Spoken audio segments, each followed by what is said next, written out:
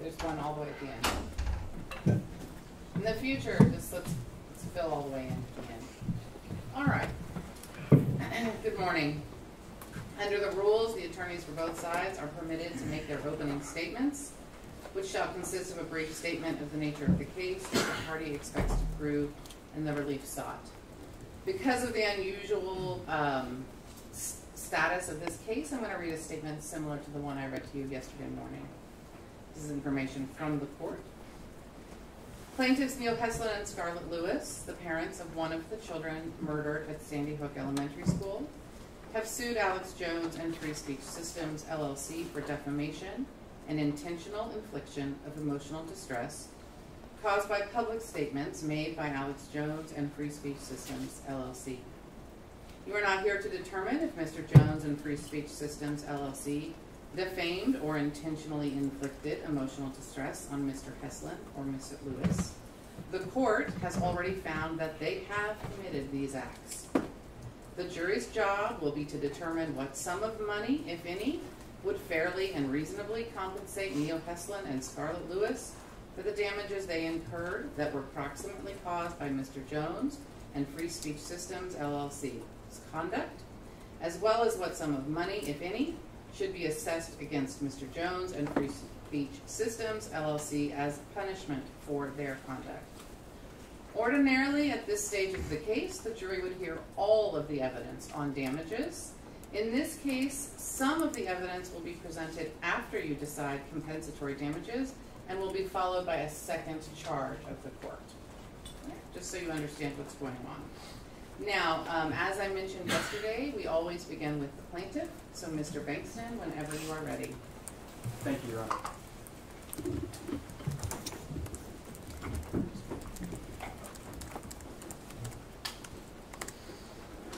Ladies and gentlemen, my name is Mark Bankston, and I'm here to talk to you about two rules first. Well, we would if we were clicking, wouldn't we? Uh-oh. Let's see if we can get that going. Not a problem, Your Honor.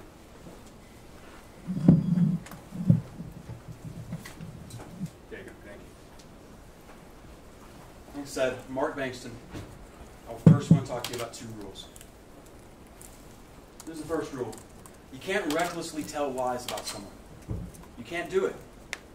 If you do it and you cause someone damage, you're responsible. This is the second rule. You can't recklessly tell lies about something important to someone.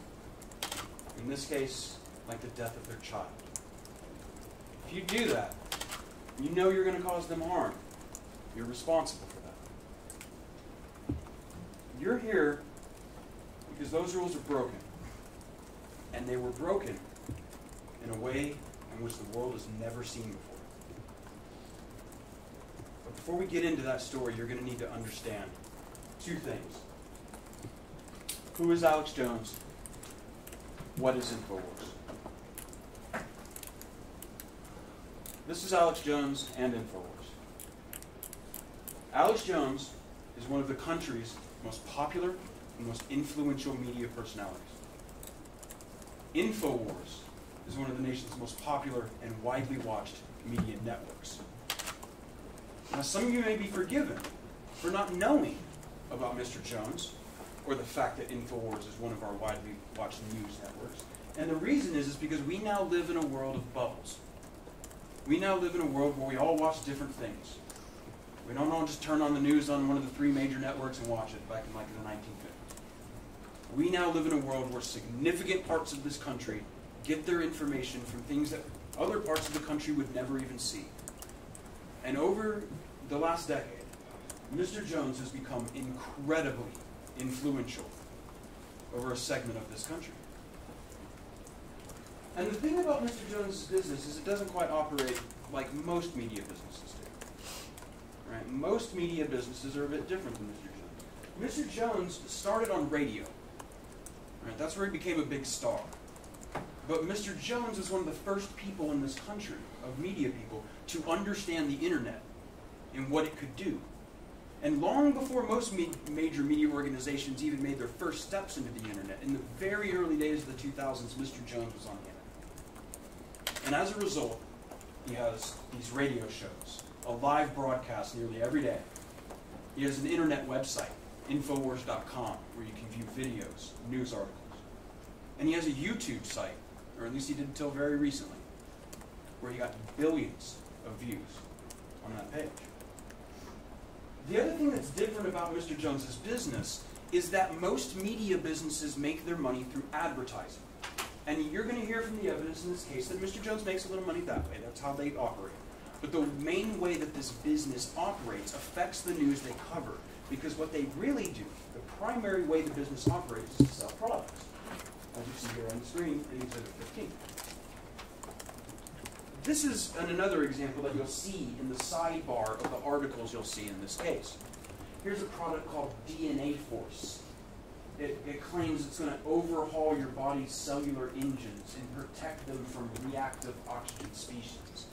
Now, these kinds of products dictate the kind of news that has to be told on InfoWars because you want to try to attract the audience that will buy these products. So that's what Mr. Jones did. His, his programming is very fantastical in some respects.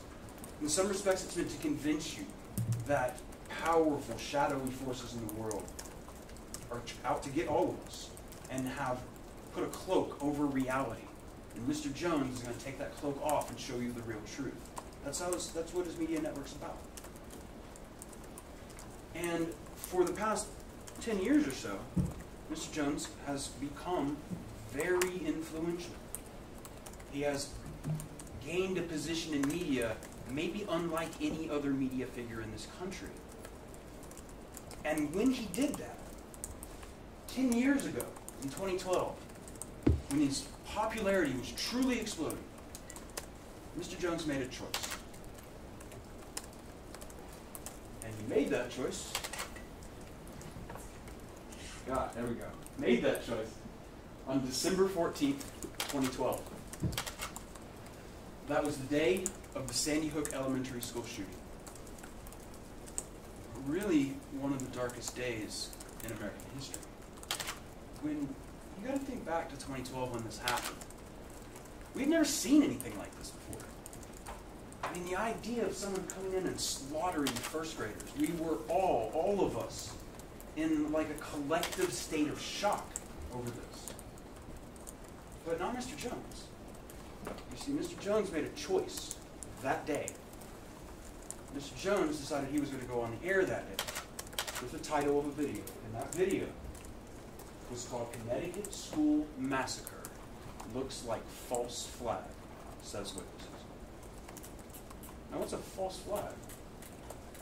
It's actually, it's interesting, it's an older term. It's a naval term from 17th, 16th, 16th century. And what it means is, let's say you were a Spanish ship and you wanted to attack a French ship, but you didn't want to get Spain in trouble. Well, what you could do is you could put up a British flag on your ship. You could fly a false flag. That's what that meant. So that you could attack the French ship without getting Spain in trouble. That's where the term comes from. But in the modern sense, in Mr. Jones's world, false flag now means something very different.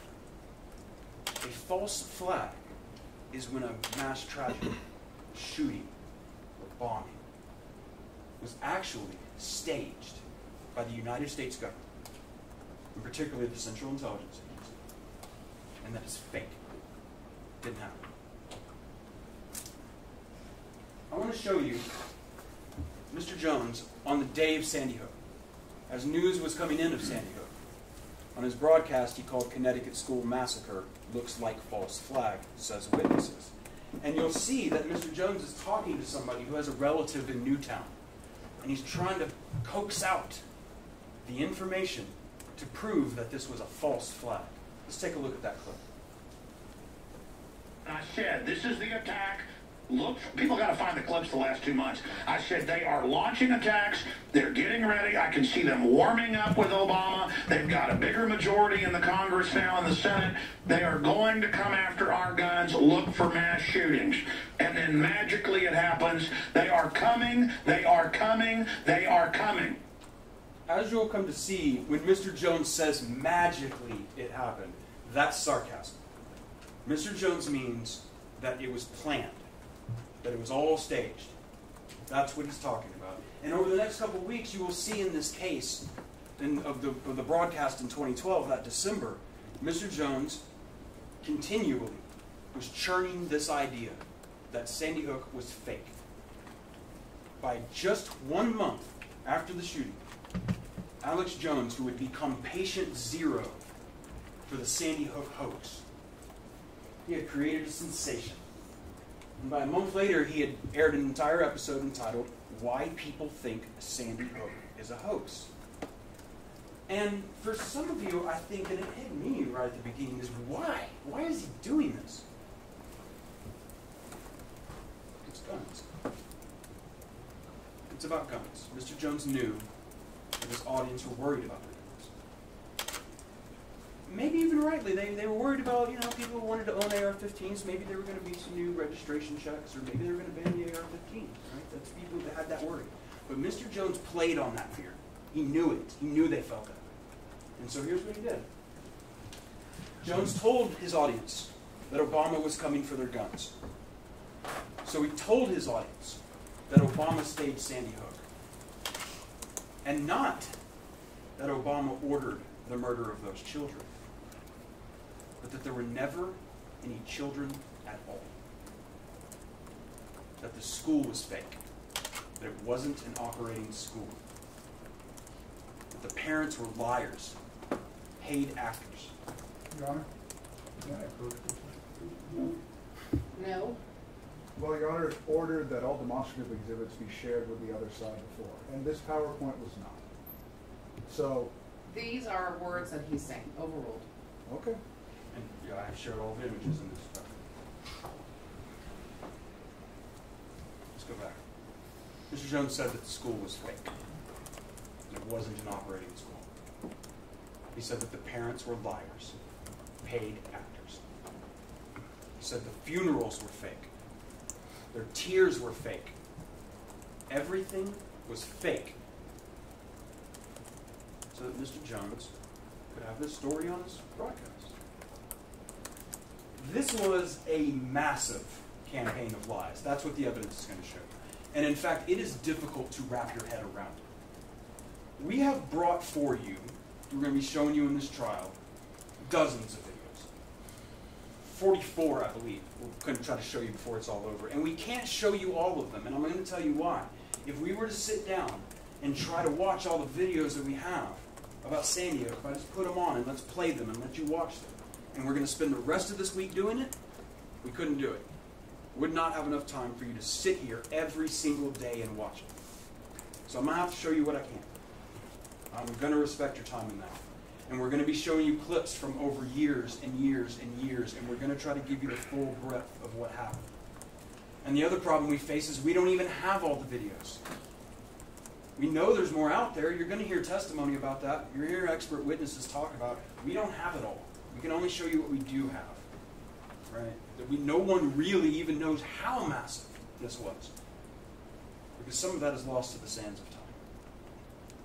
But this was done. This massive campaign of lies was accomplished because Mr. Jones recruited wild extremists from the fringes of the internet who were willing to be as cruel as Mr. Jones needed them to be. The first one of these is a man named Wolfgang Halbig. You're going to hear a lot about this man during this trial. Wolfgang Halbig, you will hear, was a former Florida state trooper. And then apparently he started some sort of security business. And Mr. Halbig was on InfoWars all the time. They just had him on over and over and over. Because Mr. Jones needed somebody who could pretend like they were going to support what he was saying. And Mr. Halbig was willing to do that for attention. I, I want to show you of the many, many times that Mr. Halbig was on. Let's first watch this first clip from September 25th, 2014, in an episode entitled Connecticut PD has FBI falsify crime statistics. All right, and what you're going to see in this video is Mr. Jones describing Mr. Halbig, and then I want you to pay attention because you're going to see something very strange. You're going to see Mr. Jones do mocking imitations of the parents crying to try to say that they're. You're going to see Mr. Jones say that there are photos of their children that prove that they're still alive, that they faked their deaths. Let's take a look at what Mr. Jones said there. We're, we're fearless, folks. Support us. Support Wolfgang. This is not a game. This, they are hopping mad. We're covering this. CNN admits they did fake scud attacks on themselves back in 1991, 1990. Would they stage this? I don't know. Do penguins live in Antarctica? Wolfgang W. Halbig's our guest, former state police officer, then worked for the Customs Department, and then over the last decades created one of the biggest, most successful school safety training groups, and he just has gone and investigated, and it's as funny as a $3 bill, and they've been, but man, Wolfgang, you dropped a bombshell of your scores of points, your, your 16 questions. If you've got a school of 100 kids, and then nobody can find them, and then you've got parents laughing on, and then they walk over to the camera and go, and, I mean, not just one, but a bunch of parents doing this, and then photos of kids that are still alive, they said died. I mean, they think we're so dumb that it's it's it's really hidden in plain view. And so the preponderance, I mean, I thought they had some scripting early on to exacerbate and milk the crisis, as Rahm Emanuel said. But when you really look at it, where are the lawsuits? There would be incredible lawsuits and payouts, but there haven't been any filed, nothing. I've never seen this. Uh, this is incredible. That's Mr. Halbig you're seeing on the screen right there. Mr. Halbig will come on the show and they'll do interviews, and we'll see some from Mr. Halbig too. We're going to see some videos of him talking. But that's the guy that he would be bringing on these shows to talk about this over and over and over and over again. The following day, they published this article on Infowars.com. This article reads FBI says no one killed at Sandy. Now, um, let's just make this clear. Everyone now agrees. You're going to hear testimony from the author of this article. This is obviously wrong. Uh, you're, you're going to hear. He didn't read the chart right. He just didn't scroll down. And they went with this and put it out to their audience.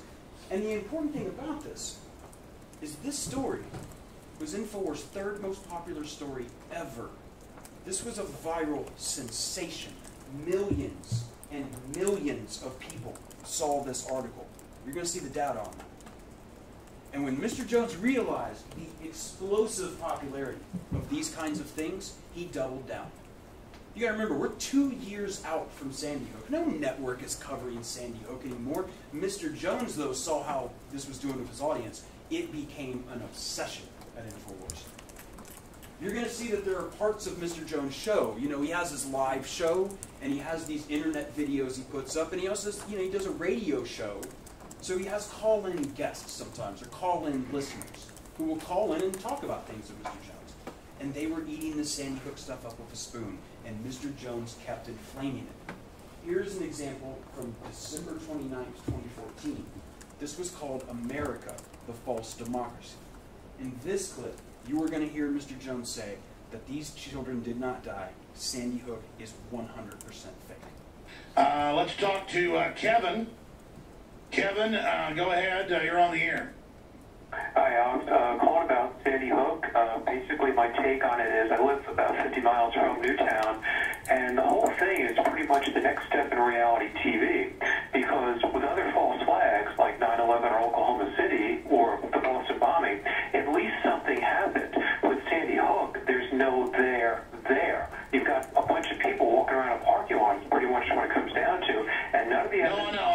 The investigators on. I've had the state police have gone public. You name it. it the whole thing is a giant hoax. And the problem is, how do you get, deal with a total hoax? I mean, just how do you even convince the public something's a total hoax? Very hard because you know anytime I talk about this issue with people, you know they you get criticized, blackballed, ridiculed, called every name in the book, or they respond with the magic words. They were saying on TV. There's no statement more proof positive of somebody who's been brainwashed by that stuff, mainstream media, than those words. They were saying on TV. Well, I always tell people the same thing: go out and prove the official story. And there's and I knew the millisecond this happened with that now fake picture of the kids being let out of the school that this there's nothing that's going to sell this agenda like dead elementary school kids. Well, that's right. The general public doesn't know the school was actually closed the year before. They don't know they've shielded all, demolished the building. They don't know that uh, they had the kids going in circles in and out of the building as a photo op. Blue screen, green screens they got caught using. I mean, the whole thing. But remember, this is the same White House that's been caught running the fake Bin Laden raid that's come out and been faked. Uh, it's the same White House that got caught running all these other fake events over and over again.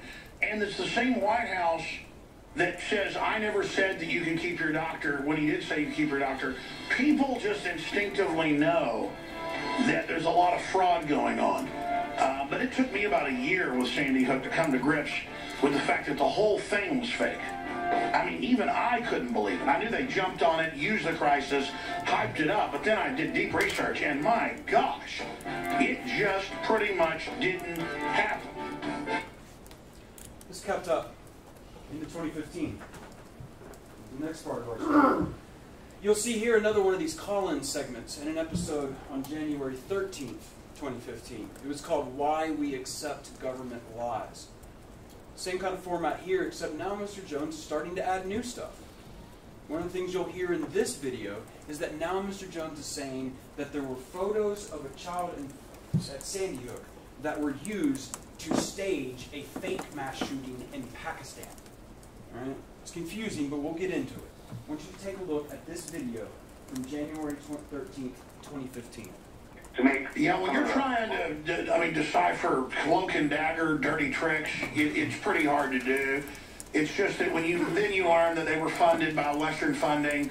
The, then you learn that it was the same Amarillo Lockheed Connection underwear bomber. Then those are big red flags that they were patsy provocateurs. The classic MO has been followed. And then, yeah, it kind of becomes a red herring, you know, to say the whole thing was staged. Because they have staged events before. But then you learn the school had been closed and reopened, and you got video of the kids going in circles in and out of the building, and they don't call the rescue choppers for two hours, and then they tear the building down and seal it, and they, they get caught using blue screens, and uh, a, a email by Bloomberg comes out in a lawsuit where he's telling his people, get ready in the next 24 hours to capitalize on a shooting. Uh, yeah, so Sandy Hook is a synthetic, completely fake, with actors, in my view, manufactured. I couldn't believe it at first. I knew they had actors there, clearly, but I thought they killed some real kids. And it just shows how bold they are that they clearly used actors. I mean, they even ended up using photos of kids killed in mass shootings here in a fake mass shooting in Turkey. So, yeah, uh, or, or, or Pakistan. The sky is now the limit. I appreciate your call. Shortly after this, InfoWars got its first YouTube strike. This means somebody made a complaint against the channel. In this case, it was a father of a victim. It was a father who had complained to InfoWars because their son's photo was used in one of their videos. It was this whole thing about the Pakistan shooting, and, and we'll get into that. It's not important now, it's obviously a lie. But when they used the son's picture, they complained to YouTube for copyright reasons. That's how they figured they could stop him. So YouTube issued him a strike. But InfoWars smartened up after this, and they realized don't use pictures of the children. That's what you're going to see. So from this point forward, you'll see Mr. Jones react about this and say, this is, you know, unjust to me, and I'm going to keep doing it. And it did. It kept up. Mr. Jones had Mr. Halbig all through 2015. And you'll see on March 4th, 2015, in this video, the new bombshell Sandy Hook information intel. Now, want, before we look at this video, I want to talk about, you've heard some of them already. Mr. Jones is going to keep repeating these same false claims. He's not questioning anything. You got to make sure there's a big difference here. He's not questioning. He's not going, hmm, something fishy might be going on at Sandy Hook. They're not questions, he's just stating facts falsely. And here they are. You'll hear about Anderson Cooper on a blue screen. And you might know about blue screen from like Marvel movies. This is how they composite somebody into something. The argument here is that San, Anderson Cooper of CNN did an interview with a parent in Newtown, and they weren't really in Newtown. They were really on a CNN studio in Atlanta, and they faked it and made it look like Anderson Cooper was there with the parent. But these people weren't even at San It's a lie. You're going to see it's a lie. It's just an obvious lie. You're going to hear them talking about kids walking in circles, going around the building, doing, doing drills. And you're going to see the video he's talking about in, in his videos. He's going to play it. And what's most astonishing is the video he's showing, the building in the video, isn't even the Sandy Hook school. He just lied to his viewers. It's a firehouse in Newtown, and you're going to see that this video is hours later in the day when parents were showing up to pick up their kids, find out what happened. And there's a group of adults and teenagers and all walking around the building to get to the front of the building. And Mr. Jones tried to sell this to his audience to say that this was fake. It shows that it was the children were actually being let out of the front of the building and then back into the building. And he'll say, well, you should be getting them away from the building. It's not even Sandy Hook. He's going to say, talk about men in SWAT gear caught in the woods.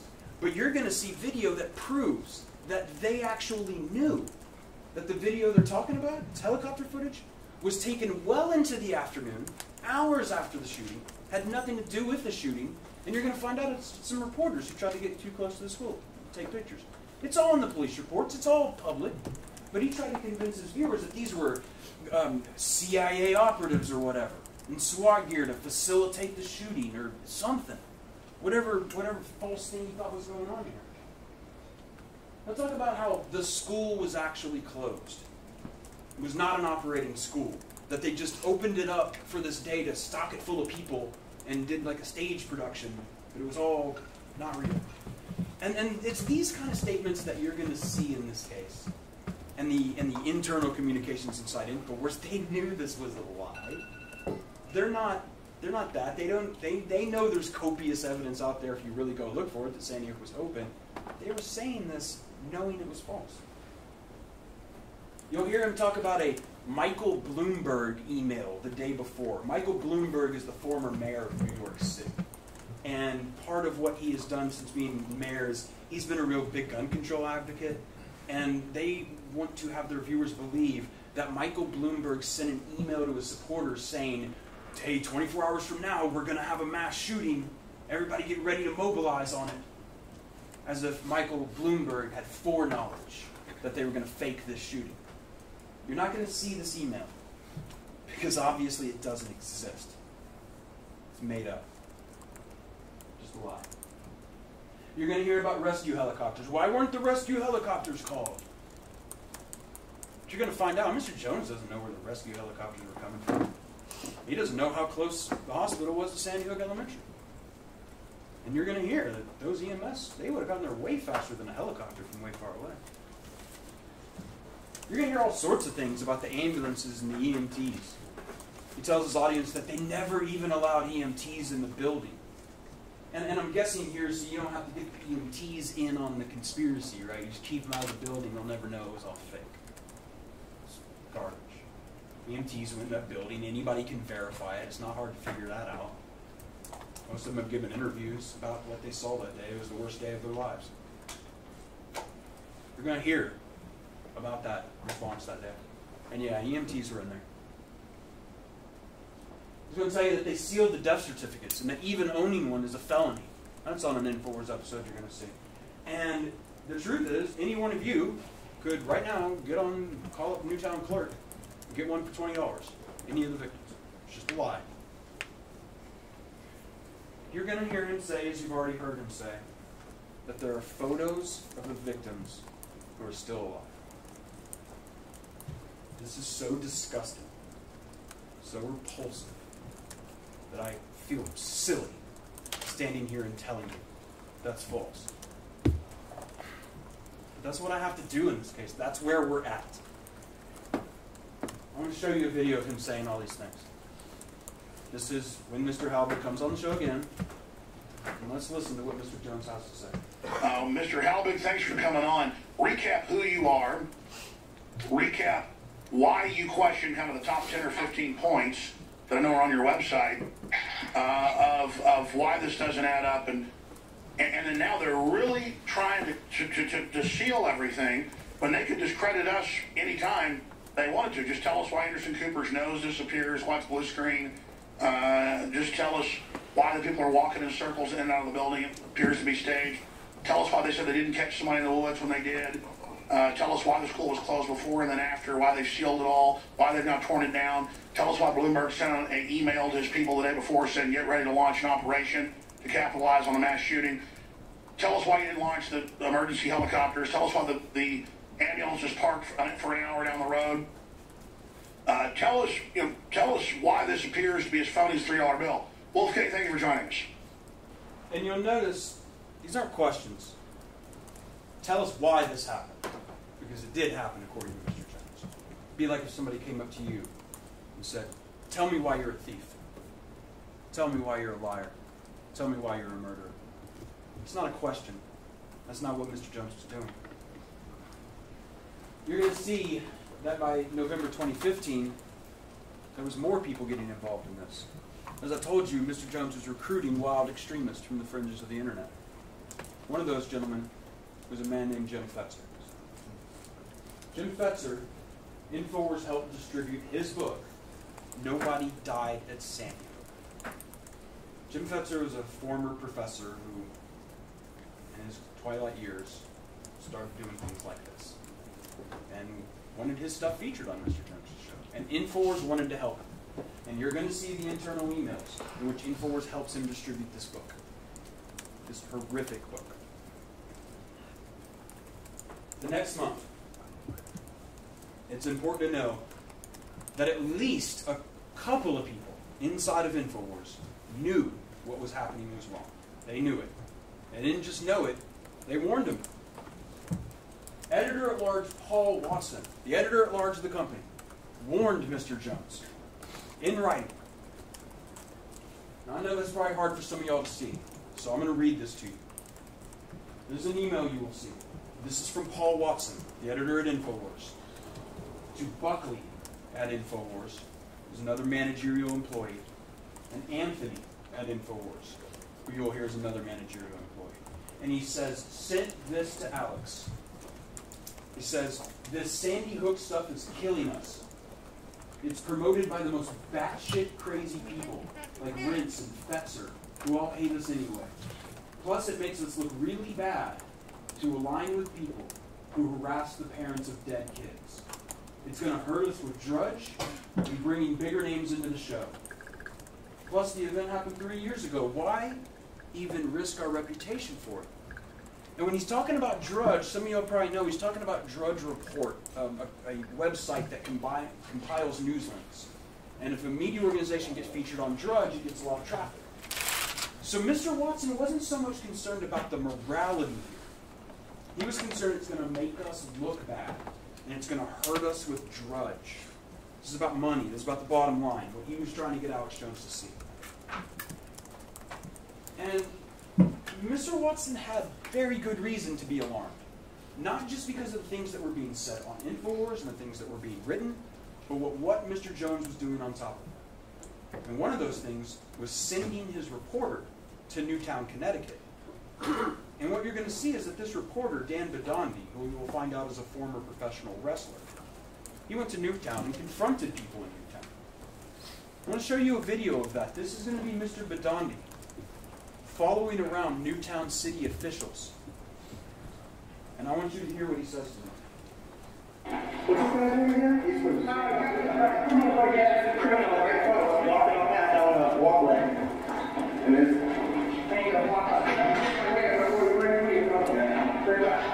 trippy crook, piece of shit. He's covering up the whole operation. They had communication with the helicopter. They're lying on the stand. Uh, that's perjury, sir. You know what perjury is? I'm going to jail, criminal. Truth is out there. You're going to jail, criminal. All Have fun with your retirement. And you, sir, defending criminals. How do you feel about that? You know, you're, this guy here is somebody out of Central Casting, the player. This is the exact person that they would hire to represent criminals, folks. The Sandy Hook truth is coming out. You people going to jail. You can smile all you want. You're going to jail for fraud. Plain and simple. Oh, you look at his credentials, Dan Bidondi, Infowars.com, the number one alternative news source in the You know, world. live right on the, live, live right on here. What do you have to say about defending criminals? You're a bunch of frauds, a bunch of criminals. Enjoy your Federal Reserve notes now, scumbags. I see those people, folks, that covering up Sandy Hook. Sandy Hook was an inside job. Now think about about this is, is that I think you can tell from this video, Mr. Bidondi, that reporter, he probably believes this stuff. Like he's he's being Mr. Jones used him just as much as anybody.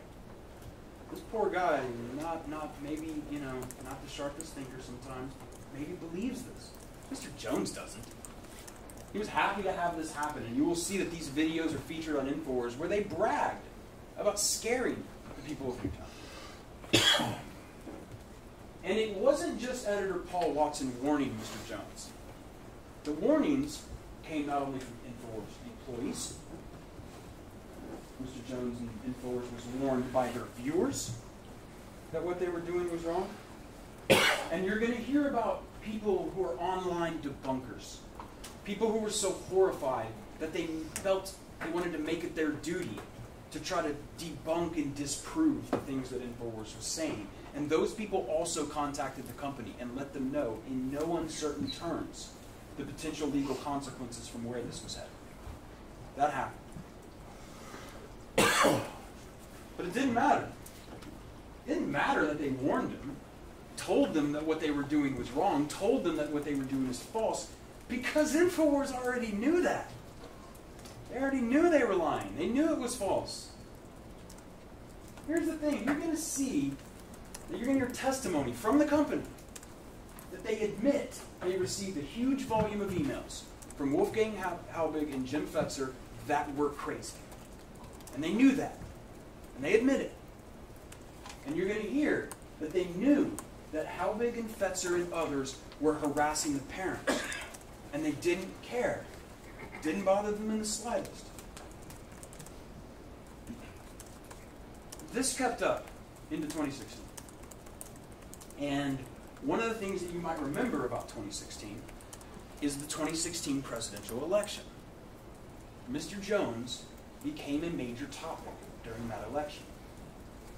Some of you may remember, in fact, that Mr. Jones' lies were discussed by Clinton in her campaign speeches.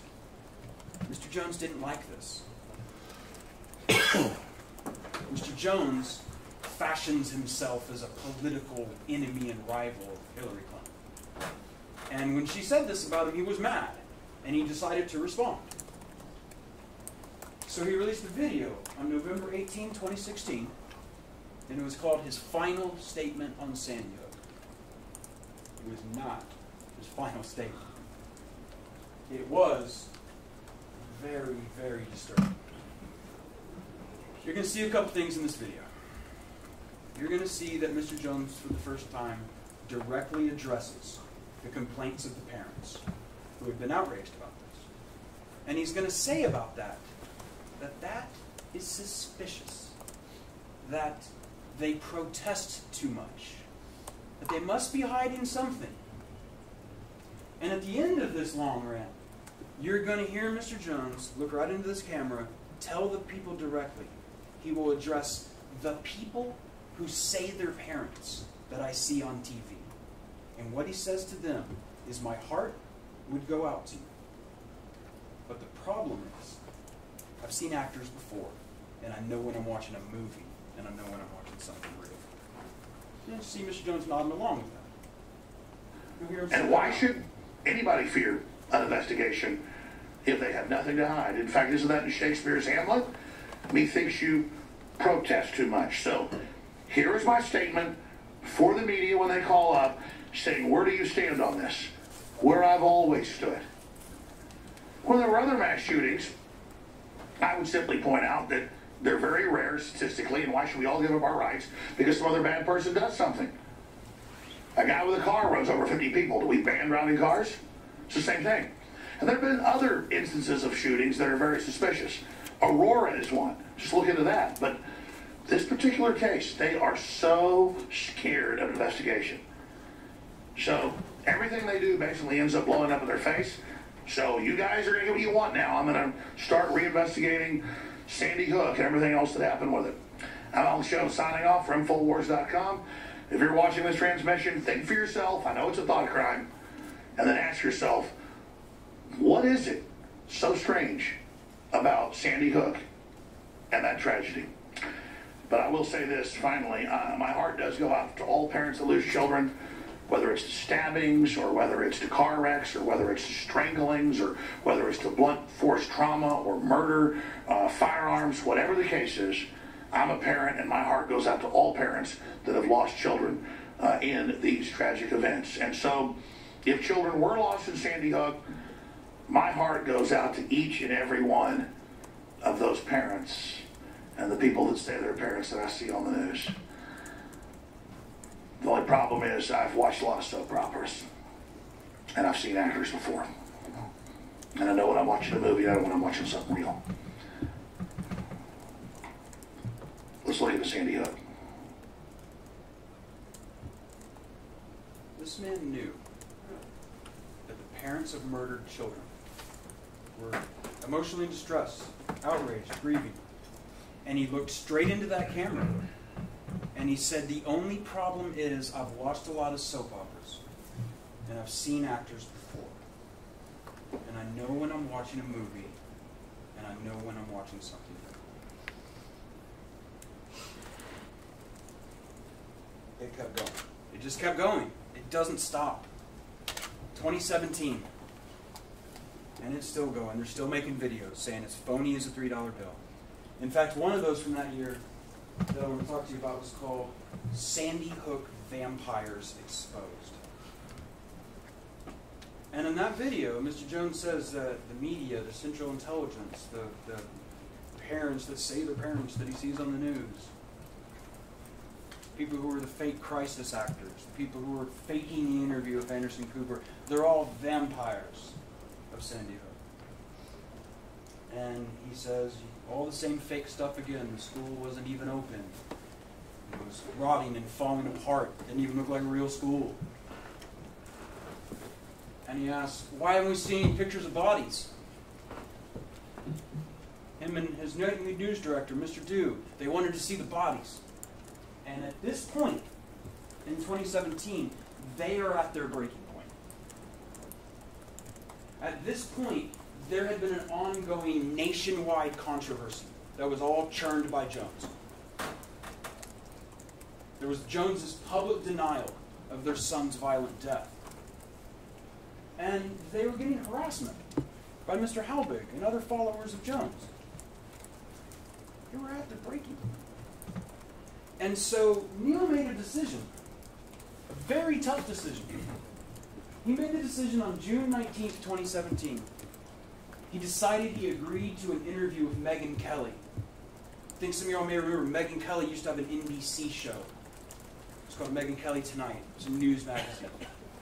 And he thought, when Ms. Kelly asked him if he would come on the show, because she was doing a profile about Mr. Jones, he thought, if I go on this show and I say, please stop, please stop, I'm a real dad. He thought if Mr. Jones was be, to be able to look him in the eyes and see him, that he could solve this.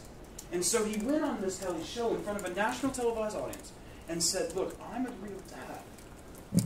I, I lost my son. I buried my son. I held my son with a bullet hole through his head. Please stop. And Neil was hopeful. Neil was really hopeful that it would stop.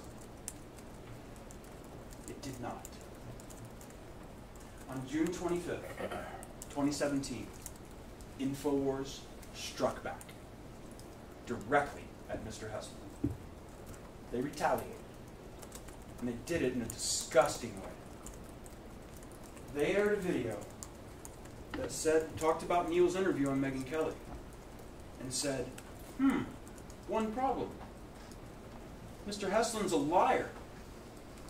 Mr. Heslin never held his child. He made up that story. And we can prove it.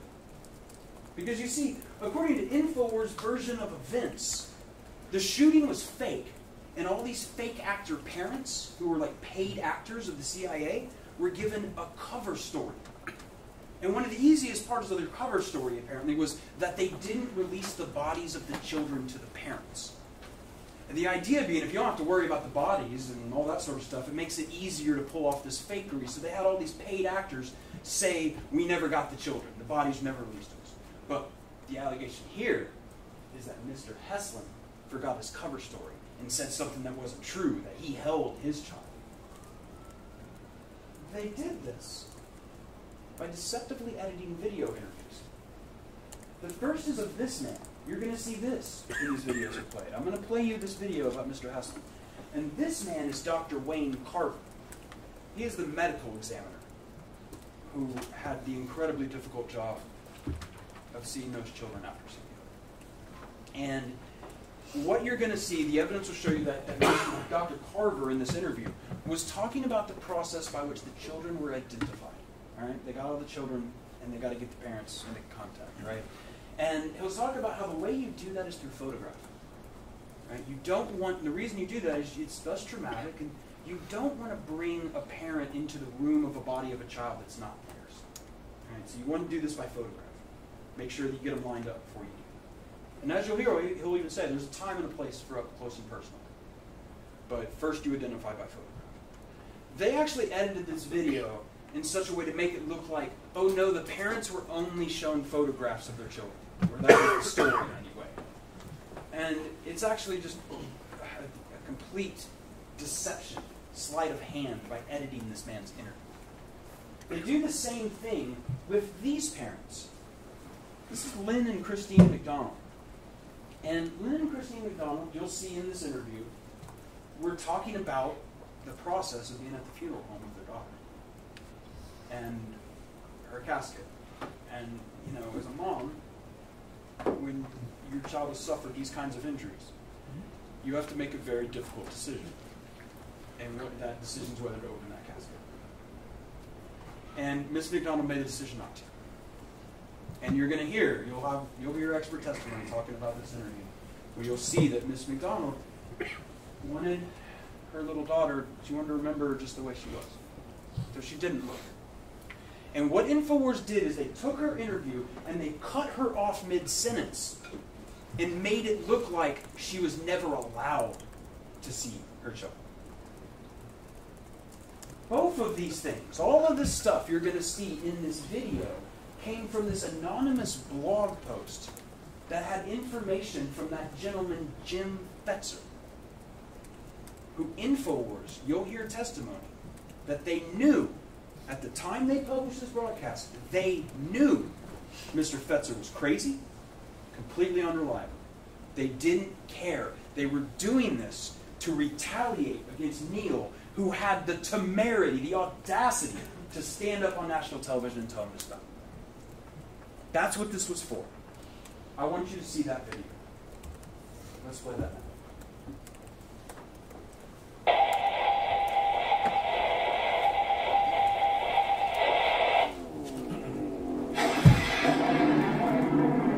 So, folks, now here's another story. You know, I don't even know if Alex knows about this, to be honest with you. Alex, if you're listening and you want to, uh, or if you just want to know what's going on, Zero Hedge has just published a story.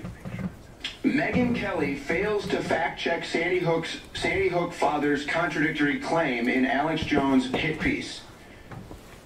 Now, again, this this broke.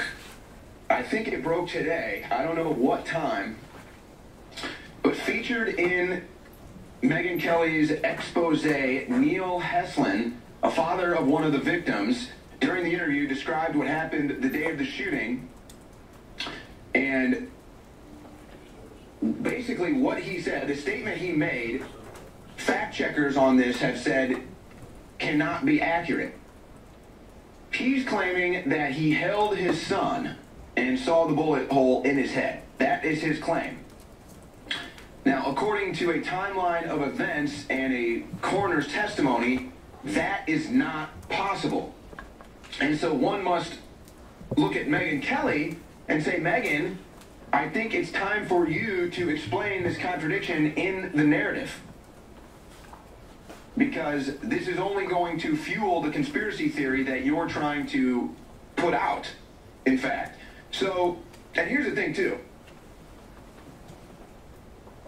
You would remember, let me see how long these clips are. You would remember if you held your dead kid in, in your hands with a bullet hole. That's not something that you would just misspeak on. So let's roll the clip first. Neil Heslin telling Megyn Kelly of his experience with his with uh, with his kid. At Sandy Hook Elementary School, one of the darkest chapters in American history was a hoax. I lost my son. I buried my son. I held my son with a bullet hole through his head. Neil Heslin's son Jesse, just six years old, was murdered, along with 19 of his classmates and six adults, on December 14th, 2012, in Newtown, Connecticut. Yeah, I dropped him off at 904. That's when we dropped him off at school with his book bag. Um, hours later, I was picking him up in a body bag. Okay, so making a pretty extreme cl- claim that would be a very thing vivid in your memory, holding his dead child. Now, here is an account from the coroner that does not corroborate with that narrative. Uh, we did not bring the bodies and the families into contact. We took uh, pictures of them, um, of, of their facial features. You have, uh, uh, it's, it's easier on the families when you do that. Uh, there is uh, time and a place for up close and personal in the grieving process. But to accomplish this, uh, we felt it would be best uh, to do it this way. And uh, you can sort of uh, you can control the situation uh, depending on your photographer, and I have very good photographers. Uh, but uh, It's got to be hard not to have been able to actually see her. Well, at first I thought that, and I had questioned maybe wanting to see her. Okay, so just another question that people are now going to be asking about Sandy Hook. The conspiracy theorists on the internet out there that have a lot of questions that are yet to get answered. I mean, you can say whatever you want about the event, that's just a fact. So there's another one. Will there be a clarification from Heslin or Megyn Kelly? I wouldn't hold your breath. so now they're fueling the conspiracy theory claims. Unbelievable. We'll be right back with more. The man you just saw, his name is Owen Shroyer. He's another media star at Infowars, sort of Mr. Jones' protege. And what you just saw there was a manufactured, fabricated lie, specifically engineered and calculated to hurt Neil Heslin and Scarlett Rose, to retaliate against Neil for daring to speak out, proposing any sort of resistance to Mr. Jones' years of cruelty. They struck back against him. And it didn't end there. Right? Now, now Neil and his family had been introduced into the Sandy Hook conspiracy. They were a key part of it. They were a focus of this lie. And it didn't end. A month later, you're going to see that there was significant controversy over this video you just saw. And Mr. Jones, a month later, doubled down and defended it. He got on a show, he played that entire video again, and then he said this. He said, That was a month ago. He, meaning Mr. Shroyer, had said, I wouldn't hold my breath looking for a response. We've not seen a clarification. Mr. Jones then said, The stuff I found was they never let them see their bodies.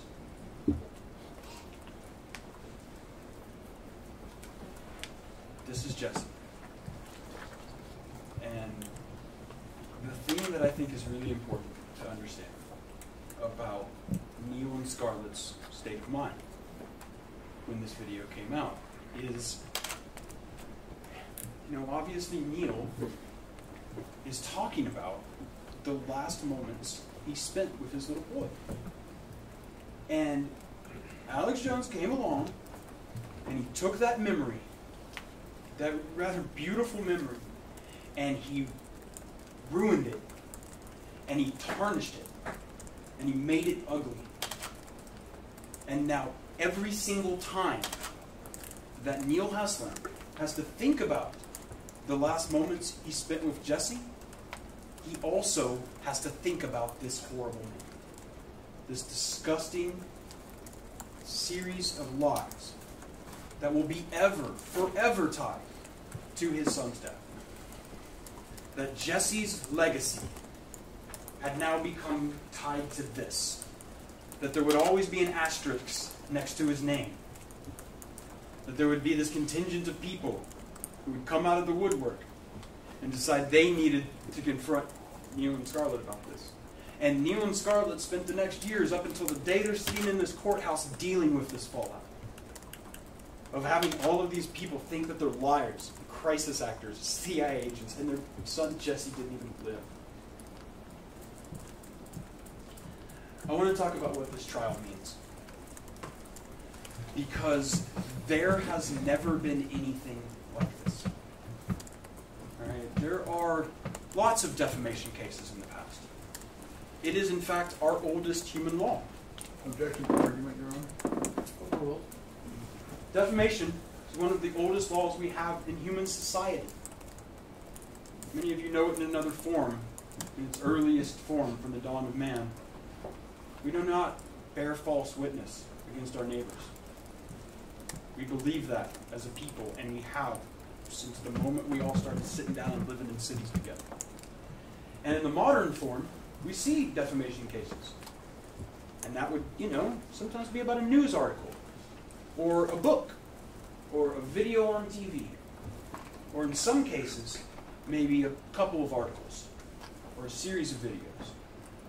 But never, never in the human history of defamation has somebody for 10 years, over and over and over, to a global audience, harassed, lied, and attacked the parents of murdered children for 10 years, causing huge portions of this country and indeed the globe to doubt them and their story. It has never happened.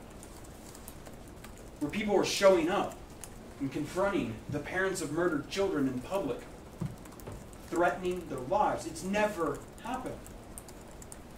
This trial is different than anything that's ever gone on in this courtroom. And you're not here to decide whether all this happened. I think we all know that now. We're going to see the videos. Nobody doubts that the videos were published. You're going to see the black and white documents. You're going to see the internal emails. But you're not going to have to decide whether all this happened. And you know that you're not here to decide whether Mr. Jones is legally responsible. It's also not something you need to decide. And this also has nothing to do with the Constitution. Because defamation is not protected by freedom of speech. Okay?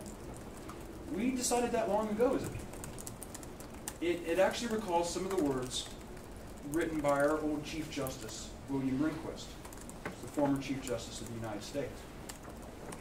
And he wrote, he wrote in Hustler versus Falwell, Your Honor, same objection to argument. Um, I'm going to allow it, but make sure you. it's very brief, Your Honor. Okay. So overruled. In Hustler versus Falwell, Just, Justice Rehnquist said this False statements of fact are particularly valueless. They interfere with the truth seeking function of the marketplace of ideas, and they cause damage to an individual's reputation that cannot easily be repaired by counterspeech, however persuasive or effective. It's for that reason that we do not protect defamation, false speech. Because speech is free, but lies you have to pay for. There is also no question that Neil and Scarlett suffered harm. I don't know what InfoWars lawyers are going to get up here and say. I don't. But one thing I know they will not tell you is that Neil and Scarlett weren't harmed by this. That's not going to happen. They won't tell you that. Because we all know that happened. And the testimony will show that Free Speech Systems admits that its conduct harmed the plaintiffs. They'll admit what they did to these parents' grieving process. They'll admit it. They just don't care. And they do not believe that they should have to pay anything beyond a dollar for it. They think that the pain that they admit that they caused has no value. None. They're going to stand up here after the things that you've just seen, admitting that they did wrong, admitting that they caused the harm, and they're going to have the absolute gall to say, give them a dollar. That's what they're going to do. You have two tasks. There's two things you got to do while you're in this court. The first task is how much money should Neil and Scarlett be paid for the harm Mr. Jones has caused. The second thing you're going to have to consider is how much money will it take to punish Mr. Jones for his actions.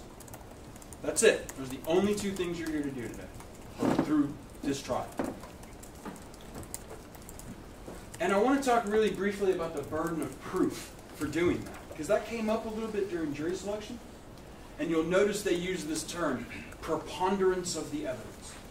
And ever since I came out of law school long ago, I do not know why we use words like that. That is dumb. Why do we talk that way? It really, because there's such an easy way to say it, and I think everybody in the courtroom will agree with me, the defense counsel will agree, that what preponderance of the evidence means is, is a fact more likely true than not true. Just a slight tipping of the scales. If you think you could flip a coin flip and it's better than those odds, that's more likely true than not true.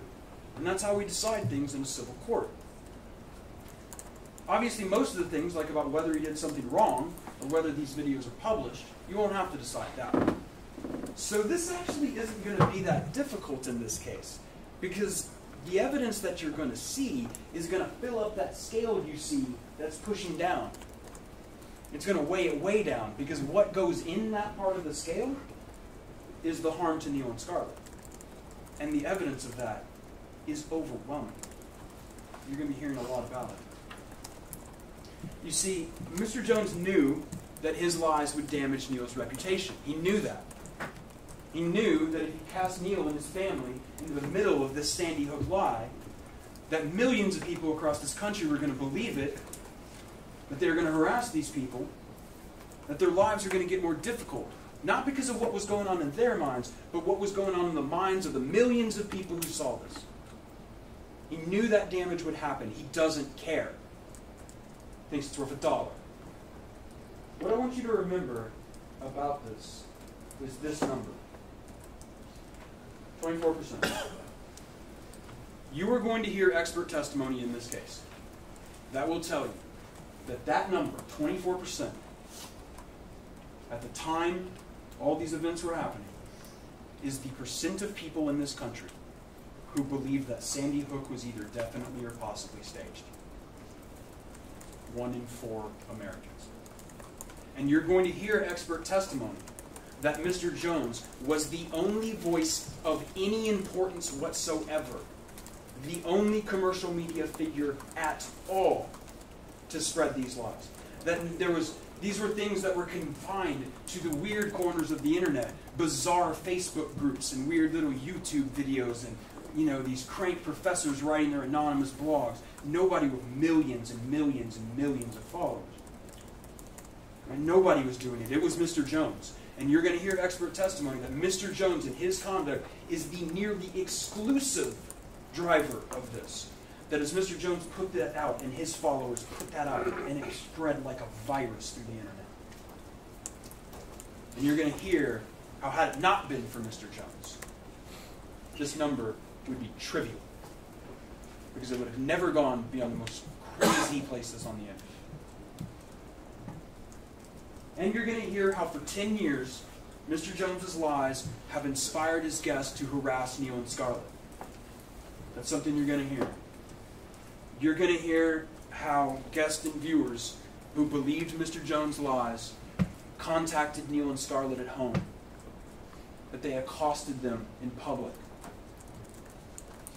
they harassed them online and by telephone, and that they threatened their very lives.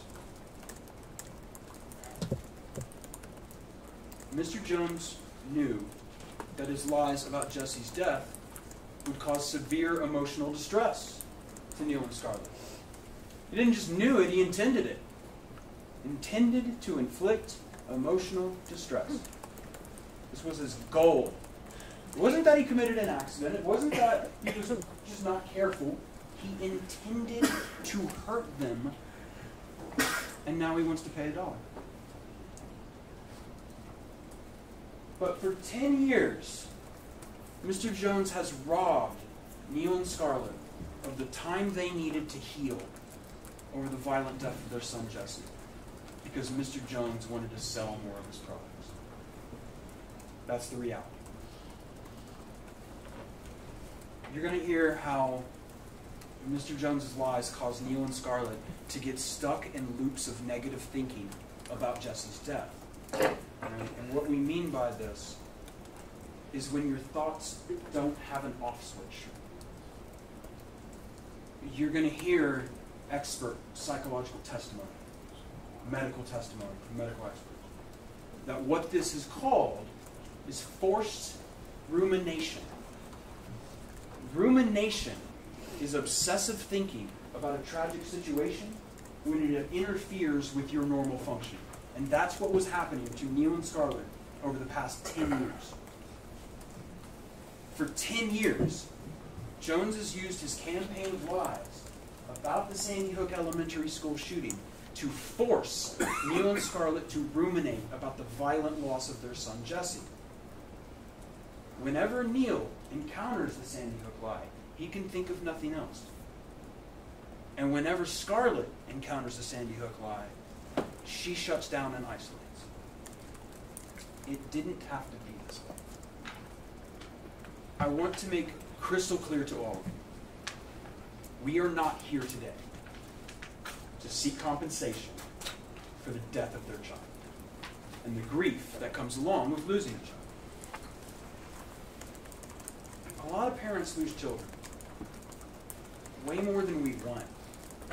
It's accidents, disease, firearms. We've actually gotten to the point where firearms is a leading cause of death of children. Parents have to deal with this. And yes, it's horrible. But with qualified medical intervention and time, you can heal. You don't get better, you just heal. You develop scar tissue. You come to a place of closure. You come to a place of acceptance. And the grief will always be with you. But if you can do it in a healthy way, the outcomes for a parent who's lost a child you're going to hear are, are okay. You can get them to be in an okay place people like Neil and Scarlett can heal over time if they are allowed to shape their past and present circumstances. But Neil and Scarlett were prevented from healing because they had to contend with Alex Jones' lies. Dealing with this conspiracy of lies for 10 years put a lot of life stressors on Neil and Scarlett, which led to a substantial decline in their well being and caused them to continually suffer aggravated mental anguish. That is what you will hear from a medical professional, psychological professionals. I'm going to tell you this. And that's one of the other things you're going to compensate for in this case. We talked a lot about mental anguish yesterday, but it's that and the reputation, right? It's about what went on in their minds. That's the mental anguish. But in the millions of other people's minds, that's the reputation damage. Both of those things happened to Neil and Scarlett. That's not the only thing you're going to have to consider. You're going to hear evidence over the next coming days that relates to the things you'll need to consider for punitive damages. And as we talked about, these are the damages designed to punish the defendant and also to deter, to convince every other media organization that if they go down this path, if they try to copy Mr. Jones's formula, it will not be a good thing for them. Hopefully, this trial will be able to deter and prevent any other media organizations from following the same cruel path. Because what you have to remember is that Mr. Jones, for 10 years, intentionally lied that the shooting was fake or a government led plot. When I say 10 years, it's because I want you to understand this hasn't stopped. Bringing this lawsuit did not solve this. You can look at what Mr. Jones has said afterwards, and you can see inside of his mind and know how malicious he was, because he is still saying Sandy Hook is synthetic. I want to show you a video from October 1st, 2021, just last year, in which Mr. Jones says that, you know what? My original instinct was right. You know, at first I thought it was fake, then I thought maybe it's real, and, and now, he says, seeing how fake and synthetic everything is, maybe I was right. Maybe Alex Jones is always right. That's what you're about to hear him say. I want to show you this video from October 1st, 2021. Just like the New York Times lying about WMDs on purpose and all the evil things that, oh, but I questioned one of the big events they hyped up because of uh, a lot of the anomalies, and I have a right to question that. In fact, I, for a while, thought it didn't happen, then I thought it probably did, and now, seeing how synthetic everything is, and my original instinct, maybe Alex Jones is always I'm pretty much right 99% of the time, folks, and so are you. I mean, we all know this is easy to look at to see what's happening. And you've seen it here today. Mr. Jones still nodding along. Mr. Jones, you'll hear, he still thinks. It's cover up. Sandy Hook. Keeps pushing it because it's important that his audience not hear him retract. It's important that if he was to go out and say, yeah, I was wrong. Yeah, I, I need to be accountable. That will destroy him with his audience. Can't do it. He won't do it. You need to understand that he intentionally lied to sell supplements. That's what he did. Mr. Jones used Jesse's death to sell his products. That is the reality. And Mr. Jones retaliated against Neil for speaking out. Mr. Jones told the world that Neil was lying about holding Jesse's body. Because Mr. Jones will do or say anything to protect his ability to profit off his lies. This is a case about creating change. You have the power to stop this from ever happening again. You can put an end to these lies by punishing Alex. You can make that part of Jesse's legacy. You can make Jesse's legacy this trial, in which he can hopefully, Jesse's legacy can prevent this from ever happening to another family, to another set of victims. That can be Jesse's legacy. But just as importantly is compensating Neil and Scarlett for the harm that they suffered. And I remember when we were talking in jury selection, when my partner, Mr. Ball, was talking to me. We were, a lot of us were talking about how it's difficult to wrap your mind around something abstract, like mental anguish, reputation damages. And I know one of the things you're going to find out, that's going to be, that's why we all are for we're going to tell you everything we can. We're going to give you all the instructions we can. We're going to show you all the evidence. But it's going to be up to you. And one of the ways that I think, right now, obviously I'm just an opening statement. I can't show you everything. But one of the things I think you should think about, a number you should keep in mind, something to help wrap your head around this level of damage, is this number, that 24%. The number of people in this country who believe that Sandy Hook was definitely or possibly staged.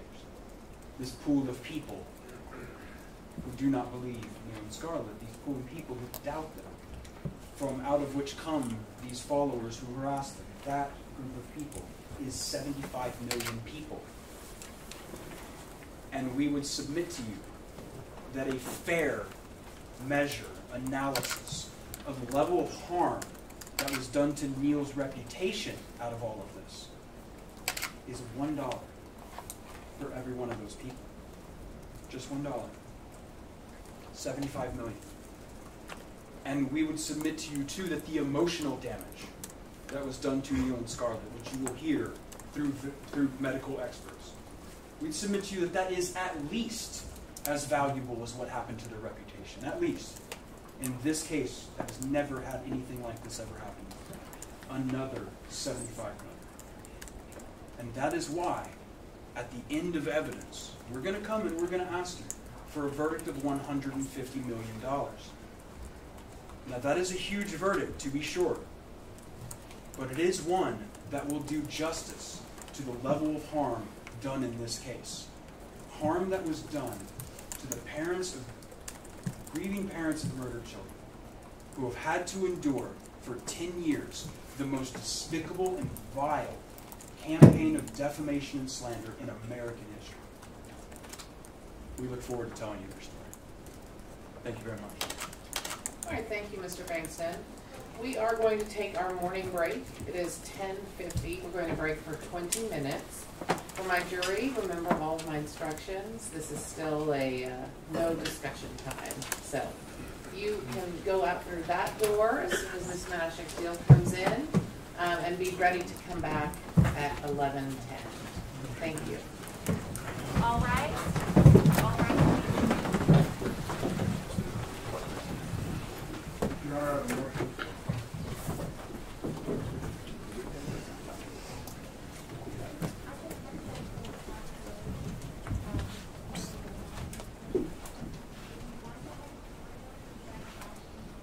just whoever is last, make sure you shut that door behind you, please. Thank you.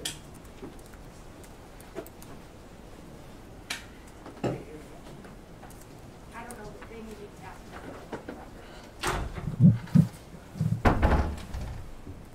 All right, you may be seated.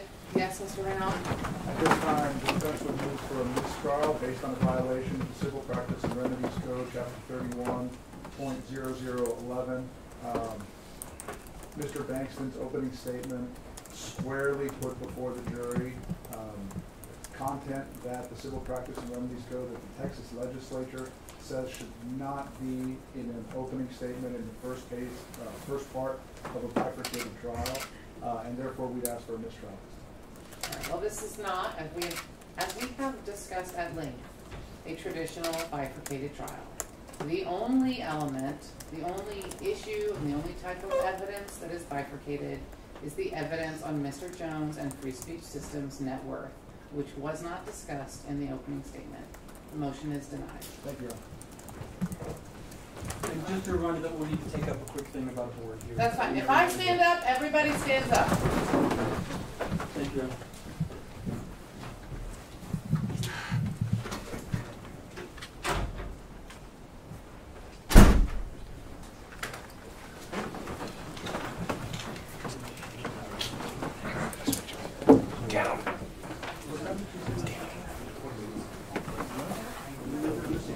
I have your honor. All right, you may proceed.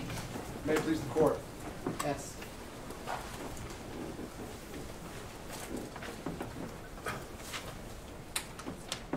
We heard a lot about rules at the beginning of the personal injury lawyer's presentation. I'm going to tell you the most important rule I learned as a young lawyer.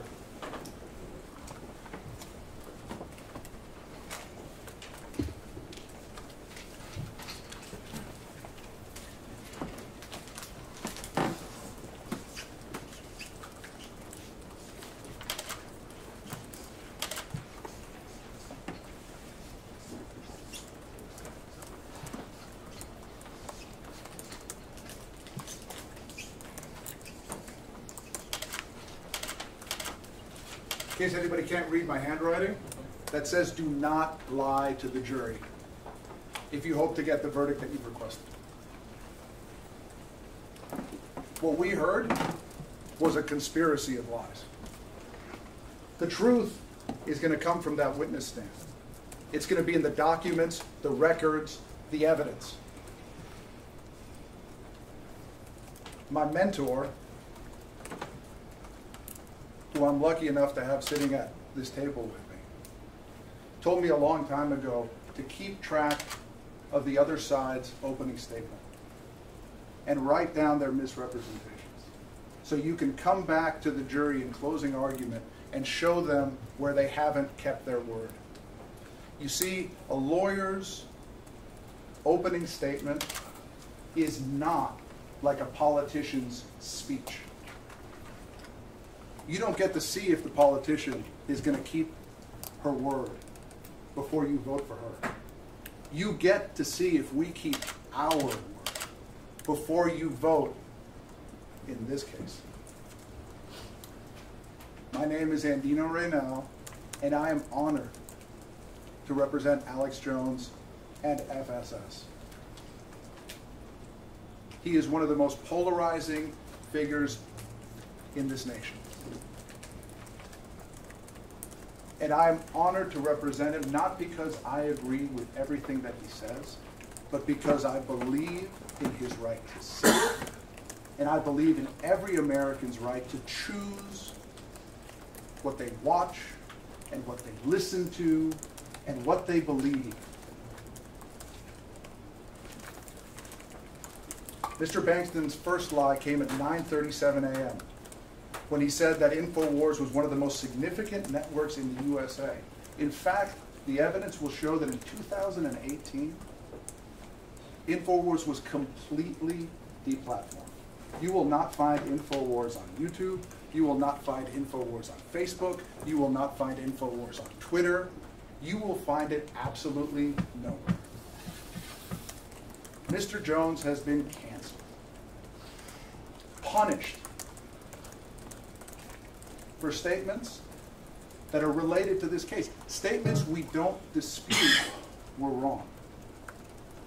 But in order to render a just verdict, you need to understand and be able to see all the evidence and understand the chain of events and understand what he said and when he said it.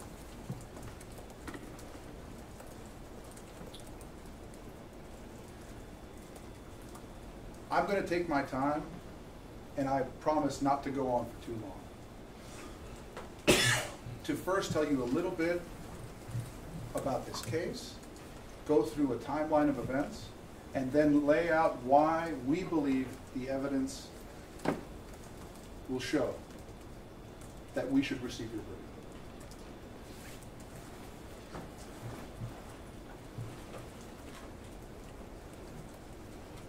On December 14th, 2012, Adam Lanza, a mentally disturbed young man in Connecticut, woke up early. He got a 22 caliber bolt action rifle, went to his mother's room, and shot her in the head while she was sleeping. He then armed himself with a long gun and two pistols, and some reports say he drove by the high school where he'd been a student, saw two police cars, and diverted to the elementary school. He shot his way in and killed 20 first graders, six-year-olds, and six school employees.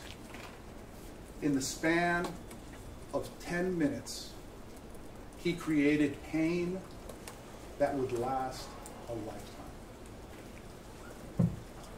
Alex Jones was 1,500 miles away in Austin, Texas, dropping off his own six-year-old at school. When he heard about the event, he was shocked and saddened, just like everyone else in America. He was also suspicious. Alex Jones has hosted a show called InfoWars since the late 1990s. He started out on Austin Public Access. InfoWars is a talk show where Alex Jones uh, discusses, and, and some of the people who work with him, discuss conspiracy theories. And they discuss government cover ups. And they discuss lies told by the mainstream media. And they try to give an alternative view. Mostly it's a college. So let's discuss what happened and go through the years. I want to clarify something. Because you're going to watch the videos. The videos are the most important part of this. Not cherry picking little snippets, but actually watching the videos. And I hope you hold the plaintiffs accountable. You're going to hear that Alex Jones was concerned about the government's response on the day of Sandy Hook. You're going to hear that he suspected the government, that he thought the government might have been involved. You are not going to hear him say that he didn't think any kids were killed at any time in 2012 or 2013. Okay?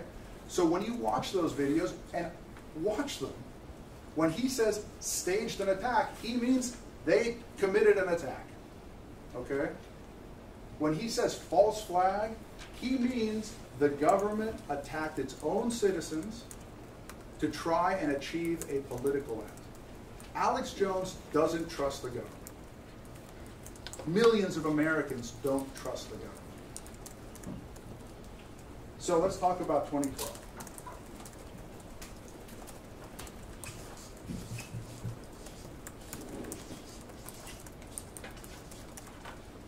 And the first thing I want to talk about is what happened in the immediate aftermath of the Sandy Hook. There was, and you'll, you'll see Alex, you'll be able to watch his response to it. Like him, everyone was heartbroken across the nation and across the world. And they showed their sympathy for the people of Newtown, Connecticut. You will hear from the witness stand there were over 500,000 letters, cards, drawings. There were so many toys sent to the town because it had happened right around Christmas. So many toys sent around the town that they had to get a separate they had to get a separate mail sorting facility to distribute the toys to other places. Millions of dollars went to the United Way to support the family. President Obama got on a jet and flew there the next day. I mean, not to mention every senator from Connecticut, every mayor, uh, every town politician, people from around the world gathered to mourn. The mainstream media also went. Unfortunately,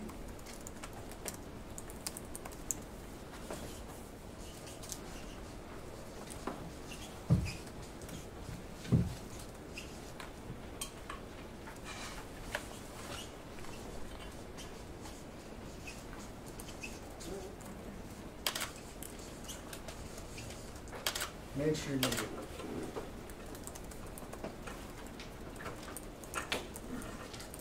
Some of the people who went to Sandy Hook, and the evidence is going to show that Sandy Hook wasn't different from any other school shooting. I mean, we live in a nation divided. If you're blue, every time there's a school shooting, it's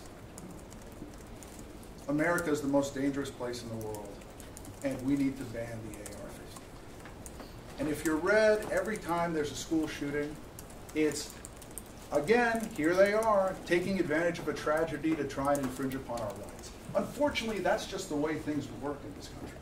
And it was no different at Sandy Hook. Hours after the event, CNN, every major news source was there, interviewing people, broadcasting. The evidence is going to show calling for gun legislation. InfoWars, back in Austin, was also covering it in 2012 and 2013. It was big news. And InfoWars never contested that the children were murdered in 2012 or 2013. You'll watch the videos. I, I, I, was frankly, I was surprised. I don't have them ready to play. You'll watch them, okay? Assess them yourself. They were covering it, and they were saying that it was being botched, mishandled, and used to push gun legislation. And you'll hear from the witness stand, they will admit to you that the investigation and the coverage of the event was botched at first.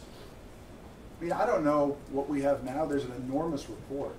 But you will hear covered that CNN misidentified the shooter and put this man's picture up from Hoboken, New Jersey for four hours and said that he was the real killer.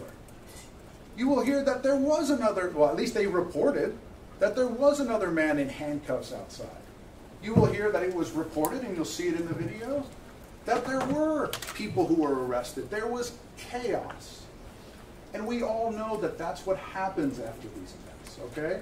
Unfortunately, in this case, the chaos, the bad coverage, led a lot of people to doubt.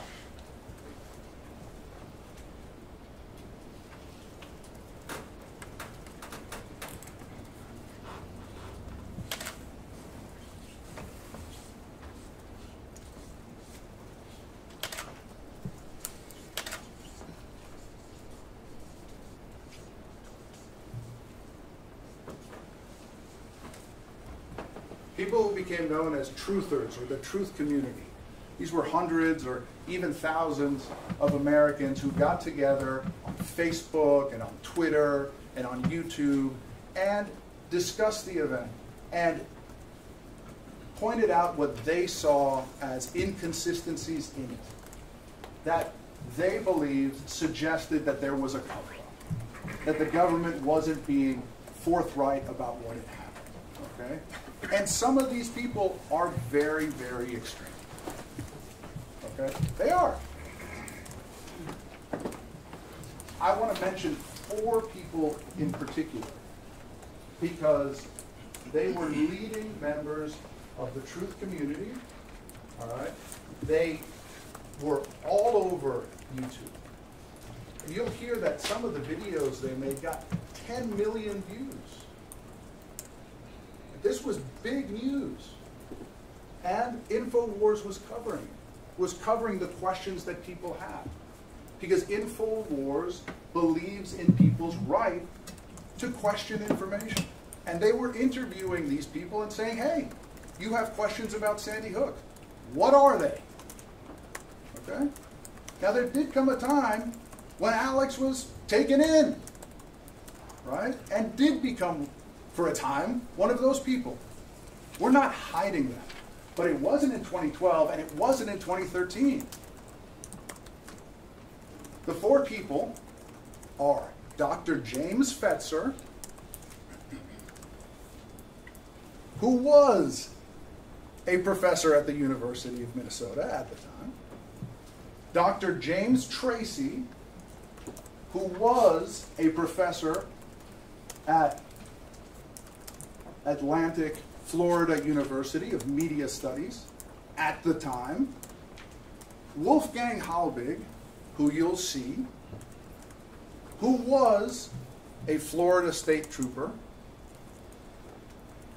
who did work for the Seminole County Education Board, and who claimed to be a school safety expert, who had been interviewed on multiple channels and had even testified before Congress. Some of that now, 2020 hindsight, I don't think is true. Okay, but he presented himself that way at the time. And if you understand the news cycle and how it works, commentators, people on talk shows, they get information, they run with it. Alex Jones was wrong to believe these people.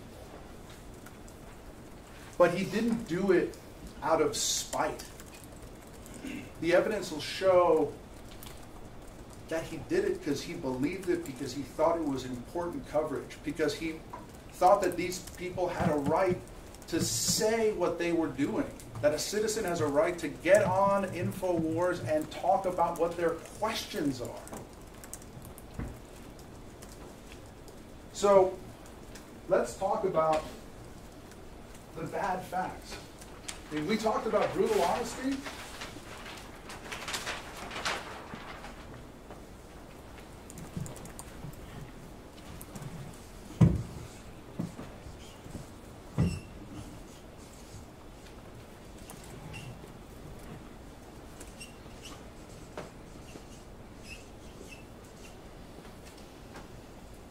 2014 to 2015 in the summer for the rest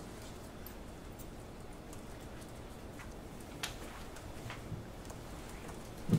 Alex Jones has apologized repeatedly for the coverage that he gave to Sandy Hook from 2014 to the summer of 2015. And he has every reason. He does. They trusted people that they shouldn't have trusted. It created a lot of tension at his company. There were arguments about it. But he felt the show was important, and he aired it. He regrets that now, and he said so. The thing you have to remember about Alex is that he has been talking about conspiracy theories and taking on the elites, whether that is the Bush administration or the Obama administration or the Clinton administration. He's been the outsider for a really long time. And by the time we get to 2014 and 2015, he felt he had seen what he perceived as so many lies and so many cover ups and so much hand washing of the facts that he had become biased. He was looking at the world through dirty glasses. And if you look at the world through dirty glasses, everything you see is dirty. Important for you to know, I don't think there's any evidence that is going to come from that witness stand that Mr. Heslin or Miss Lewis ever watched this show during this period. And I can assure you that there will be no evidence that Mr. Jones or any member of his staff named Mr. Heslin or Miss Lewis during this time. So just to recap where we are, 2012, 2013, InfoWars is covering Sandy Hook with a slant that children were really murdered, but there's a government cover-up and potentially government involvement. That doesn't say that Mr. Heslin and Miss Lewis aren't the parents of a dead child. It doesn't. So we get to this period, and it ends in July.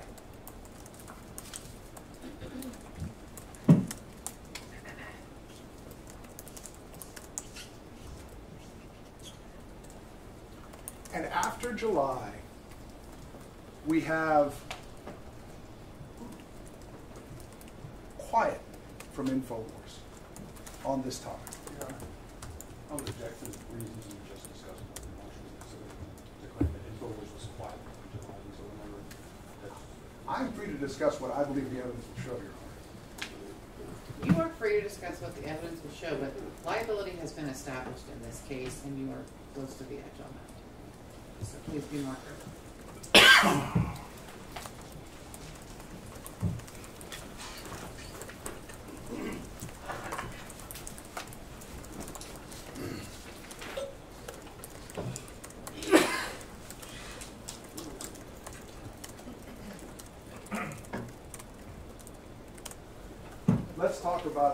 16.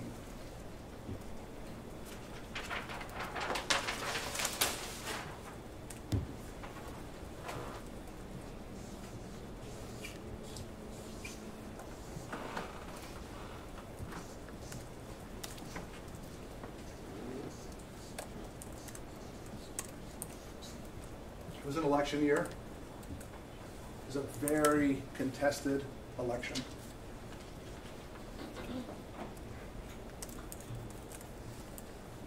And Mr. Jones, for the first time in his entire career, supported a candidate. And he was associated with Donald Trump. Hillary saw that as a liability for Trump and made Alex a big part of her campaign. Saying that Alex had repeatedly said on his show that Sandy Hook hadn't happened. By this point, Alex didn't believe that. So on November 18th, 2016, he put out a video called Final Statement on Sandy Hook. And you'll have the opportunity to watch that video. And I think you should insist on watching that video in its totality, just like every video that's going to come into evidence. Because only then can you understand what really happened. You can't cherry pick. And he said, I want to reach out to the victims of criminal crimes and listeners to clarify where I stand on Sandy Hook. The last three or four years, the mainstream media has made attacks against me that I said no one died. I've hosted debates with both sides of the aisles. I've always said I'm not really sure of what happened. I can see based on the evidence why people might say nobody died, but I don't know what happened. I know mass shootings happen. The official story, however, of Sandy Hook has more holes in it than Swiss cheese. And he still believes that.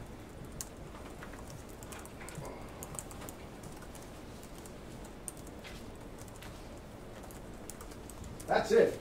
Only statement on Sandy Hook for the whole year.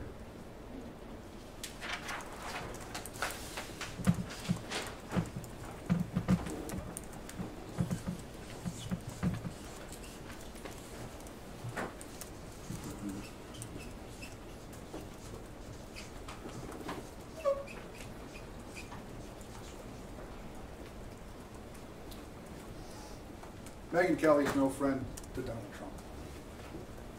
And she decided that she was going to run a hit piece on Alex Jones about this issue.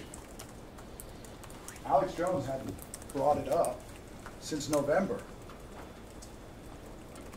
She brought it up. She decided to air a show where she would confront Alex, who she got to interview by misrepresenting the purpose of the story, and juxtapose it with an interview with Mr. Heslin.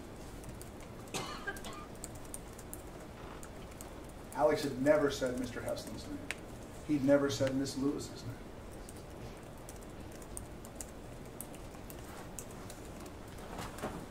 The show is about to air. And before it airs, Alex says, I, I need to clear the air because this is going to misrepresent me. And he says, in a piece, I believe children died there. So the show airs, and afterwards, a young reporter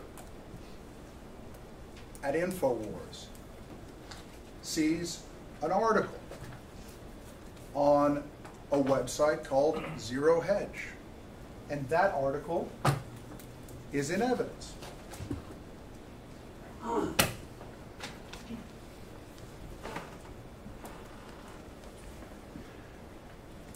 And the judge has already found InfoWars or Free Speech Systems, parent company for InfoWars, and Alex Jones guilty for those statements. But you are free to consider the intent with which they were made in determining whether they were made maliciously or in good faith. And you're going to hear from the reporter who made the statements. Your Honor, I'm going to have to object again to the comment. So you're gonna have to explain the difference between defamation and intentional infliction of emotional distress.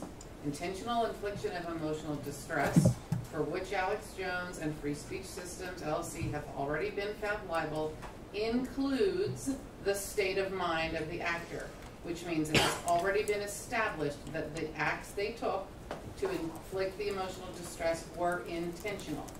Defamation does not include that in the same way. So you're going to have to clarify that if you're gonna go down that path. I, I think the court has already clarified.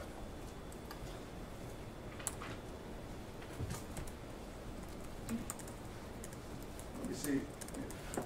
This is the article, it's in evidence. I'm gonna move this because I'm sure that most of you can't see it.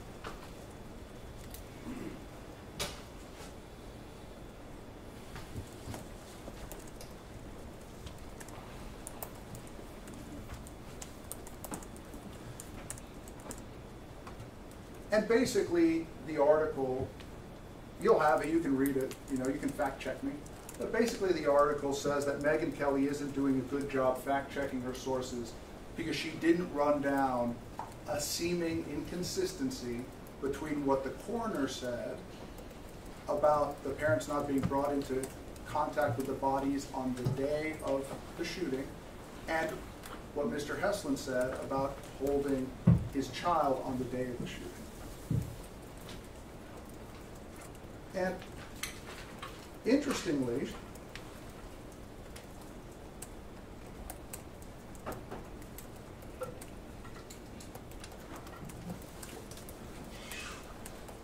it states Alex Jones' official position is that he believes children died in the shooting.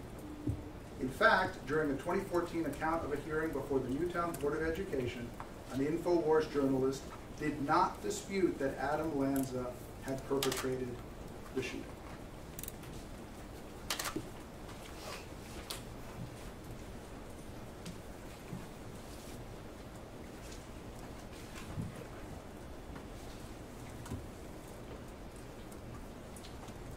I'm almost.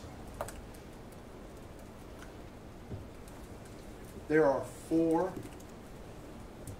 big reasons why I'm going to come back to you at the end of this case and ask for your verdict. The first reason is because when you look at the totality of the coverage, the evidence will be that InfoWars' coverage of the Sandy Hook incident between 2012 and 2018 was less than one half of 1% of its total coverage. It was barely 27 hours. I can object again, this entire department. He, he can say this, he's gotta show it. Okay, thank you, Your Honor. Less than one half. And remember rule number one, the lawyer who lies deserves to, to lose. Okay? Less than one half of 1% of total coverage on the show. Okay. And important to add to that is remember, you got CNN and Fox and, and every other newscast covering this issue, right? Especially back in 2013. And InfoWars is a, is a whisper in a hurricane. Point number two. The Sandy, the no one died at Sandy Hook lie did not begin with Mr. Jones. It began with Fetzer and Tracy and Halbig and a guy named Steve Pieczenik, who was a former State Department official and a psychiatrist. They were four of the most prominent among thousands of people who were saying this on YouTube, on Twitter, on Facebook.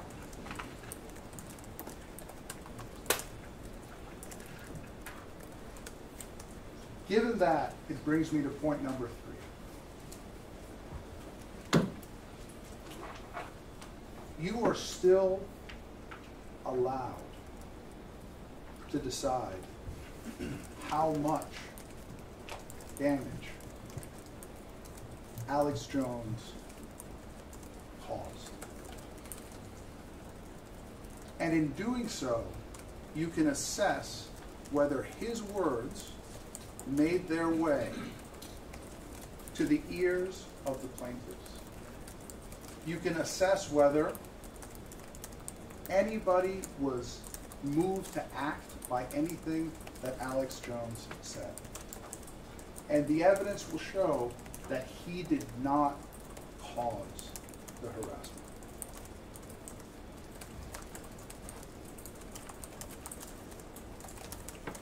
Number four,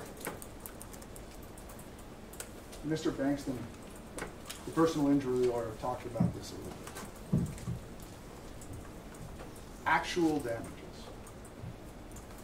The first question you're going to be asked to answer is actual damages. You will see no evidence that it was Alex Jones, the talk show host, and not Adam Lanza, the mass murderer, that caused the mental anguish that is honestly suffered by Mr. Heslin and.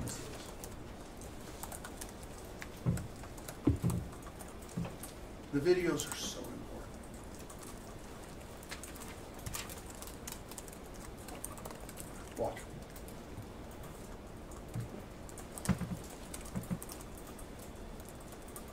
Before I sit down, I want to make a couple more points.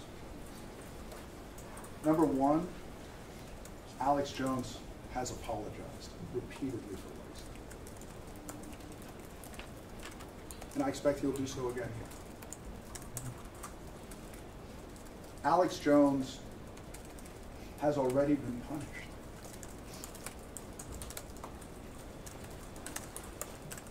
He,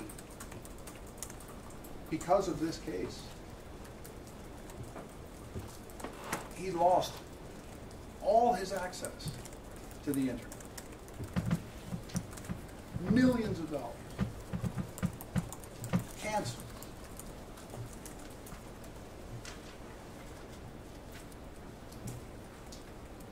He regrets what he did.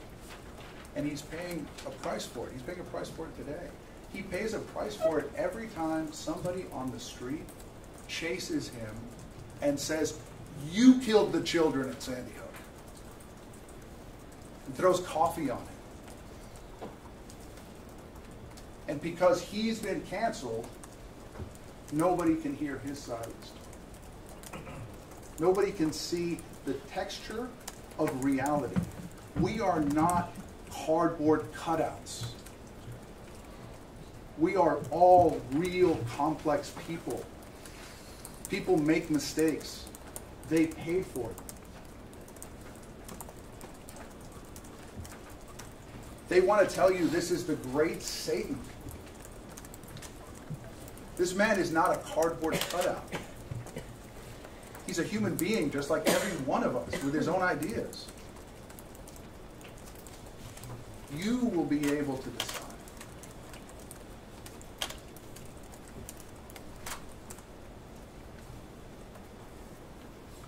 And I want you to ask yourself at the end of this case is this an honest attempt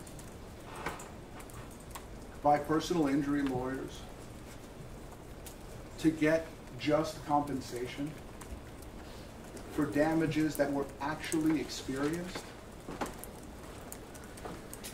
Or is this a cynical attempt by personal injury lawyers to enrich themselves while silencing a political opponent and limiting every American's right to choose what they watch and what they listen to. I look forward to presenting this case to you. All right, thank you, Mr. Reynal. Before we break, I see people with gum in their mouth. It's clearly stated on the door, there is no eating, there is no gum in this courtroom. If I see it again, I'll stop, I'm talking, sir. The, the number one rule in court, fair or not, is when the judge is talking, nobody else is. Even if I interrupt someone. There is no chewing gum, there is no soda, there is no eating in this courtroom. If I see it again, I'll have you removed. There is no recording of any kind of the YouTube feed or the proceedings in this courtroom without prior written permission signed by me. No photographs, no audio recording, no video recording. So I'm not taking away everyone's phones in the room, but if we find out that you're doing one of those things, you will be removed. There is no um, talking to, talking in front of, or approaching by anyone of my jury. If somebody does that in the courthouse, they will be removed until this trial is over. Just want to make that very clear to everyone. We're going to break for lunch. It's noon. We're going to break until 1.30. My jury can go ahead and head on out. The lawyers need me right now, It doesn't matter when, but I have several motions to take up. Yep. Denied. Every time. Raise your right hand to be sworn in, please. Do you solemnly swear or affirm, under penalty of perjury, that the testimony you are about to give shall be the truth, the whole truth, and nothing but the truth? Yes. Thank you. Come have a seat here, Mr. Shroyer. Once you do, you'll see there's glass cups, they're not glasses, and water, case you're thirsty. There are microphones. If you have a pretty good projection, you shouldn't need to lean in too much. I'll let you know if you do. A couple of more instructions in case you haven't testified before. It's not a conversation. It's a question and answer. So you have to listen to the question and answer the question that you're asked. Do you understand that? Yes. You also have to let the question be completed before you begin your answer, even if you think you know what you're being asked. So you have to let them completely finish asking, take a beat, and then answer. Do you understand? I also need you to answer out loud in words, so head shakes and ahums make for a poor record. Do you understand that? Thank you so much. Uh, oh, okay. Thank you. Go ahead, Mr. Ball. Your Honor. I'm sorry, okay. Mr. Farrar. It's okay. There's so many people. I'm so, I knew that. I knew that, I'm and I just, I just want, I didn't want to check my notes You again, I should have. I'm so sorry. I, my apologies, Mr. Farrar. Mr. Shroyer, would you introduce yourself to the jury, please? My name is Owen Shroyer. I work for InfoWars. I'm 33 years old. When you say you work for InfoWars, your actual employer is Free Speech Systems LLC, correct? Correct. So we, we're going to kind of use InfoWars as slang because it's Infowars.com and that's sort of the, the name out in the community. But just to be clear, the, with broadcasts that go up, uh, the one that you did today or yesterday, those are Free Speech System LLC's broadcasts, correct? Yes. You work for InfoWars or Free Speech Systems. I'm just going to call it InfoWars. Can we, can we make that agreement? Yes. And know that we're, we really mean free speech, okay? Yes. You've worked for them since 2016, correct? Correct. What is your current title? Show host and reporter. Okay. Show host means you're on the air, right? Correct. All right, we- we're going to get to that in a minute. Um, I hate to ask you this in a public forum, but I I need to. Can you tell us what your salary is? Um, I don't know the exact number, but I believe it's about 120,000 a year before taxes. Um, Ms. Karpova just testified there was around 50 to 80 employees at uh, Free Speech Systems or InfoWars, correct? Um, I don't know the exact number, but I would say at least 50, yes. Okay, and that's been the same since you've been there since 2016, roughly? Yes. All right. Uh, Alex Jones is the sole owner of Free Speech Systems LLC, correct? Yes, I believe so, yes. Um, Infowars.com is obviously on the internet, right? Correct. If somebody said that Infowars lost all access to the internet, that would be an incorrect statement. Fair? Yes. Have you ever heard the saying, lawyers that lie should lose? I don't believe I've heard that. I, I didn't either until Tuesday. I thought it was interesting though. Um, Infowars is on, it- it- on right now, right? And we can pull it up and there's, there's a video. Somebody's probably on live right now, right? Yes. Your Honor, I'd like to pull up Infowars and put it on mute. Um, Just Just to for sh- demonstrative. Okay. I'm He wants to show Infowars It's on gonna mute. mute. And you're, this is a direct connection to the internet, I take it? It is. Okay.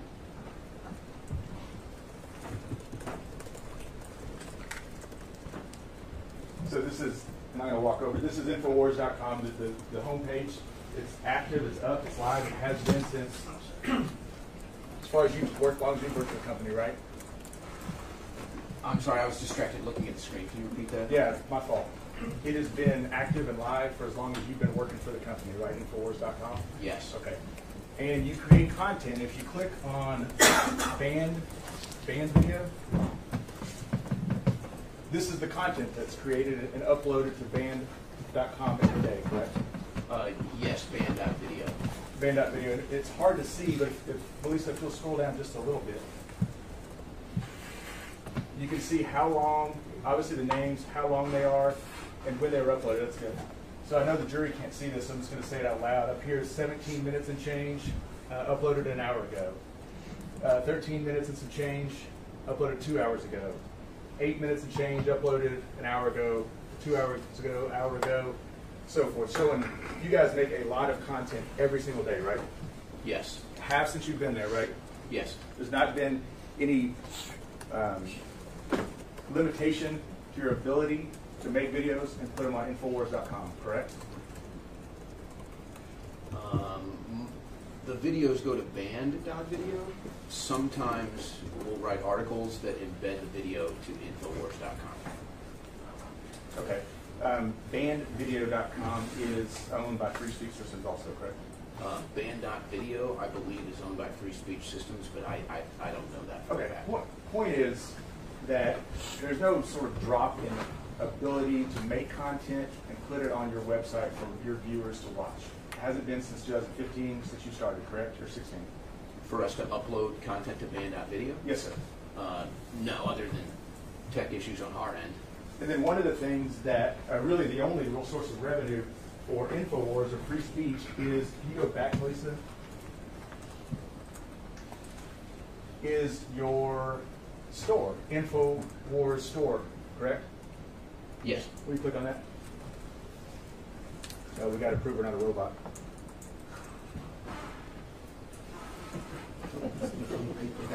Put me on the spot, Lisa. Robots deciding whether we're robots or not. Mr. Perry, you talk pretty fast. I'll If you'll just down. try to be careful, Thank please.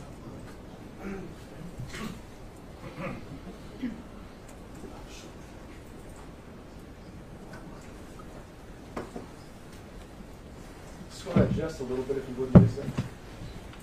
So we see, uh, we have a Diet Force meal. How do you pronounce this middle one? Bodies. Bodies. Um, some toothpaste. Is this the toothpaste that you guys claim cured COVID? Is that a different one? No. That's a different one? Um, I'm not familiar with that claim. You're not familiar with the FDA and state attorneys general saying stop making that claim? Uh, could I see that claim presented in front of me? That's not important. If you go up to the top a little bit, Melissa, um, there's different things. There's preparedness, media, specials, gear, um, just different items that InfoWars sells, and that is really their source of revenue, right? Yes. Okay.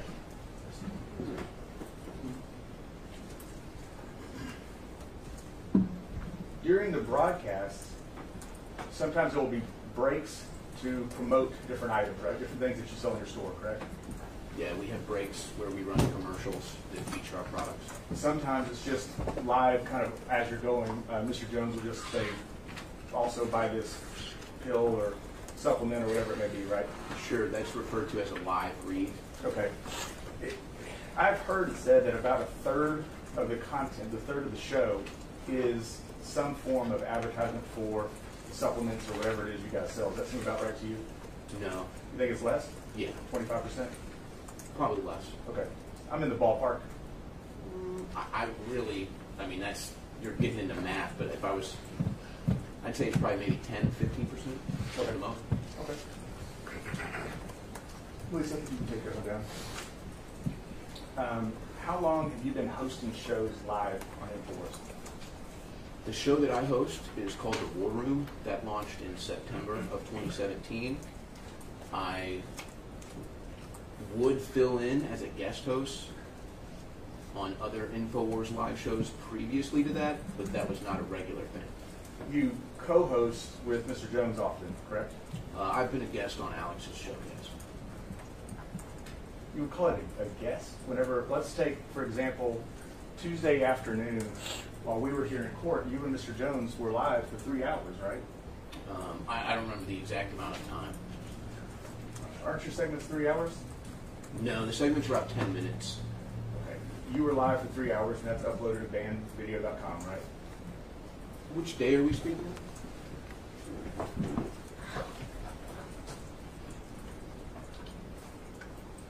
We're talking about Tuesday, which was the 26th.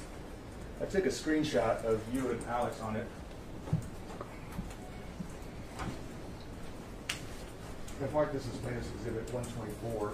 It's not on the exhibit list, Your Honor, because it obviously just happened Tuesday. Right. So I made it- Um, thank you. One, one twenty-four? Yes, Your Honor, I was trying to get the next one. That's fine. Uh, does this look like a screenshot of you and Alex, uh, or Mr. Jones, I'm sorry, uh, from Tuesday? Yes. And uh, we're going to move to, uh, yes, 124 evidence. Any objection? No. Put that up, Uh, plaintiff's one twenty-four is admitted. Do you remember the show? Yes. Okay, so for three hours, you were on for three hours, is that, seem right? I don't want to misrepresent it. I think Tuesday I was on for seven hours. Sure. This, this show was three hours, and then you did another 30-minute special with just you and Mr. Jones, really about this trial, right? I don't recall the exact content of the discussion. You remember yesterday having my website up and talking bad about me and my partners? Yesterday? The day before, I guess it was. Uh, again, I don't recall. Like I said, I was on there for seven hours, so there was a lot discussed. Okay. So this is the studio with uh, the TVs Ms. Karpova talked about and the fancy graphics, right? Yes. Because you guys are a media company, you can do fancy graphics, right? Yes. Oh, and, and then there's links to things you sell. InstaHard, that's a pill you guys sell? Uh, it, it, I, I, I'm not too familiar with the product. It's a new one, but I guess it's a pill. Okay. Oh, well, I'm sorry. It is a product, though, that we sell, yes. Fair enough. Uh, Diet Force, something you sell? Yes. Do you have any idea where that stuff's sourced from? InfoWars Life? The pills. You mean the, the, The actual- contents the actual inside the pills. ingredients? No. Yeah. You don't? No. Do you know if any of the stuff is approved by the FDA by chance? I don't. Do you know if any of it's been tested to see if it's effective or any good at all? Well, we test the product for ourselves. You mean you take it? Yes. And you're still here, so it must be okay? Yeah, it works for me.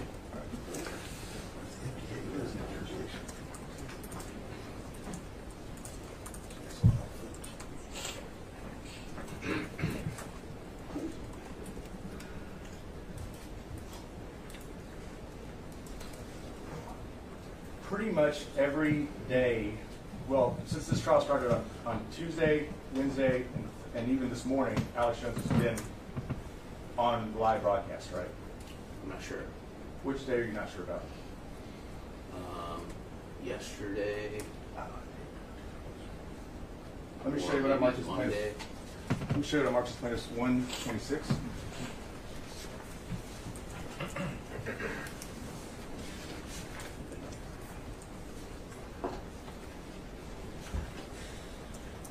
Thank you.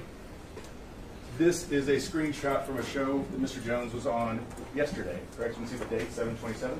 Yes. Uh, we'll move one twenty-six in evidence. Any objection? Yes, Your Honor, relevance and also when this show was taped. When this show is taped is not an objection. So relevance. Foundation. Overruled. And, um, one twenty-six is admitted. You put one twenty-six up? Just putting it up to point out that uh, Mr. Jones was on the show yesterday uh, when he went in court. Did you know when he stormed out of court today, he went and was on the show again today? Uh, no, I was not watching. Okay. we could probably pull it up on the banned video and see, but we take my word for it that he was live today. Sure. In fact, he was with Mr. Barnes, who I think I saw in the courtroom. Yeah, Mr. Barnes back there, the, his, his former attorney, right? I, I can't see Mr. Barnes. Uh, you maybe, he's right behind the camera. I'll have to take your word for it. She's a perfect blockade. Yeah, he's right there. Or he, sorry. Excuse me, don't want. Did you know that one of the first things this jury was told was Mr. Jones won't be at this trial very much because of a medical condition? I'm unaware. Truth is, he's not at the trial much because he's on air selling pills, right? I'm not, I, I'm not sure. That's where he is when he's not here. We, we just established that, right? Today? Well, I know you don't know he was here today. Let's talk about Tuesday and Wednesday, okay? Okay. When he wasn't in trial, he was on air, saying whatever he's saying and trying to sell pills or, or supplements or whatever products you guys have, correct? I'm trying to recall correctly. I believe Monday, I don't know if he was on air Monday, and I think Tuesday he may have had pre-recorded segments that we aired. Um, that's my best recollection of Monday and Tuesday. If the show on Tuesday happened in court on Tuesday, it wasn't pre-recorded, right? Uh, okay, yes. Okay. You, you, you hosted with him. Is, can you put up 124? I mean, Mr. Shroyer, you lived this, right? That's you sitting right next to Alex Jones on 124, right? Yes. You know when you did it. Did you do it Tuesday? Uh, I, I guess that was Tuesday. Yeah, I'm sorry. It's, it's all been a blur when I'm on seven hours a day, and then I'm sitting in the courthouse for seven hours, eight hours. I'm, I'm sorry. It's just kind of a blur. I understand. And I know you've been here for a couple days, and I apologize for making you wait because I know you have to sit outside. How much content does InfoWars make a day? We have 10 hours of live transmissions every day, and then there might be some other reports as well. Do you consider yourself a journalist? Sometimes. That's an interesting answer. Can you give me a little bit of an explanation? Sure. When I go to cover a live event at the scene, I've covered sporting events, I've covered, covered weather events, political events. I would consider that journalism when I'm live on the scene doing something. But when I'm hosting a talk show, not necessarily a journalist. Okay. It's like saying whenever I go home and go to bed, I'm not a lawyer. I'm still a lawyer, right? But do you consider yourself a journalist by trade? Sometimes. Okay. Would you agree with me that it is not right for a journalist to edit video clips to fit an agenda? Yeah, that would be bad. Okay. It is not good practice for a journalist to take an edited video clip, not ask any questions about it, not do any fact checking, and air it. Agree with that? Yes. Because when you do that, mistakes are made, right? Yes. And when mistakes are made, people get hurt, right? Sometimes. Sometimes, right? That damage can be serious, right? Sometimes. Life changing, right? Sometimes. Devastating, right? Sometimes. Right. You don't consider yourself a conspiracy theorist, fair? Sometimes. Mr. Shroyer, I'm going to hand you a notebook. Just got this deposition report that's in the computer. I'm going to hand you notebooks that may make things easier. Front of it is your, under tab one is your deposition that you gave in this case. You recall to give a deposition? Yes. I'm just going to show you because sometimes people don't know exactly how these pages work. If you look, these, these are the page numbers. It's 14, 16, 15, 17, and the lines. I'm going to orient you to a couple pages and lines, okay? Sure. Right now, if you go to page 151,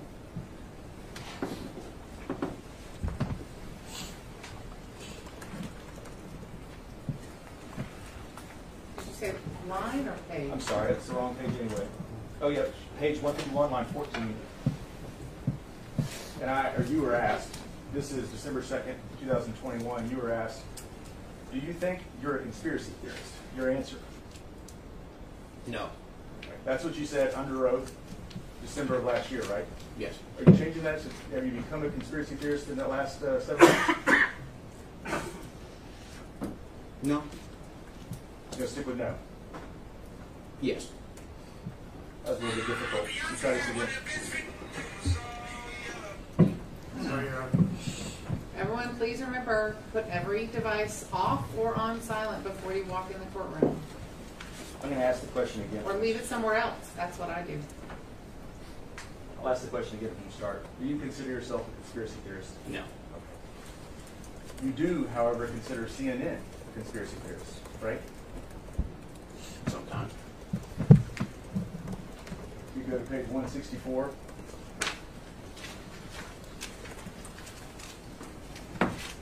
I'm not going to read the question because it's long, but you can see the answer on 24 25. You say, well, I would say CNN is a conspiracy theorist. How about that? That's what you said, right? Yep. Still agree with that? Yes. Okay.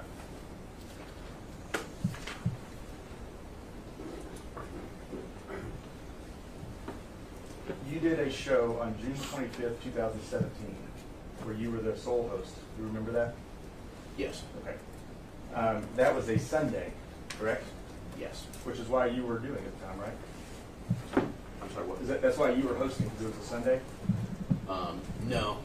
The Sunday Alex Jones show has been on air for a long time. I was filling in that night. Okay. It airs from 4 to 6 Central Time? Yes. This is the one where you challenge whether or not Neil Heslin ever held his son, Jesse, right? No, I uh, challenge that the videos presented didn't add up and that Megyn Kelly had done harm to the story being uh, removed from the public consciousness. It just caused it to be brought up again. I'm not going to quibble about you because we're going to watch it. It is the show about Neil Heslin and whether or not he held Jesse his arms, right?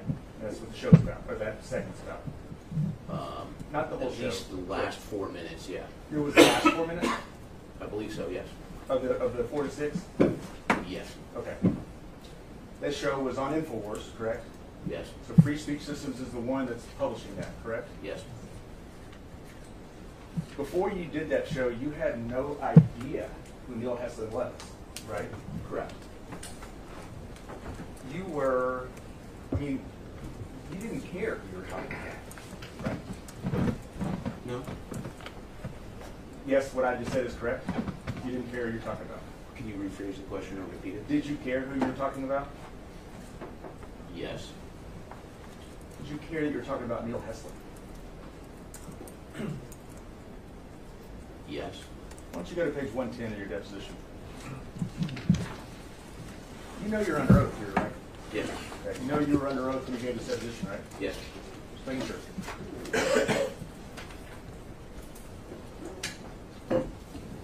Line three through six, I'll read the question. Okay, so you didn't care who you were talking about. What was your answer? I was just covering a story that was given to me. You didn't care who you were talking about. Didn't matter to you, right? No, I didn't say that. Okay. You were handed the story while you were on air live. You ran with it, right? Yes. You did zero to determine if it was accurate, right? Correct. You did no vetting of the story at all, correct? Correct. You did nothing to determine if it was a joke or a parody, right? There are video clips in it. You didn't watch them, right? Correct. Before you played them. Correct. How many people do you think were watching that day? Millions? Tens of millions? Don't know. How many people do you think were watching that day? A couple hundred thousand. You know the reach. You're going to sit there under oath and say a couple hundred thousand? Well, I'm I'm under oath to tell the truth, and the truth is I don't know. Okay. You don't know. You know it's over a million. You know it's closer to 10 million, right? No, I don't know that. Okay.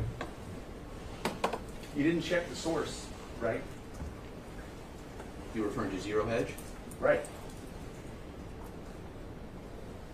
You didn't check the source. You didn't check the author. Well, I mean, I, I, saw it said Zero Hedge on it. Okay. That's the website, right? Yes. That's not where it originated from, though, right? Um, well, to me it was.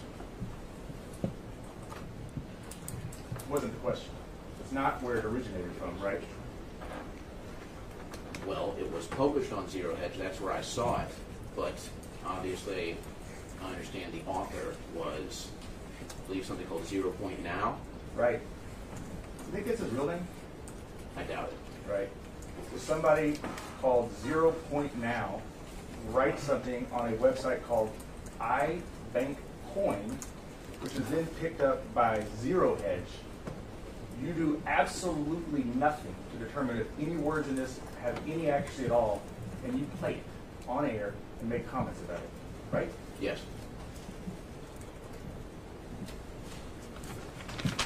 Let's play 23. PDX 23. It's in evidence, John.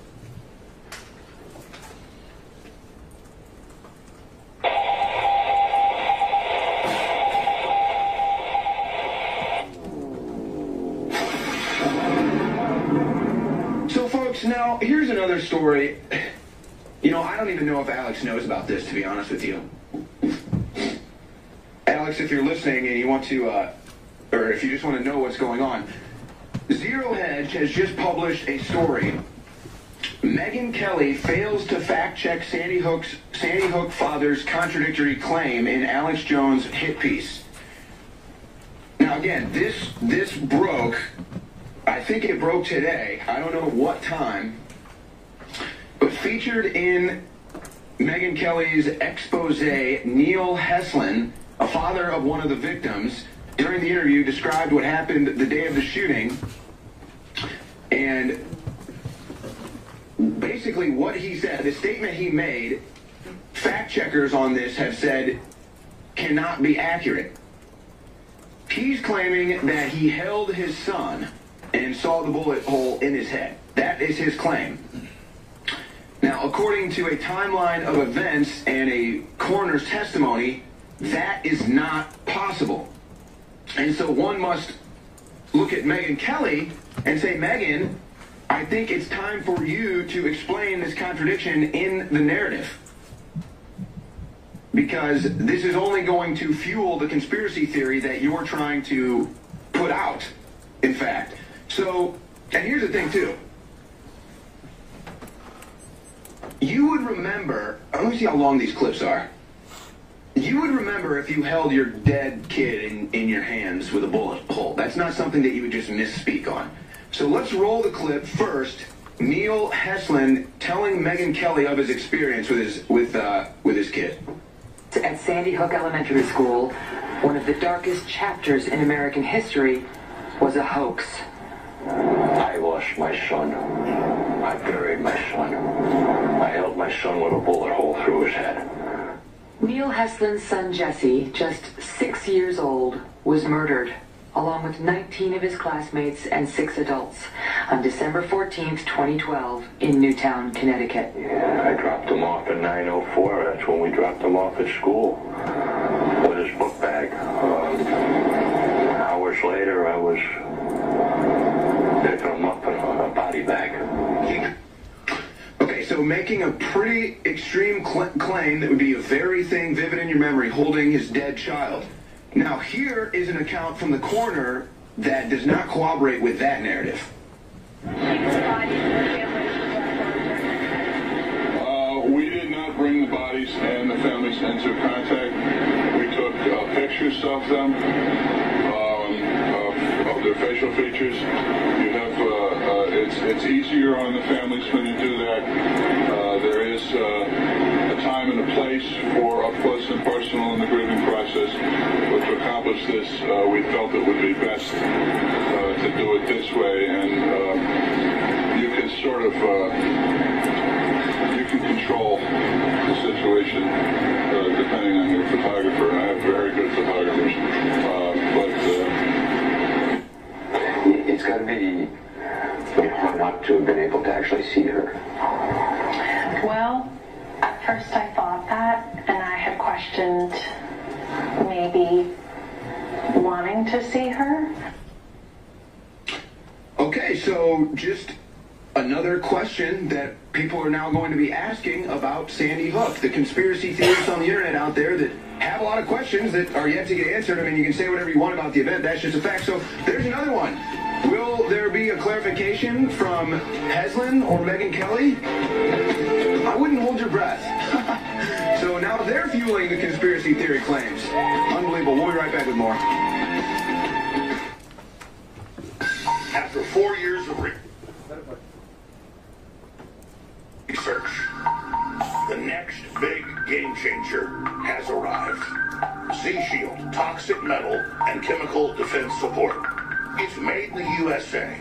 It's filled with known compounds from nature that are absolutely associated with detoxifying the body, and it supports the InfoWar. It is a classic whole 360 win.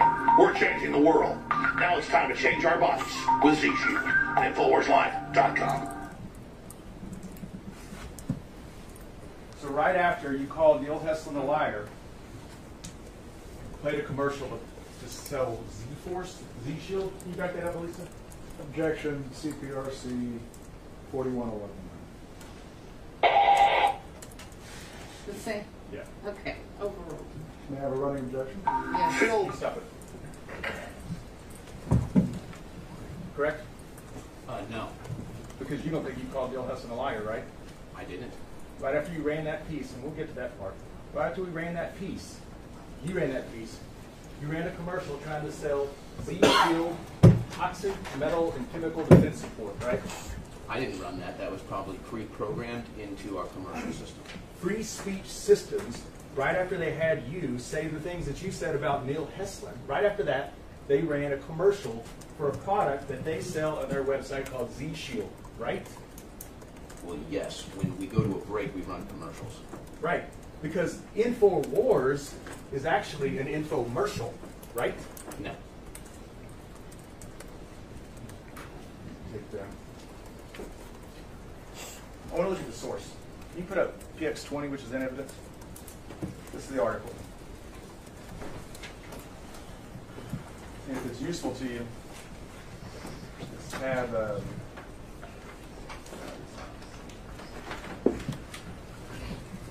tab four in your notebook there. Elisa, can you you blow up where it says actually yeah, can you blow up where it says uh, content originally?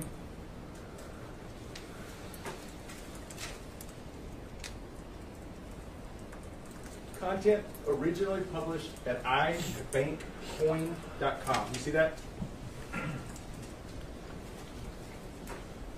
Which uh, which page is this? One? It's also on your tab screen. Yeah, it's your screen. Oh, okay. I'm sorry. It may be easier that way. I see that. Yes. Okay. That is not a reliable source. You and I can agree on that, right? Uh, yes. Okay. The author we've talked about before, and Elisa, it's up on the top. By zero point now. Um, you have no idea who that is, right? No. You have no idea if they're a reliable source or not, right? No. You've never heard of that person before. Or at least so. No. pseudonym or whatever it may be, right? You definitely never run a story by zero point now before, correct? I don't believe so. This was republished, as you said, by a website called Zero Hedge, right? Yes. Also, not a reliable source, correct? Sometimes it is. Sometimes it isn't, right? Perhaps. So let me ask you this: If I had, if you get something from a source and you're, and you look and say, you know, this source sometimes is reliable, sometimes they're way out there and unreliable.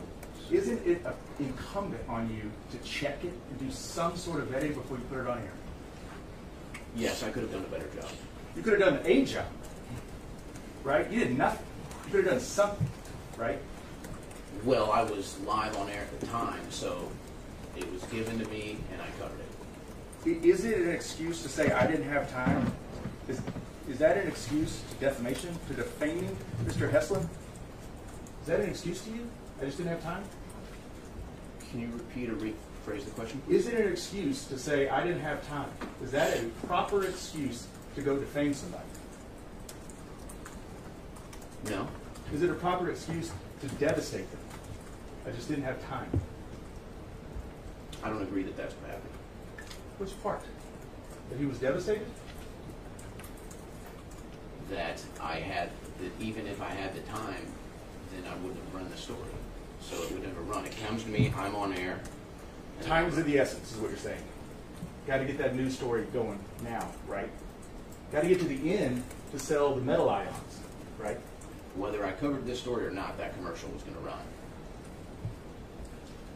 Well, the difference is whether you covered it or not is if we're sitting here today. That's the difference, right? Can you repeat the question? The difference is it doesn't destroy these people if you don't run the story, right? I don't know.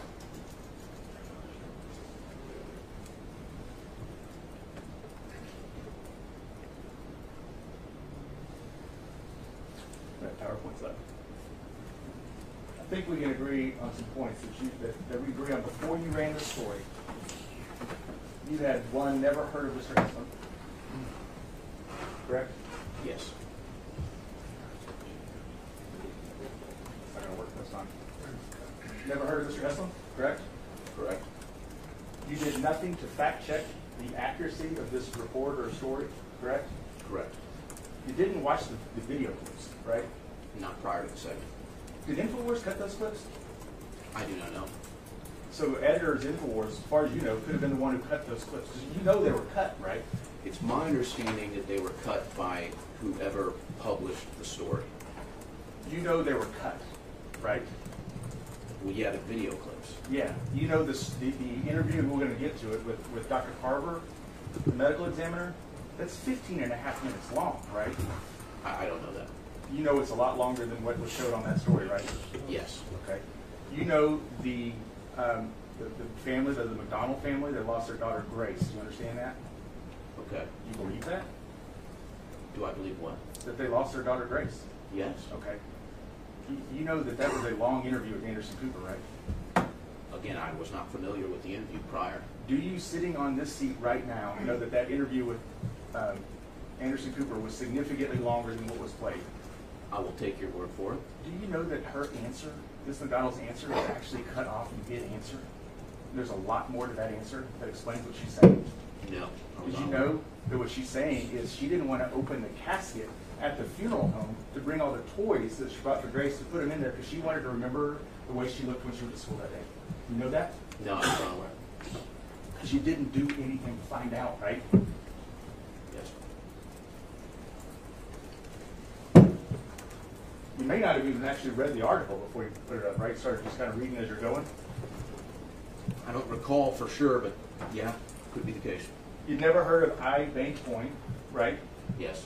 And you'd never heard of the author Zero Point Now, correct? Yes. Despite that, you had no problem putting that on the air, right? Yes. You have testified, I think you just tried to say it again earlier, you don't believe you called Neil Heslin a liar, right? Yes.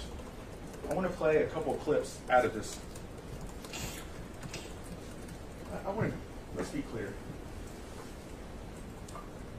That piece and what you say in it is, is Neil Heslin did not hold his son, right? I don't believe I said that. That's what the message is. Let's take the full message, whether it come from the article, the clips, or you. The message is Neil Heslin never held Jesse, right? No. What's the message? The message is that the intention of Megyn Kelly to bury these conspiracy theorists failed miserably, and it's going to make it worse. So you're, we know this, right? This is this we can agree on. Alex Jones was angry at Megyn Kelly for that piece that ran, right? On him. I don't know. I'm sure. I'm sure that Alex Jones was unhappy that he was lied to by Megyn Kelly. He was he was pissed, I mean, yeah, he was lied to. right? So he wanted to get retaliation to Megyn Kelly, right? No. If he had to stomp on Neil Heslin on the way to do it, so be it, right? That's what happened. What you had to try to say, because what you're what you're not saying is that Neil Heslin lost his son and he just didn't hold him. That that's a lie. What you're saying is he's a crisis actor who forgot his lines. That's I what never, you're saying. I never said that. That's the message. No, it's not. Because to, to say it's a hoax, to say it's a hoax, you have to say all these people are actors. And when you find a glitch in the matrix, when somebody says something just a little bit wrong that you think is out of character out of line, they forgot their lines, that's the attack. That he's an actor, right? No, I never said he was an actor. I never said it was a hoax. Hey, video clip one, please.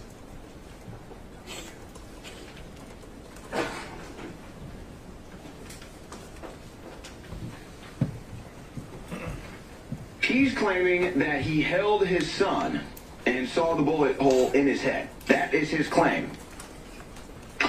Okay, so making a pretty extreme cl- claim that would be a very thing vivid in your memory, holding his dead child.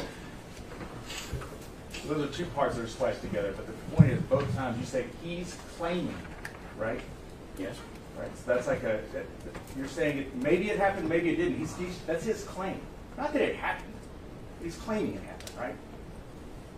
Well, yeah, that's what he claimed. I'm not doubting that. I never said that So- he was a liar. To be clear, I, I just want to make sure I understand this perfectly. When you three times say he's claiming it, and then show evidence that you say refutes it, you're saying you're not doubting. I didn't show evidence that refuted his claim. I showed evidence that was presented to me that says this doesn't add up.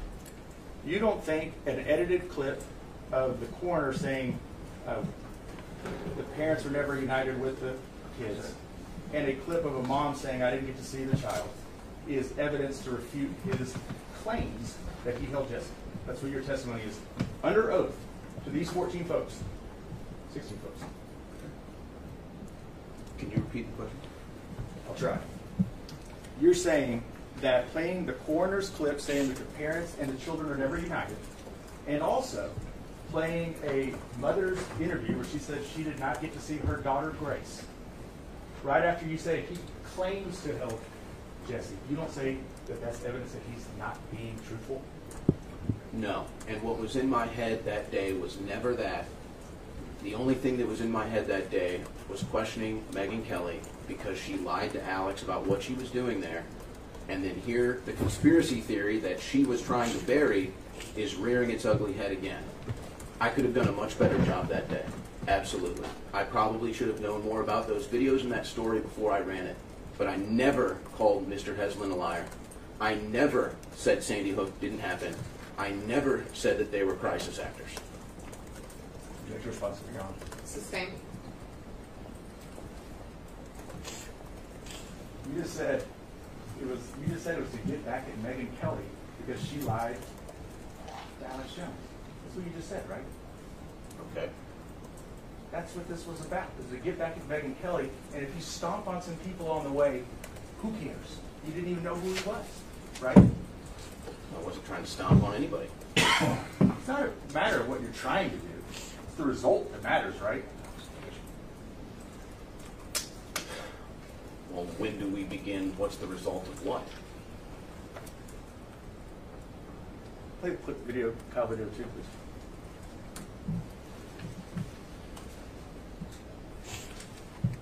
So, and here's the thing too. You would remember, let me see how long these clips are. You would remember if you held your dead kid in, in your hands with a bullet hole. That's not something that you would just misspeak on.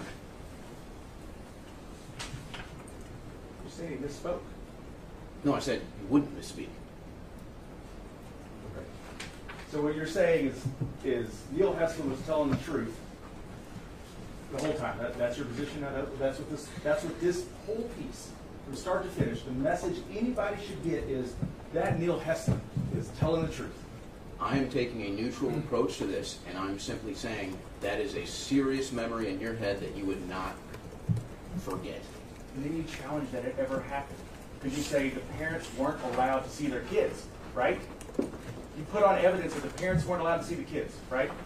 I played a clip of the coroner saying that the kids weren't released or that the bodies weren't released, so just as easily you can infer that the coroner was lying. And then you played a family, a grieving mother who said that she wanted to see her child and decided not to, right? Yes, that clip followed. And you cut it off whenever you explained what it was actually talking about, right? Uh, I did not edit that clip. Somebody did, you played it. Uh, yes. You don't know who edited it, right? I mean, No. could have been somebody at free speech, could have been somebody else. Uh, I don't know. Okay. A couple more clips I want to play. Can you go to the full one and just stop it at 43 seconds? Can, can you just tell me which exhibit we're Sure, I'm playing? sorry. Yeah, it's the same. Just the same twenty, um, 23. 23, okay. DPX 23. that's fine.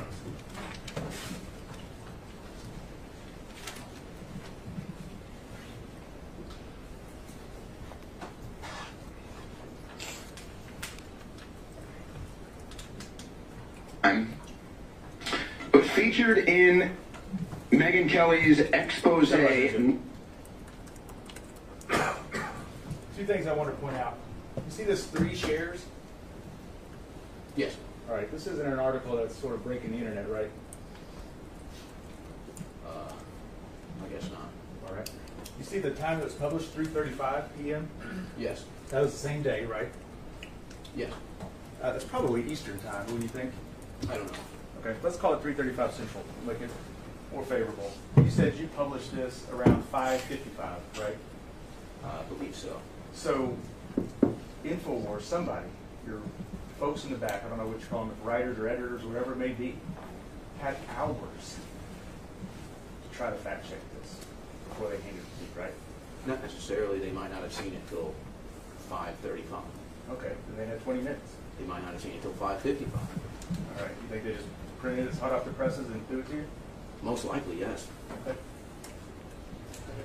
We saw with this Karpova earlier today, in fact, uh, the defense played a clip of Alex Jones saying that he gives his sincere condolences to the family. Are you familiar with that clip?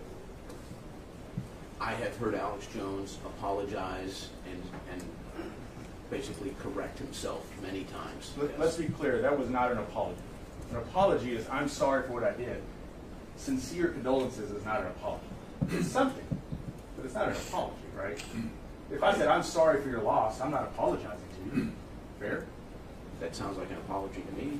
If you lost a loved one, and I came over and I said, Mr. Shroyer, I'm really sorry for your loss, that's not an apology. I would say it is. Okay.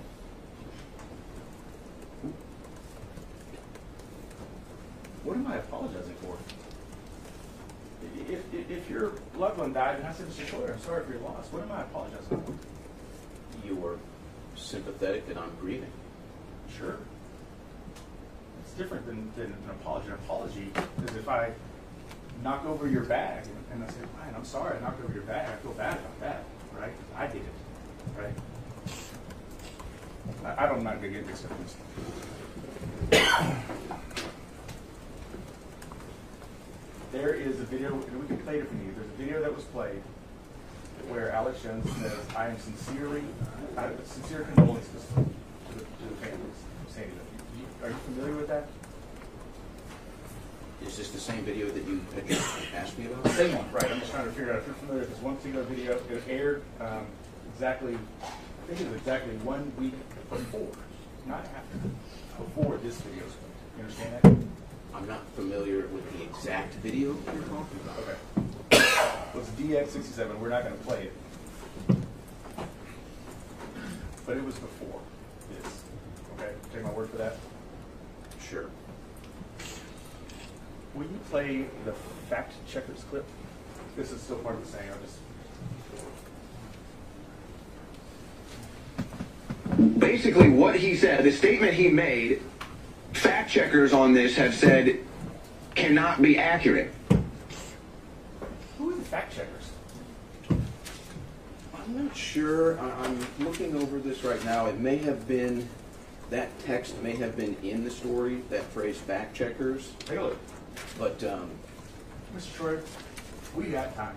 The article's not long. If you want to read it and find out, I'm happy for you to, or I can point you to where I think you want to look. okay, would you? Yeah, if you look at page two, can you put this up, Melissa? This is a PX twenty.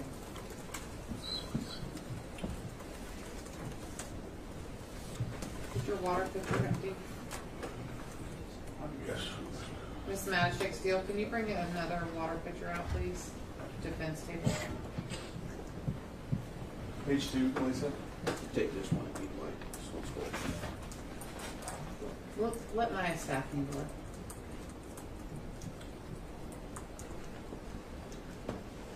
Can you go up the bottom?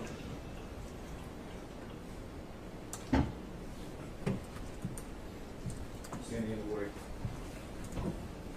You see at the bottom of page two of the story, it says Jim Fetzer, professor emeritus at the University of Minnesota, who wrote a book claiming Sandy Hook was staged, and goes on to kind of spew whatever that is. That's the fact checker, right? Um, that's most likely what I was referring to, yes. Okay.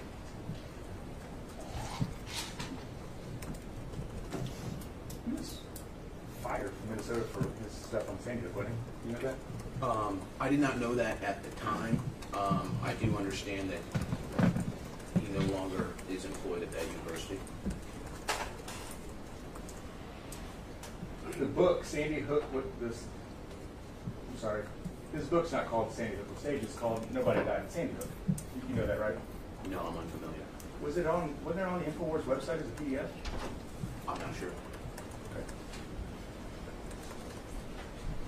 Thank you. So, so just to orient, orient the jury, this is June 25th, 2017, we ran for, right? Yes. Okay. Lisa, you put up uh, PX 73? blows you know good. You know who Paul Watson is, right? Yes. Remember what his title was in 2015 or 2016? What do you mean by title? What was his job? He worked for InfoWars. What was, he, what was his job? I believe he was the editor-in-chief. Okay. Let's see what he says in an email on December 17, 2015, so about six months before you run that story. I'm going to read this along and see if I read it right. This Sandy Hook stuff is killing us. It's promoted by the most batshit crazy people like Rense and Fetzer, who all hate us anyway. Plus, it makes us look really bad to align with people who harass the parents of dead kids. It's going to hurt us with Drudge and bringing bigger names into the show. Plus, the event happened three years ago. Why even risk our reputation for it? I read that right? Yes. And you see up top there it said, send this to Alex, right? Yes. You understand that to mean this is the message he sent to Alex, and he's now sending it to Buckley, uh, Anthony, and Anthony at InfoWars, right? Yes. Six months before you ran your story, InfoWars knew that Fetzer was not a well man, right?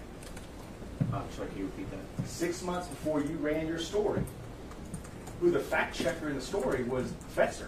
Six months before you did that, InfoWars knew that he was not a well man, right? Your Honor. Oh, I looked at it wrong, my bad. So, I'm sorry. Uh, a year and a half, my, my fault, not six months. A year and a half before, a year and a half before you ran your story, InfoWars knew that Fetzer was not well, right? Uh, yeah, I, I mean, clearly via this email, Paul Joseph Watson did not trust Fetzer and called him batshit crazy. And there was a there was an email that went out that said, "Stop this. Let's stop with this Andrew stuff." Right? Yes. But you didn't. Right? I never saw this email. I didn't say you saw this email. You clearly saw the one that said, "Stop working with the Andrew stuff." Right? No, I just told you I've never seen this email. Not this email. Was there a message, email, smoke signal, memo, whatever it may be, that said, "Stop it" at Infowars with the Sandy Hook stuff? Uh, I believe those memos may have gone around. I don't exactly recall though. That didn't happen. No, there was more videos, and then there was yours It's 2017, right? Yes. Can you play the Carver video? So before you play it, this is the clip from Dr. Carver, the, the medical examiner. And, and you can hear his answer well. I'm going to turn this as loud as I can. I want you to try to hear the question that he's answering. Okay? Have you ever thought about that? Have you ever considered it? I'm not sure. You don't know if you've ever heard the question that he's actually answering? I'm, I, I don't recall.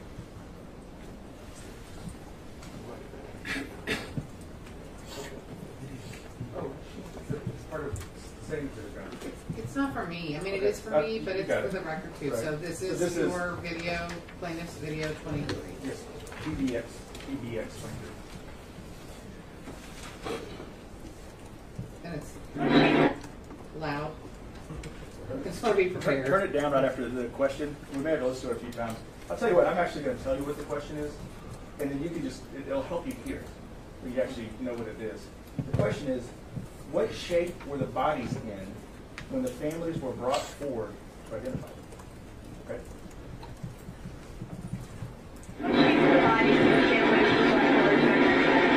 Uh, we did not bring the bodies and the families into contact. We took uh, pictures of them, um, of, of their facial features. You have, uh, uh, it's, it's easier on the families when you do that. Uh, there is uh, a time and a place for up close and personal in the grieving process. But to accomplish this, we felt it would be best to do it this way. And you can sort of,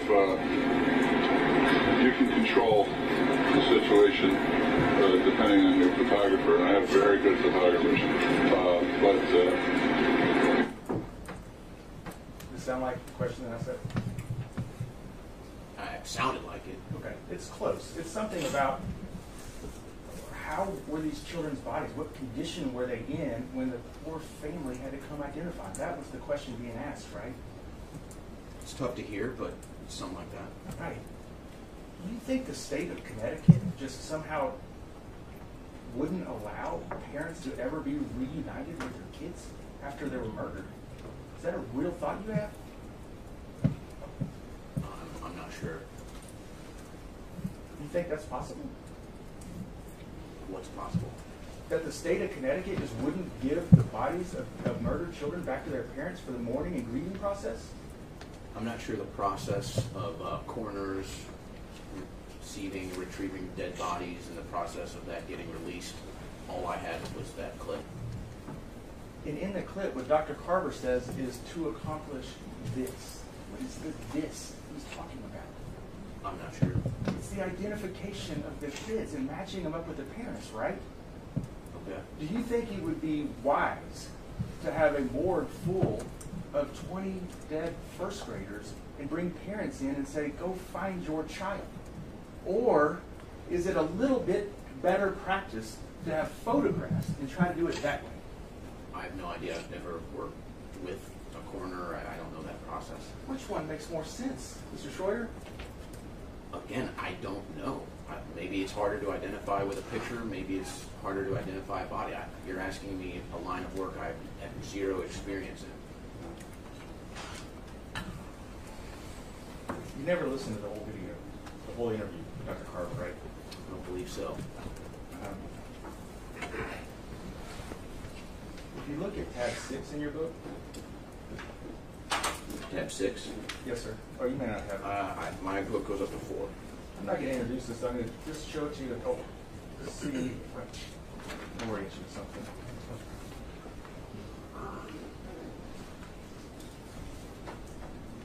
Thank you. I have the whole video, and I don't think we need to listen to it. But what I did is just a screenshot it and blew up the uh, little stamp at the end. It shows 1528. You see that? Yes. Does that help show you that this the whole video is 15 minutes and 28 seconds? I'll trust your word for it. All right, can I just figure out as a demonstrative, Your Honor? Any objection? No objection. Okay. PX 125. You edited out what? Or in your piece, there was a part edited out of what? Maybe 30 seconds, 45 seconds? Something around there, yes. You can take it down, listen.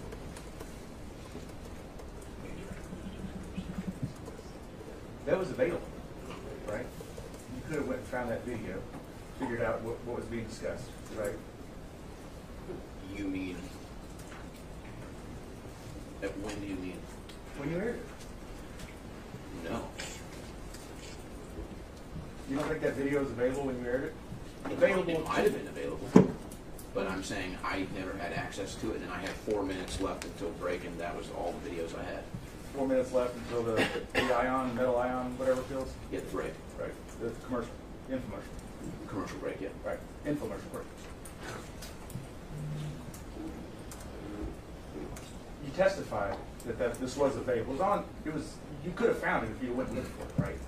You're not disputing that. The full um, interview with the coroner was. Okay. You're agreeing with me, right? Well, again, I, I don't know that, but I'm tra- I'm taking your word for it. Okay. Well, if you could, look at your deposition on page 110, line 14.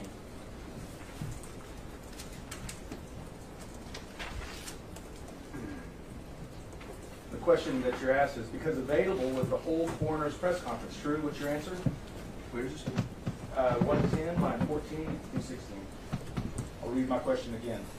Because available was the whole coroner's press conference. True? My answer was not to me, but it was out there. It was available if somebody just looked, right? Uh, yes. Your whole story.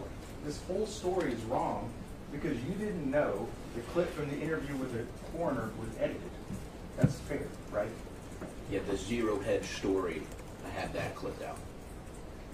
Let me ask you that question again, and I'm that's not responsive. Sustained. The whole story you ran, the free speech system put out on the air to however many people would watch it, and then probably loaded it up somewhere. That whole story was wrong because you did not know the clip from the interview of the coroner was edited, right? I, I don't understand the question, I'm sorry.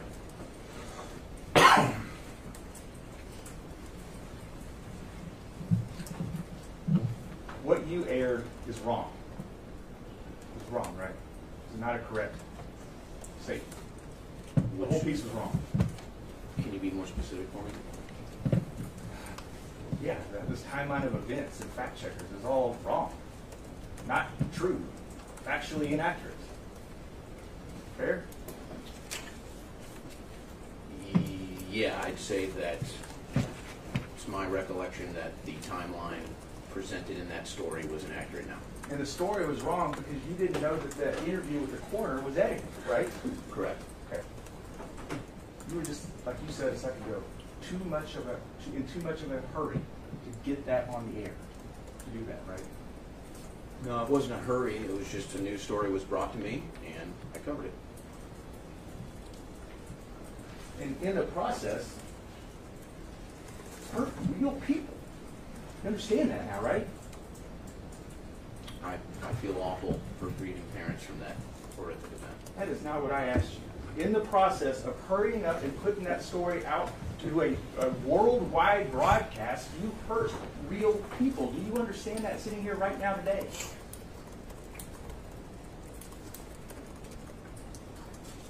I'm sorry if that hurt anybody,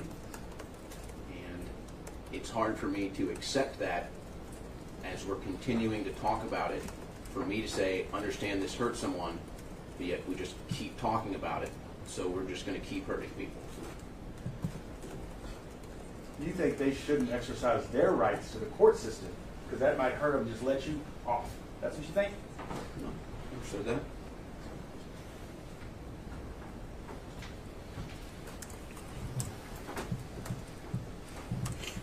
I mean, you still don't care, do you? I do care. You don't care if these folks were hurt by what you did, do you? I'm, I'm, I'm very upset if I caused any further grievance. I'm very upset that this continues, and I hope that their grieving can end sometime. If, use the word if in there, didn't you? Well, I would imagine going through this process has to still hurt. You signed an affidavit in this case. Do you remember that? Yes. You pull up PX fourteen, um, and before you do, Your Honor, I believe it is in evidence that I want to confirm. I couldn't hear the number. PX fourteen, sorry. Fourteen is in evidence. It's tab two in your book. Lisa, we'll pull up the. uh, Oh, I'm sorry. You asked me about y'all's numbering system, not a video. Let me double check. I looked at the wrong thing. Okay, fourteen is in evidence, yes. Got it. If you look a couple pages in where your signature line is,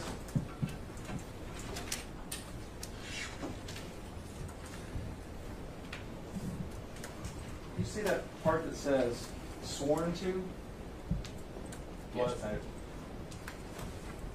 Let me just ask you an easier way. You know, when you do an affidavit, that's sworn testimony, right? Yes. Okay. Under penalty of perjury, right?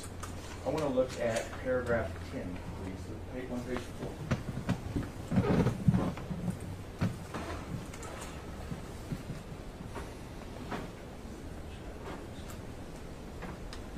You're discussing the broadcast and what you did.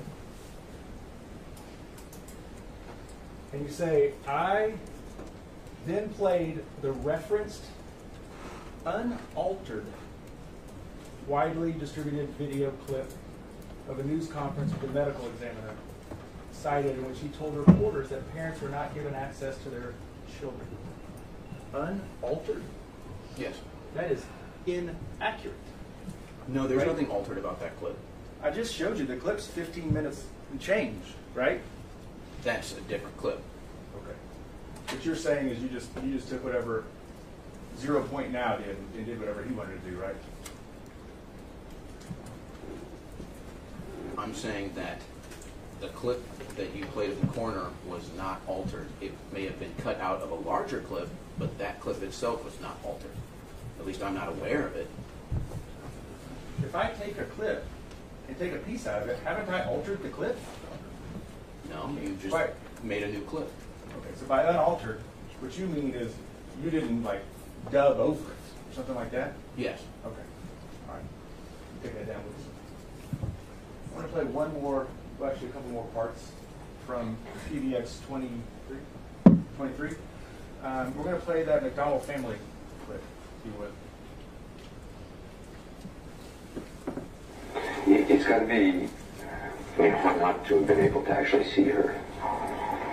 Well, at first I thought that, and I had questioned maybe wanting to see her. Early on, I asked you the question, it is not right to edit a clip to fit an agenda. You agreed, right? Yes. You know that clip was edited to fit an agenda, right? Not at the time. I didn't ask you about it at the time. I still don't know that. You don't, okay. You've never seen the full transcript? No. Okay. Plaintiff's Exhibit 19 is under tab 3. This is the transcript of the whole article with Anderson. Now we'd uh, move Plaintiff's Exhibit 19 in evidence. Any objection? Authentication, Your Honor.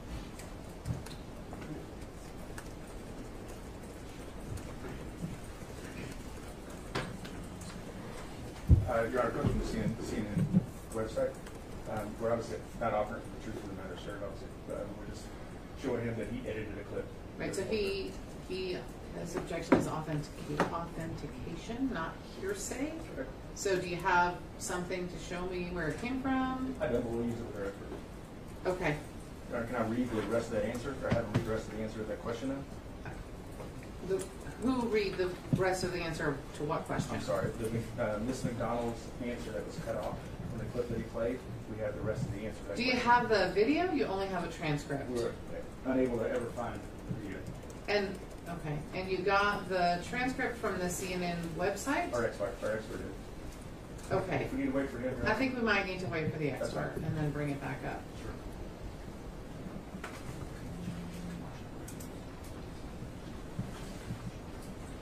Mr. Shroyer, have you seen the full video?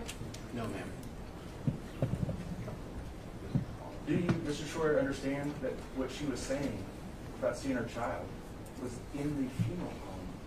That the McDonnell family, what they did is they brought Grace's things that she loved, seashells.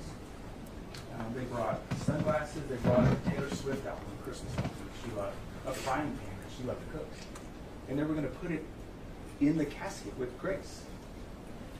But they didn't because they didn't want to see her body like that, so they gave it to the funeral director to do. You understand that's what she's saying right there? I was unaware of that. That would be an important thing to know, right? Before you run a piece like that? Yes. Obviously, she saw her child, right? I, I don't know. Obviously, she was allowed. That's a bad question. Obviously, she was allowed to see her child, right? I don't know. It- It is your position that you do not know, as a, as a general proposition, whether or not parents of murdered children are ever allowed to see the child's body. I'd have to make an assumption, but I mean, I would assume yes. Right.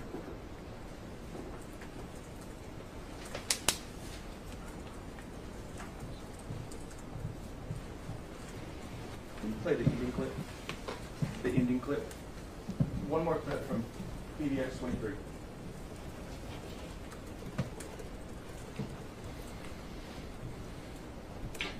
Okay, so just another question that people are now going to be asking about Sandy Hook. The conspiracy theorists on the internet out there that have a lot of questions that are yet to get answered. I mean, you can say whatever you want about the event. That's just a fact. So there's another one. Will there be a clarification from Heslin or Megyn Kelly? I wouldn't hold your breath. so now they're fueling the conspiracy theory claims. Unbelievable. We'll be right back with more. Why in the world would Neil Heslin owe you an explanation? He doesn't. Why in the world would Megyn Kelly owe you an explanation? She doesn't. What about any of that was funny? As I explained earlier, if Megyn's, Megyn Kelly's goal was to stymie conspiracy theories about Sandy Hook being a hoax, it did the exact opposite of its effect. Now, I don't find Sandy Hook funny. I don't find the tragic loss of life funny at all. Do you think? Do you think that prolonged and increased grief around a, a, a murdered child is funny? Because that's No. what happened, right? You understand? That's what happened.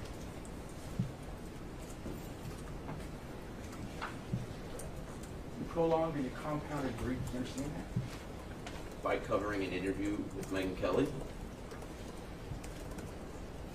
By saying Neil Heslin never held Jesse after I he never said that. at Sandy Hook Elementary School. I never That's said that.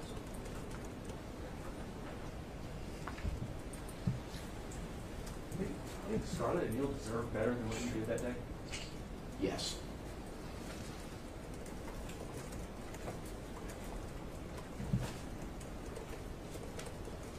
Two thousand sixteen is when you started at Infowars or Free Speech Systems. Um, you knew and know that really the only people that were spreading this lie about Sandy Hook was you and Wolfgang Halbig, right? No. Turn to page one ninety-one, your deposition.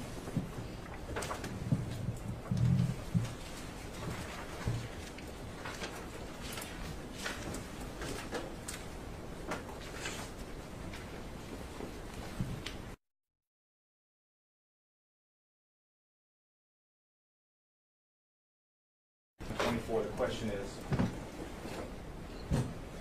why were there so, why were they so important to you in this video? You mentioned them twice, and you answered, I think it was more a matter of, from my perspective, Alex Jones was catching all this flack for Sandy Hook. But the other people that were questioning it weren't, to my best knowledge. The question, well, what do you mean by other people? Answer, Wolfgang Halbig. Question, anyone else? Answer, not that I'm aware of. That's what you said under oath, what, eight months ago, right? Yes. Have you learned something different now? Uh, Can you rephrase that? Have you learned something different? I mean, the people spreading the lies about Sandy Hook was Alex Jones and Wolfgang Halbig. Those are the two main people, right? Well, I guess Zero Hedge as well. With his three shares? Well, that was at the time. I don't know how many times it's been shared now. So,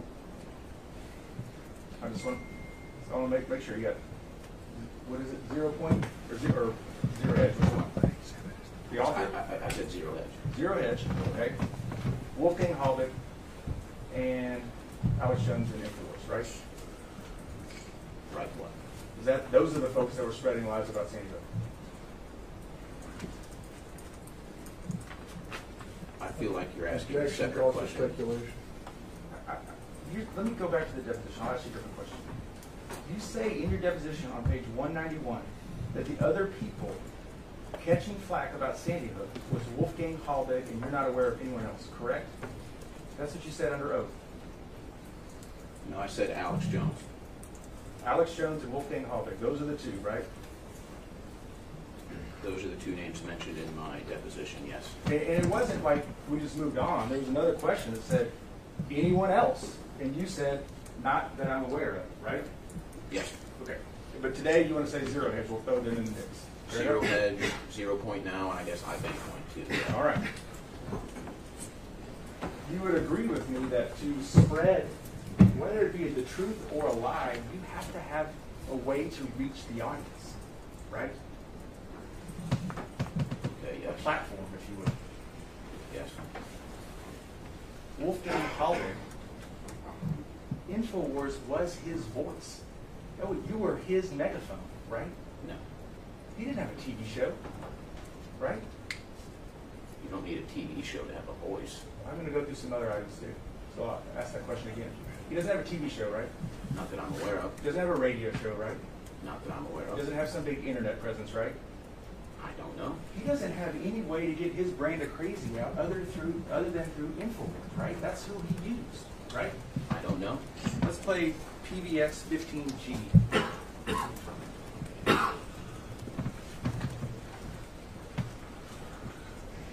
You have no reason to be doing this, to be going public. I mean, I would imagine you've lost a lot of business. And you tell that to my wife, I am about to kicked out of my own house after being married 39 years. Alex, I'm about to lose my family because I'm simply asking the questions that you and your stations are looking at. And I'm asking you right now, I'm asking all your listeners, doggone it, support InfoWars. Become part of the warriors. We need out. We need this show. We need the truth. Uh, if you find it in your heart to donate a few dollars to our legal funds, let me tell you, we have them. We have the lawsuits filed. We are closed, but we can't do it without people helping me. I'm too old for this, but I do need help. The big thing is support InfoWars, because if we don't have your voice, nobody's going to hear the truth. Well, folks need to donate. And, and briefly, as we're going to break, tell us the specifics of where it was filed, what's going on with the lawsuit. Well, it's filed here in Seminole County because all of my businesses, Children's Safety Institute, the National Institute, this is my home, this is where I live. And so instead of going to Connecticut where everything is crooked, we're going to come in the back door and therefore we filed it. It's in the Seminole County court system. The judge, I mean the female judge, she saw what we're talking about and she did not hesitate issuing those 10 subpoenas across the country. And they've been served and we're now just waiting for all of the responses. Wow, well, this is big national news.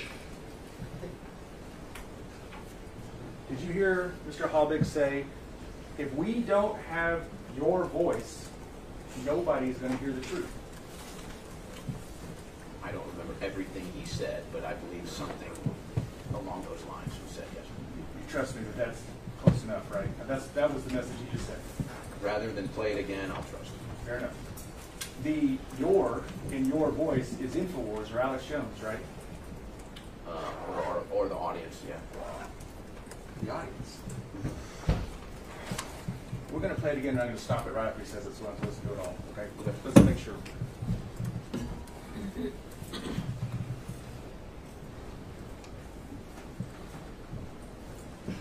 You have no reason to be doing this, to be going public. I mean, I would imagine you've lost a lot of business. And you tell that to my wife, I am about to be kicked out of my own house after being married 39 years.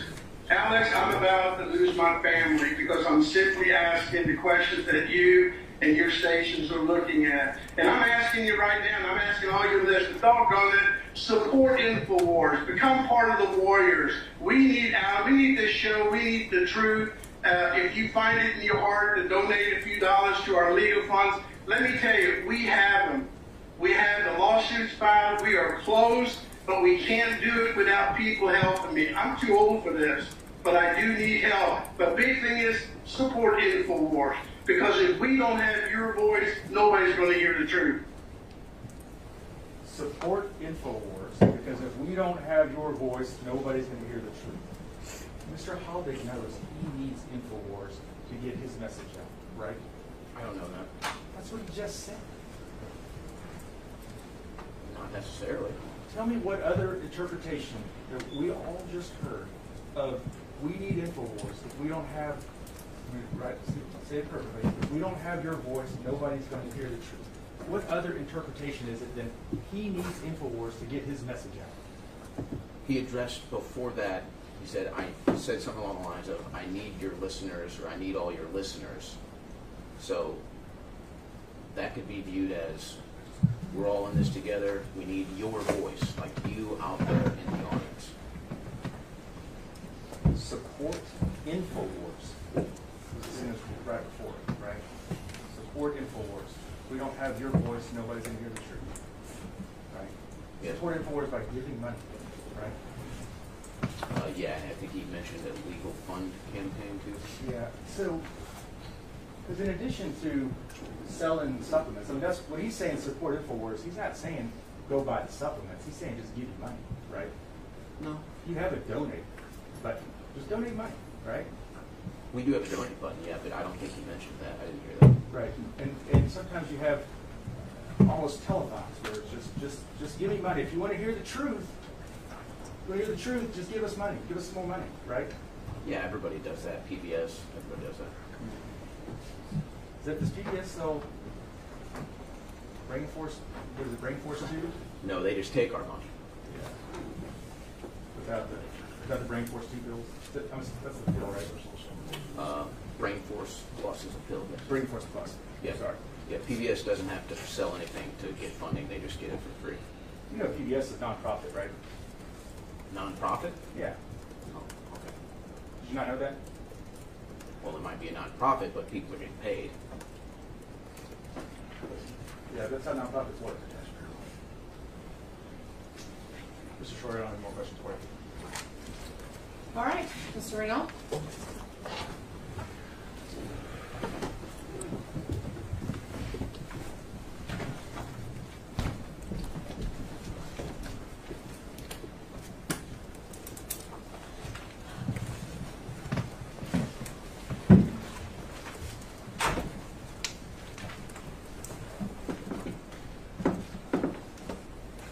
Mr. Shroyer, um, please tell the members of the jury where you're from originally. I am originally from St. Louis, Missouri. And um, did you go to college? I did go to college. And what did you get your degree in? I studied psychology and media studies. What, um, how did you first get involved with broadcasting? In high school, when I wasn't starting on the varsity teams, I realized I was not going to be a professional athlete, so I began writing for our school newspaper and doing reporting from our high school sporting events. While you were, after you graduated from high school, while you were in college, did you continue to work in broadcasting? I did. When I was at college, I was actually working professionally at multiple radio stations in St. Louis, and I was also the editor-in-chief of our student newspaper called The Current. And uh, what type of reporting were you doing at the time? For The Current, I was reporting on everything because we were very understaffed. So movies, concerts, sports, uh, just general activities on campus. And then professionally, I was in the sports media covering local sports in St. Louis, college, professional. Uh, was this on the radio? Yes. And about how much time would you spend on the radio talking about sports? At one point in time, I was producing, I believe, four shows a day, weekdays. And I was not the host, um, but I would engage in commentary with the show hosts that I was producing for at that time. Did So we're talking maybe 10, 12 hours. And um, did you, uh, did there come a time when you became interested in covering things beyond just sports? Yeah, I believe it was about 2013 when I wanted to pivot from sports to current events and politics. And if you recall, what, was there an event, something that happened that, that made you want to switch from sports to current events and politics? There was. It was the Boston Marathon bombing. It was the first time in my life that I ever watched a news broadcast at all. I was not really watching television news, but I had the same fervor for being accurate talking on the radio back then. So I started to watch news reports on the Boston Marathon bombing, and I started to follow up on some of those, do some digging. And what I realized was that we're not getting a full story from our government or our mainstream media. And it was kind of a shocking experience for me that really just changed my career path. How did you go about making the transition from, and let me back up, what was it about the coverage of the Boston Marathon bombing that so stuck out to you and made you want to look into it more? Well, for one, the FBI put up the Tsarnaev brothers mugshots and they were looking for information on them. But they claimed at the time they didn't know who they were, and it later came out that the older Tsarnaev brother was actually a government asset and had been flying back and forth from the United States to parts of the Middle East. So they knew well, they were well aware of who he was, and they didn't tell us that. And then when I saw the lockdown that they had, I don't know if lockdown is the right word, but basically they were going door to door looking for them, and then somehow he's in a boat covered in blood and they didn't find him. So I didn't really know what I was getting into at the time. I just had more interest in that in that moment than I did in sports for the first time in my life. And how did you, how did you go about making the transition from being a sports-only radio person to being somebody who covered politics and current events?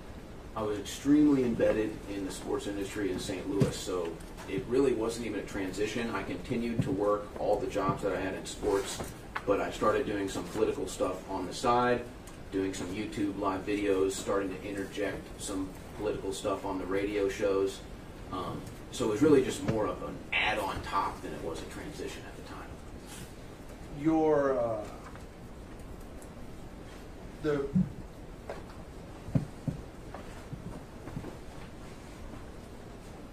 when you were fine, when you got a radio show that allowed you to talk about politics and current events, um, how old? I think I was 23 at the time, and really most of my political coverage at that time was on YouTube because anybody could start a YouTube account and fire up a live stream and have an audience. And from what time to what time did it broadcast? There was no uh, frequency of time. It was really just a matter of if I had a free hour or so. That was a poor question. When you finally got a radio show in St. Louis talking about politics and current events, what time was it aired? Nine to midnight. And um, were you paid to do that? No. How did you get the radio station to put you on from nine to midnight? Well, I won a civil suit against the radio station because they owed me thousands of dollars. And the GM at the time offered me a time slot on the radio in exchange for not me not being paid the funds. I knew I wasn't going to get paid. I wanted the airtime, so that was the deal that was made. All right, it's five o'clock. We're going to break for the day. For my jury, please remember and follow all of the instructions I've given you so far, and we'll see you tomorrow at 8:45 so that we can start right at 9. Thank you so much. I didn't actually hear any of that from Mr. Ball, so that's not their portrayal. Uh, I heard some testimony from Miss Lewis about how she feels about it. Uh, again, I don't think that constitutes a portrayal. Um, I think, do you have, let me put it this way.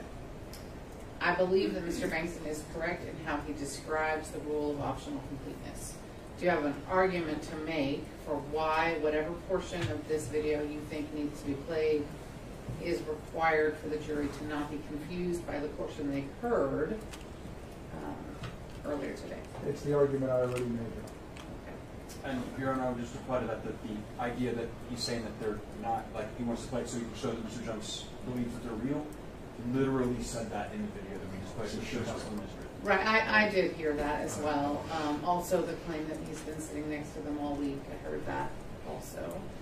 Um, I have a hard time imagining, and I have not watched it, um, that any clip that includes a conversation about what's happening in court this week can be in any way helpful to the jury in their job.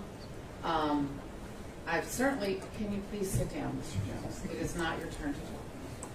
I will happily allow Mr. Reynal a minute to hear all of your suggestions uh, if you and he think that is necessary, but you have to wait. Um,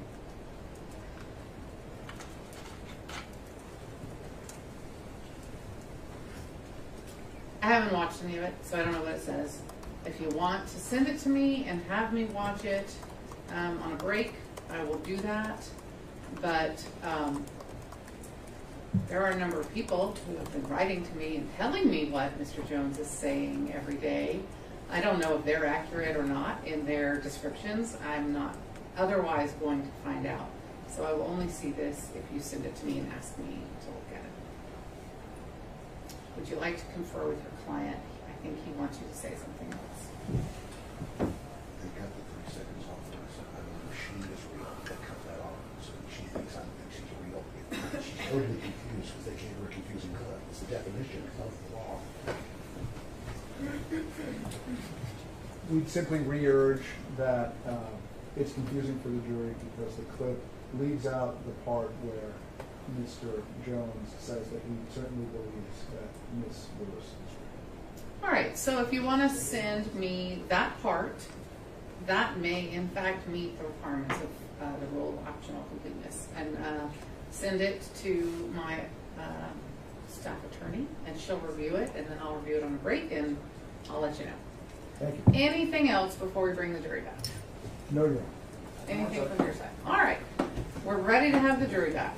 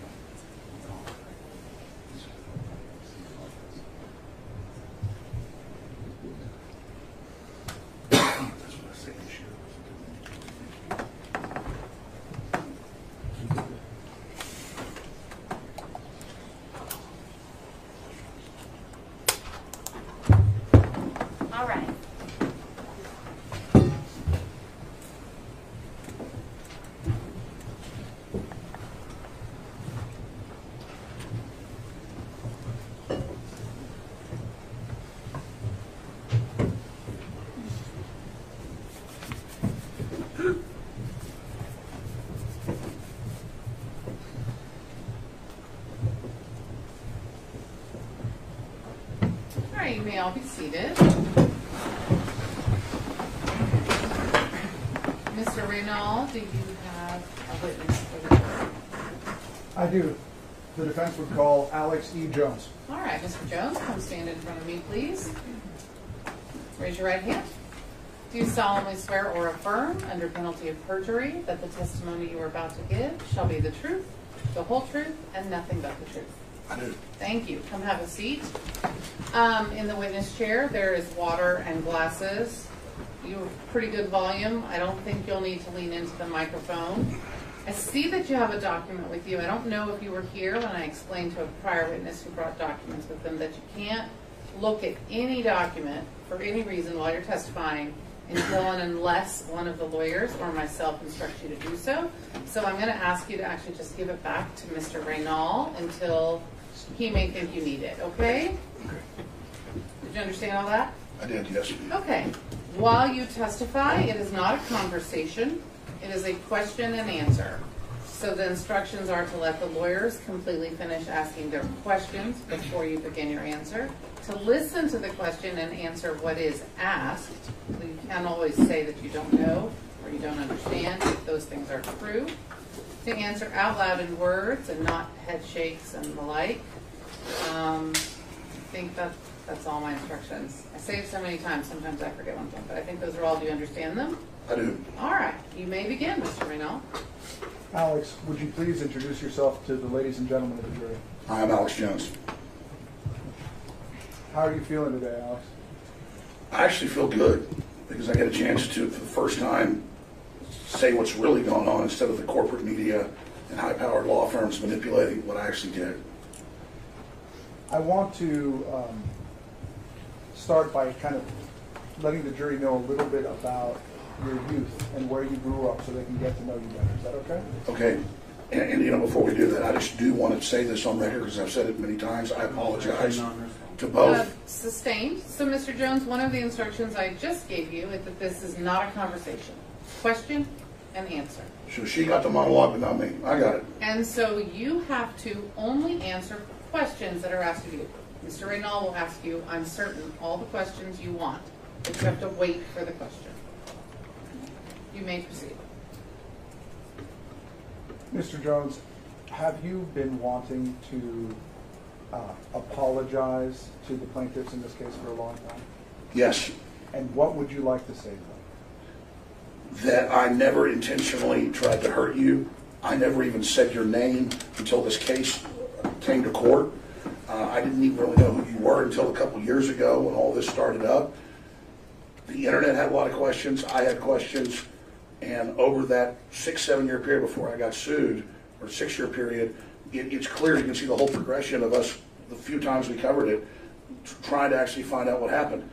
And that's really been my big frustration is that people have said that I'm personally trying to hurt them or coming after them when I question every big event, and a lot of times it turns out that we've not been uh, told the truth. And a perfect example is today where they play a 30 or a one minute clip, and I had just done that this morning, and I knew that I said, I believe that Scarlett Lewis is real and she's a really you know, nice person and she's really a sweet person. And then I went through and talked about her ex-husband too. And then, the, then I said, I believe they're being fed and manipulated. And this is a perfect. Sustained. This is a perfect. Sustained. When you hear sustained, you have to stop Okay. talking. Okay. Do you feel that the video clip was a fair representation of what, uh, what you meant to convey? No, it had the front and back. No, Okay, and why wasn't it fair?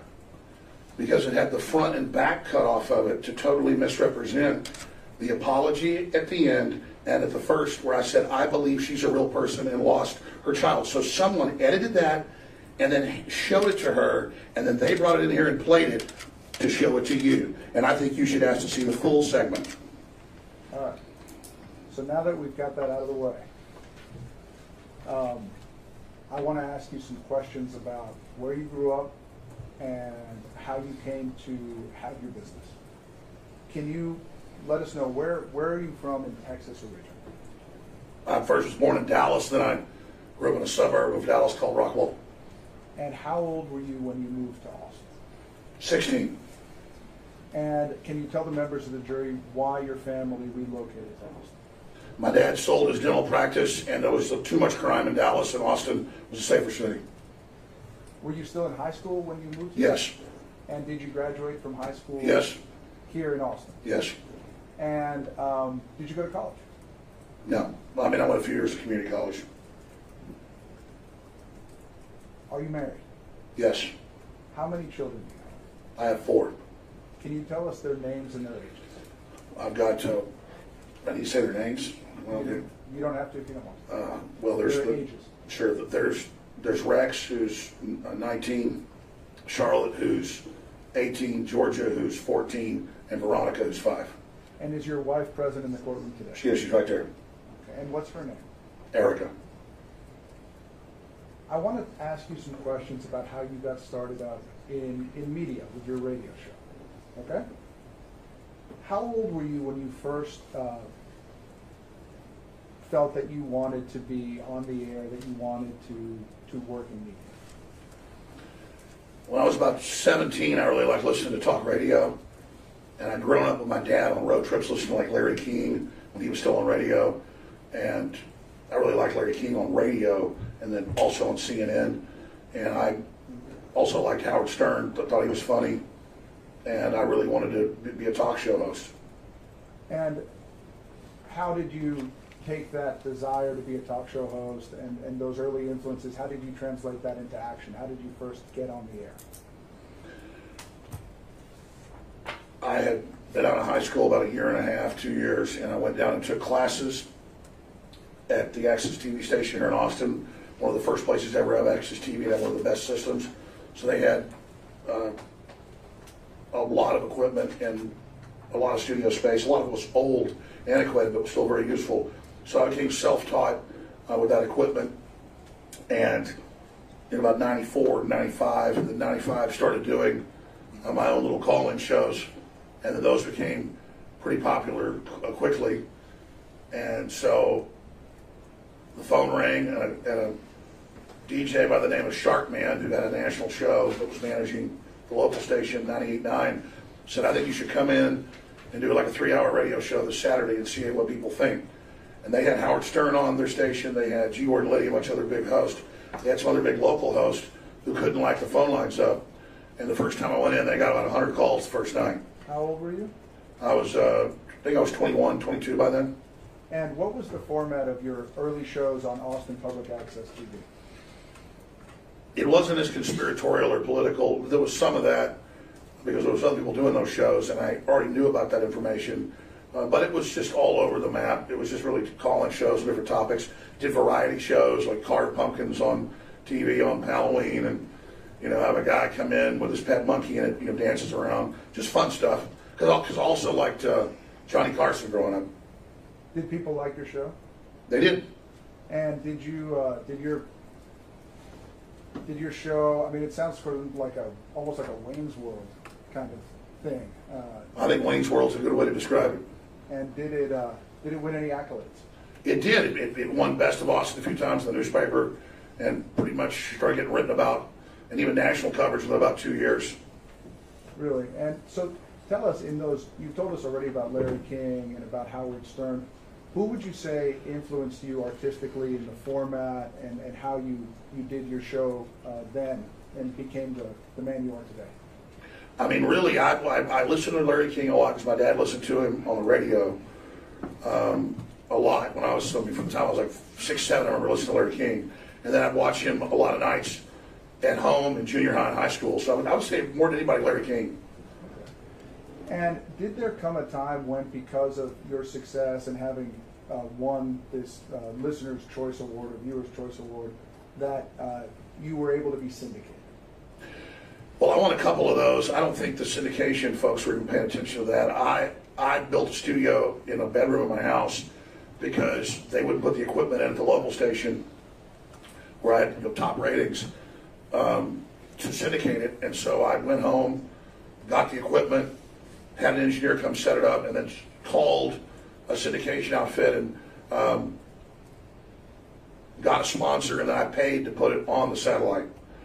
And then I got about probably 60, 70 affiliates in about a month, and then it went up to several hundred affiliates after that.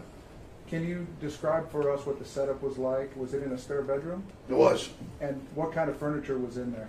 Just a simple wooden desk and a microphone and a little mixer, and then a, a chair if I had a guest. And what is syndication for, for those of us that don't know?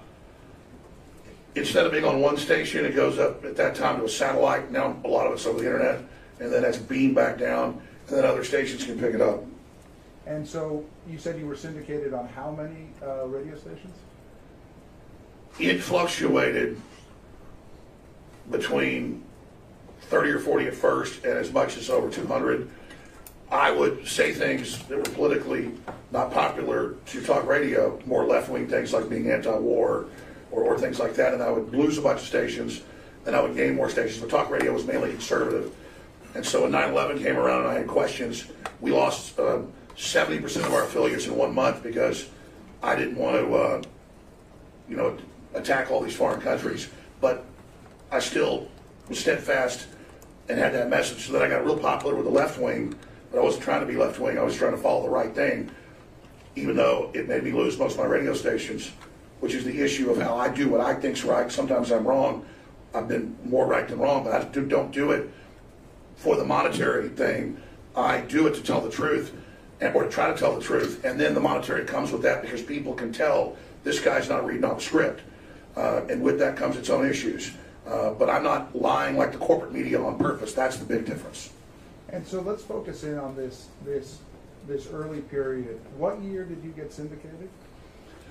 I syndicated myself in 1998.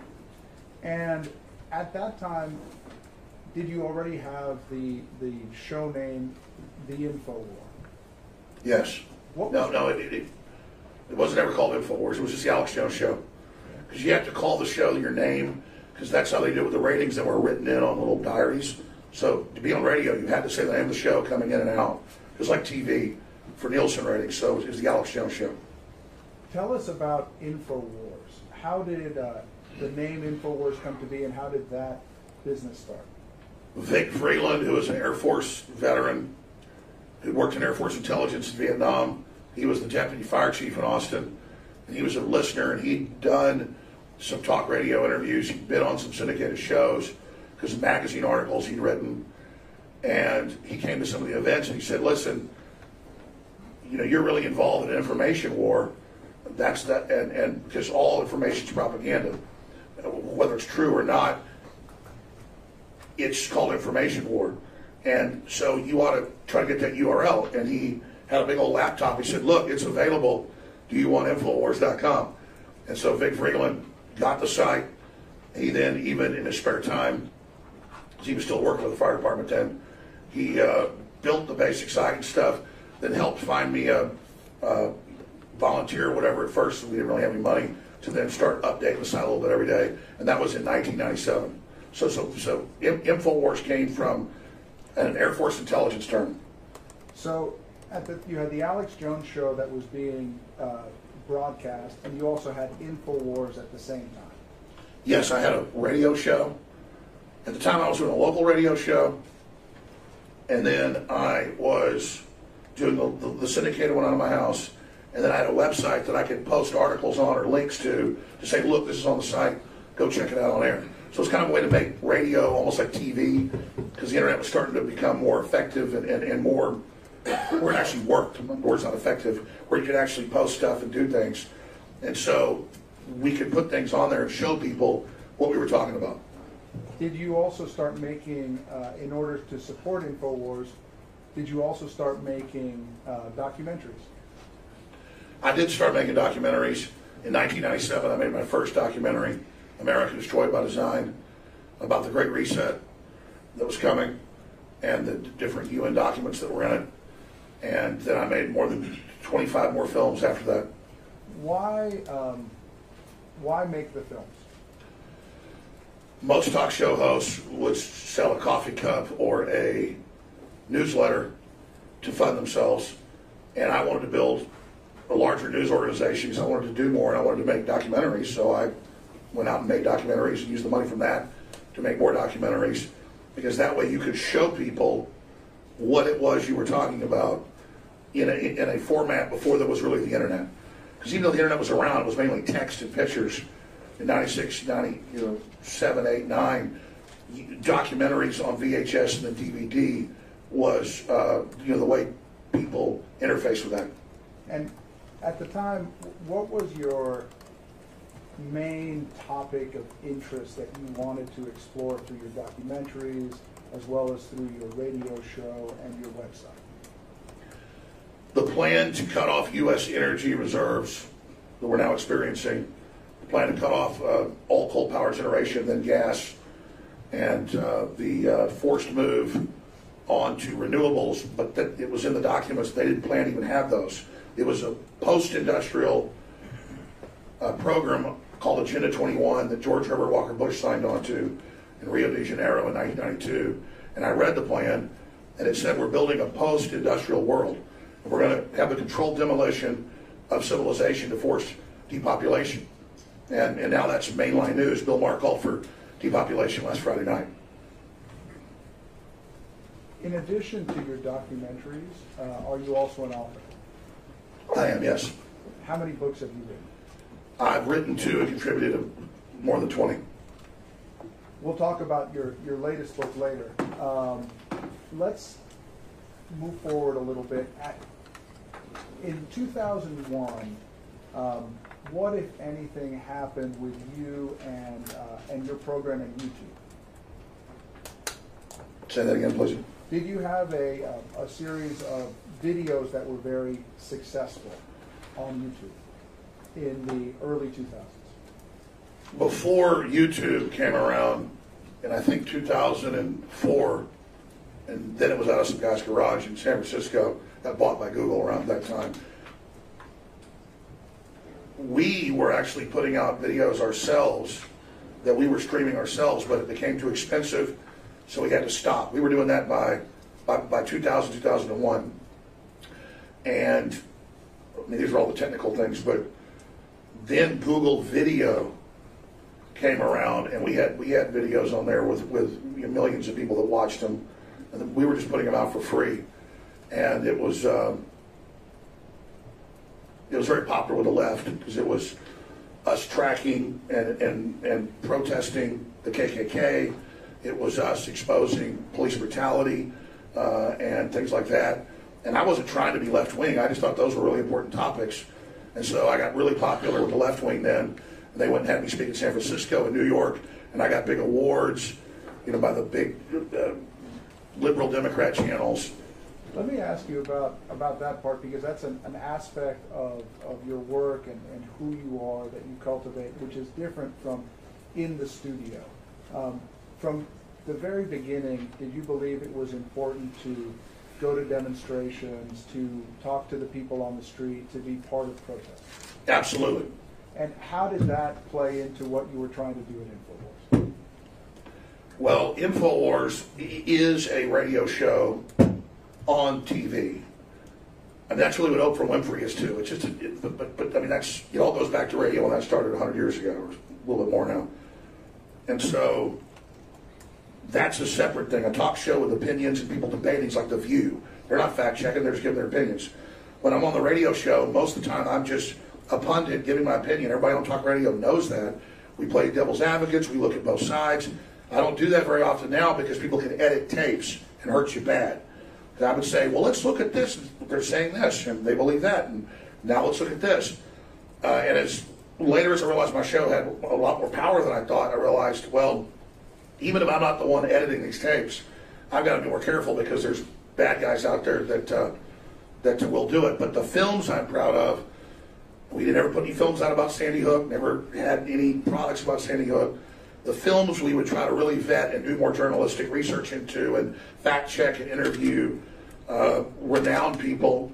I mean, I interviewed like former U.S. Attorney Generals and members of Congress and former chairman of the Joint Chiefs of Staff. I mean, that's who we would go for these films. Top economists, you know, just really big names for these films, and they were very, very popular. So that's where I've been journalistic and done a good job. I guess with the age of the internet, people grabbing clips out of talk radio or talk TV and mixing it together, I can see how um, it could you know, cause problems. That's why I've admitted that I've made a lot of mistakes, but none of it was done from some master plan uh, deal. It was done from a bedroom in my house. Sustained. So one of the things I notice uh, about you is that you have a very uh, distinctive voice, um, very deep, sort of gravelly voice. Uh, did your voice always sound that way? No. What What happened to your voice? Why does it sound the way it does? Well, I remember the two demonstrations where I finally wrecked it. Um, and one was about, I guess, about 12, 13 years ago. It was actually film of it. Objection relevance? Oh, I'm- I'm sorry, go ahead. Why his voice has changed? I don't know what Uh, Do you have some way to tie this to the damages portion of this? He- trial? he- Uh-uh. No, I thought you You- No, no, no. I'll address you if I'm talking to you. Uh, This is so that the jury can understand who my client is and and properly assess his credibility, his demeanor. Sustained.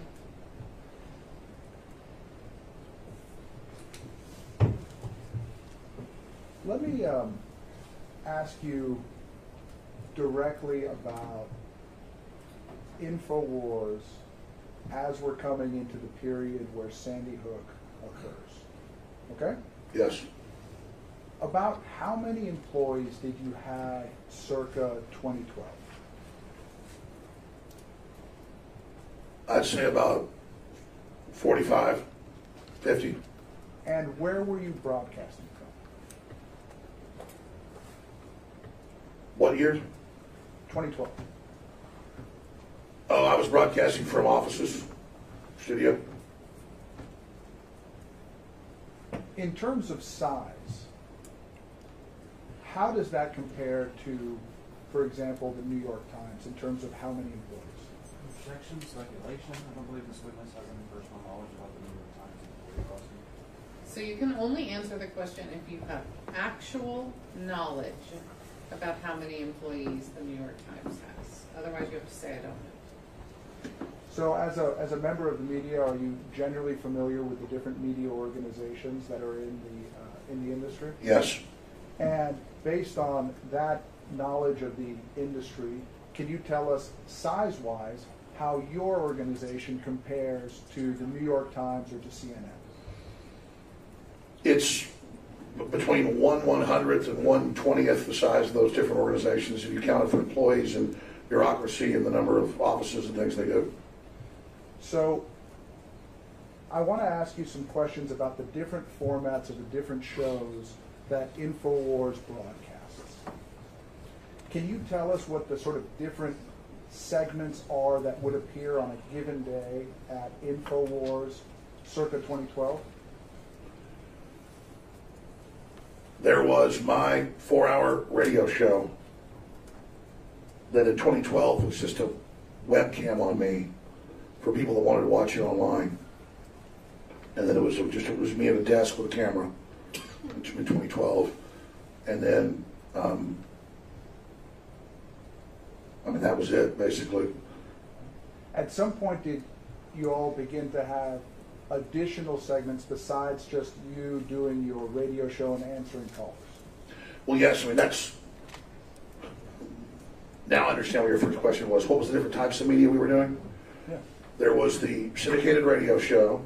There was also had a visual component, you know, digital video online, and then there was documentary making, and that's what I had ten or so people working on with me, and then I started to develop reporters people to go out and actually cover like live events and protests and things that were going on, uh, and then we also did everything in house, so we had our own shipping department uh, to be able to ship out you know, books and films, not just my books and films, but a lot of other authors books and films. We interview a lot of those authors, and so that's what we were doing uh, back then. Now, the, your uh, your radio show was it purely uh, a call-in show, or did you also go sort of on on rants about different issues that you were seeing?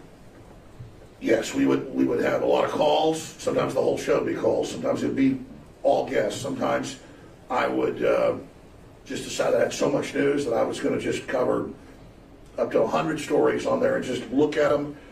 The audience knows whether it's the BBC or whether it's an InfoWars story or, or whatever it is, they can choose, they can go look it up for themselves. We're just covering what's in this. And so we just bam, bam, bam. Uh, it's, it's the same way today. Like Pelosi's in Taiwan. What do you think of it? You think there's going to be a war? The Chinese are threatening war. Oh, look, uh, Biden fell down again. Oh, look, uh, you know, that they found another trailer full of 50 dead people in Texas. This is horrible. We, we got to do something about this. And it's just coming up next. It's real simple. I got a stack of news. Uh, we're going to play a video clip of Bill Maher, um, you know, saying we need to depopulate the, the human population. And we got, let's take calls. What do you think about Bill Maher saying we should get rid of the majority of people? Well, who's going to do that? You know, who's going to do the killing? I think this is wrong. I think it's dangerous. I think it sounds like Hitler. I mean, that's what we do. And how did, um, at the time, 2012, how did you all source the, or how did you source the stories that you wanted to cover during that segment of your talk radio or, or 95% of what we were covering was mainstream news going, look, they're saying this, do you believe it? Or what do you make of this? Uh, th- I mean, it's that kind of thing. Is that we would simply do what talk radio does. That's what talk radio does. That's what Larry King did, is stack the news articles, talk about what's going on, what people are saying, ask callers, what do you think of that? Do you buy that? What do you think is going to happen next? Uh, are there really WMDs in Iraq? Are they lying about it?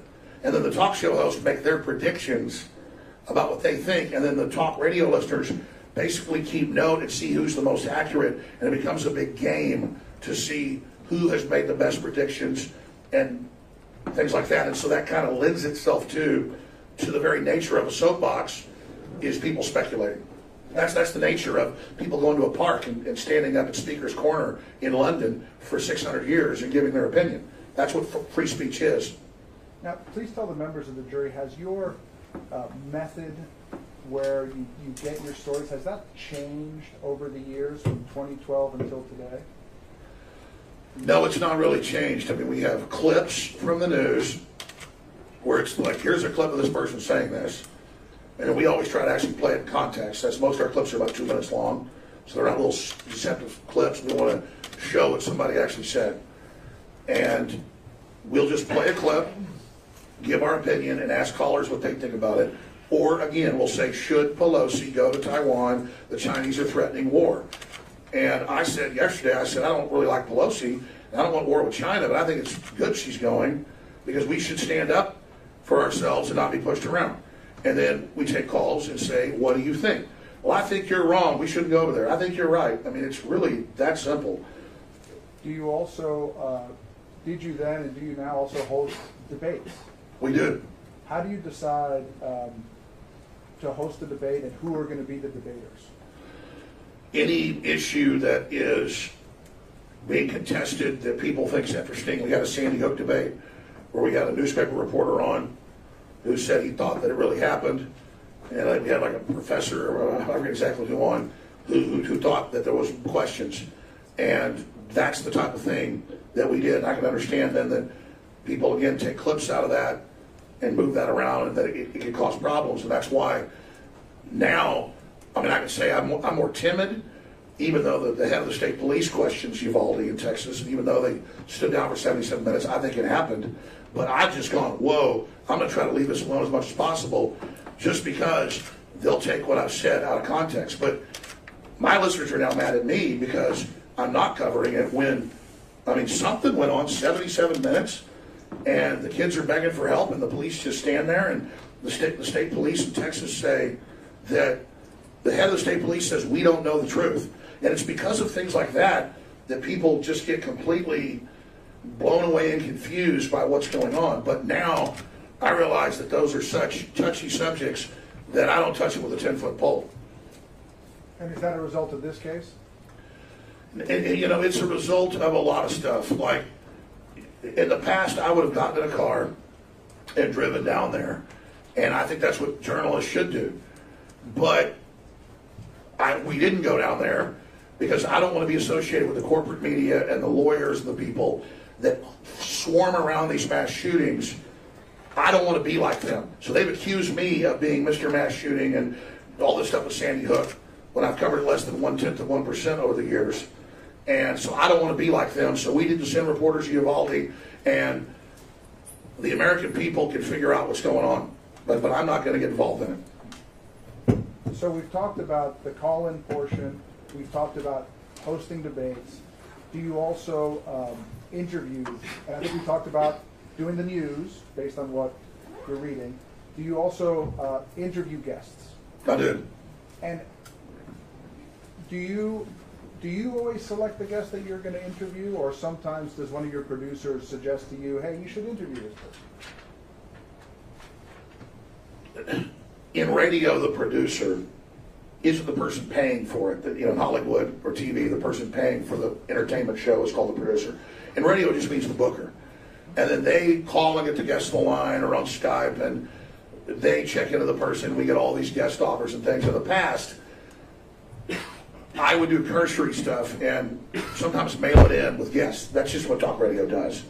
I mean, I was a producer for other shows 25 years ago, not just my own show, and they were pressuring us. I was helping produce on a sports show to get up to five guests an hour. So you're just calling people that are already you know in the news, that are sportscasters or pundits, just like ESPN now. You see all these different writers and talk shows on the show. So it, it's the same for political stuff. You're just you're just getting guests that are in the news that are interesting, and then getting their opinion about things. And so now, most of the time, though, I say I want this person, I want that person, um, and I'm more in control of the guest that I have. But but in the past, um, more, we let more things driven by the internet and by 4chan and 8chan that in every case I've had problems has been a curse. I'm not attacking everybody that's on there, but that's, I tell my producers, do not touch it when it's on there because it, it's just, it's the kiss of death and it causes nothing but problems. Why um, why is it? Do you think it's important to interview people who um, are causing a stir on the internet or on social media? Why do you feel like that's a good thing to do in terms of your listeners? Well, I mean, most of the time we're not just interviewing people that have caused a stir. When I say like there's a big controversy or there's a big story, if there's riots in Hong Kong and we can find a reporter who'll come on the show, we get them on. It's whatever the big topic is. That's just how news is. Uh, and, and, and more and more, I don't really follow the news model of covering the news. In the past, I did. We still do it a lot. But now I mainly just talk about philosophy and the big picture and then have some guests on. And the show's gotten more Christian, you know, because I'm a Christian, but as things progress, all things happening in the world, I'm moving more towards uh, doing a self-help, uh, life experience type show than the political show. In fact, I've been trying to segue out of this just because I think we have to change individuals, kind of like Scarlett was saying earlier, more than we're going to change the world. If we can't change ourselves, then we're never going to be able to change the world. And I've made a lot of mistakes, and I've learned a lot in that process. And I've also learned how the corporate media is able to completely manipulate a story once you're caught in it and then manipulate other people. And if anything, I want to teach people about how that process worked because they say I'm the mastermind that figured out how to manipulate people, and I didn't have any understanding of it coming. And, and now I've seen it from the inside, the way this stuff goes on, and I, again, I think only getting the individual awake and aware. And, and not under its control is the way to beat it. And you can't just cover a bunch of news and get somebody to understand that. You you can't be told about the Matrix. You got to see it.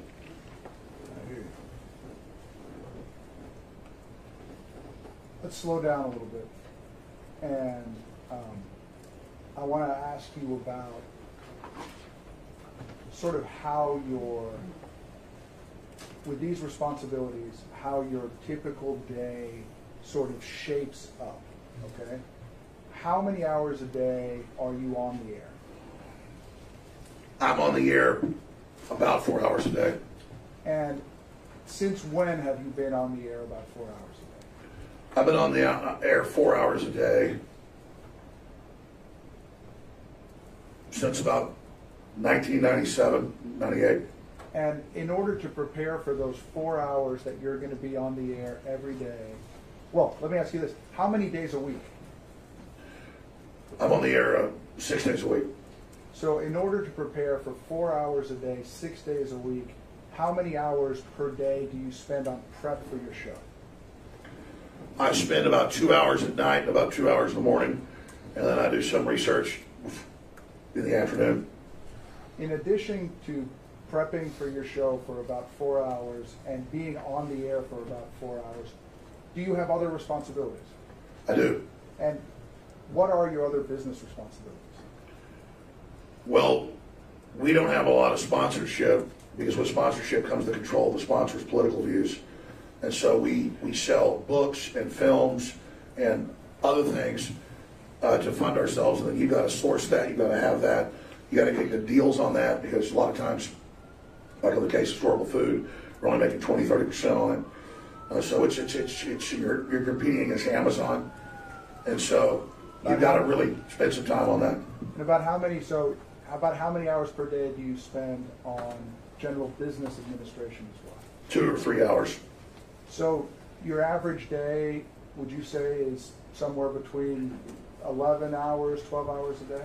Yes. Six days a week? Yes. Do you depend on other people to help you produce your show and decide what you're going to talk about? I do. I depend on my crew, and I depend on. Um, I mean, really, what they do is they just give me hundreds of clips that are in mainstream news, alternative news, things that are happening, video clips, and I'll sit there on my computer and just review them. And then I tell them just print me the top stories off of 10 or 15 news sources. And I say go through everything, randomly change it up. Uh, so everything from Japanese news to news in Mexico to, uh, you know, the BBC to uh, the LA Times uh, to just everything, and then also alternative media. Uh, but more and more, we just show clips of what's actually happening out in the world. It's not disputed. There's just stacks of news. You'd be on air 24 hours a day. All you're doing is like a curator, just showing people, hey, we looked at this, we think it's interesting. We looked at that. Uh, the, the, idea that there's like certain stories that are like these big bonanza stories that we focus on is, is, is just not the case. There is a glut of news and information. So we've talked about your responsibilities and your duties in your work day at InfoWars. Do you also appear on uh, other people's shows? Yes, I've, I've been on thousands of different programs in the last 27, 28 years. Any that we would have heard of? I've been on Howard Stern and on his network many times. I have been on Joe Rogan's show many times, even predating his current podcast, done in 25 years. I've been on The View. I've been on Piers Morgan. I've been on 20 or 30 BBC shows. I've been on Japanese television. I've been on I've been on Saudi Arabian TV. I've been on Israeli TV. I've been, I mean, I basically, I've been on Brazilian television, Brazilian radio, Mexican TV and radio. I mean, I've been on basically a lot. Let's focus in, in the year 2012, how many hours per day was InfoWars broadcasting? Not just your show, but everything. Well, there's broadcasting and then there's just videos that we're uploading. I mean, I'd say How many hours of content per day? six hours, seven hours. Okay, and um, in 2013, about how many hours per day? 2018? No, 2013. Oh, 2013. Uh, same amount. And 2014? I'd say a little more, maybe seven. And 15? The same. 16? The same. 17? Sorry, just one second. Oh, sorry. My torn larynx, that's why my voice is like that. Uh, so, uh, sorry, what were you saying? I was asking you how many hours per day um, content is being produced and uploaded or streamed on InfoWars in 2017. Probably seven, eight hours as well. And 18? Then it increases to 10 hours a day. Or in 17 it did. Okay. In 17 it increases to 10 hours a day. And then in, um, it stayed at about that. And it's stayed con- constant now at about 10 hours per day since then? It, it, it, there's 10 hours that's always there that's talk radio on TV. And then we also put out some other reports and videos. Okay, so the answers you just gave us of seven hours per day, basically up until 2016, and then starting in 2017, 10 hours per day, that is content that's on the radio that's being streamed. And being picked up out of some radio stations.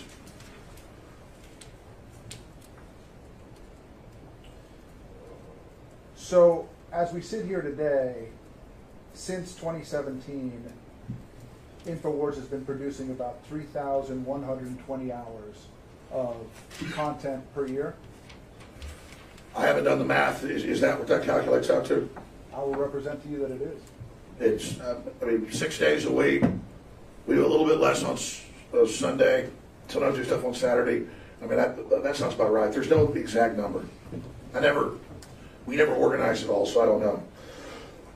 Excuse me, sorry. When did you start bringing on other hosts to have their own programs?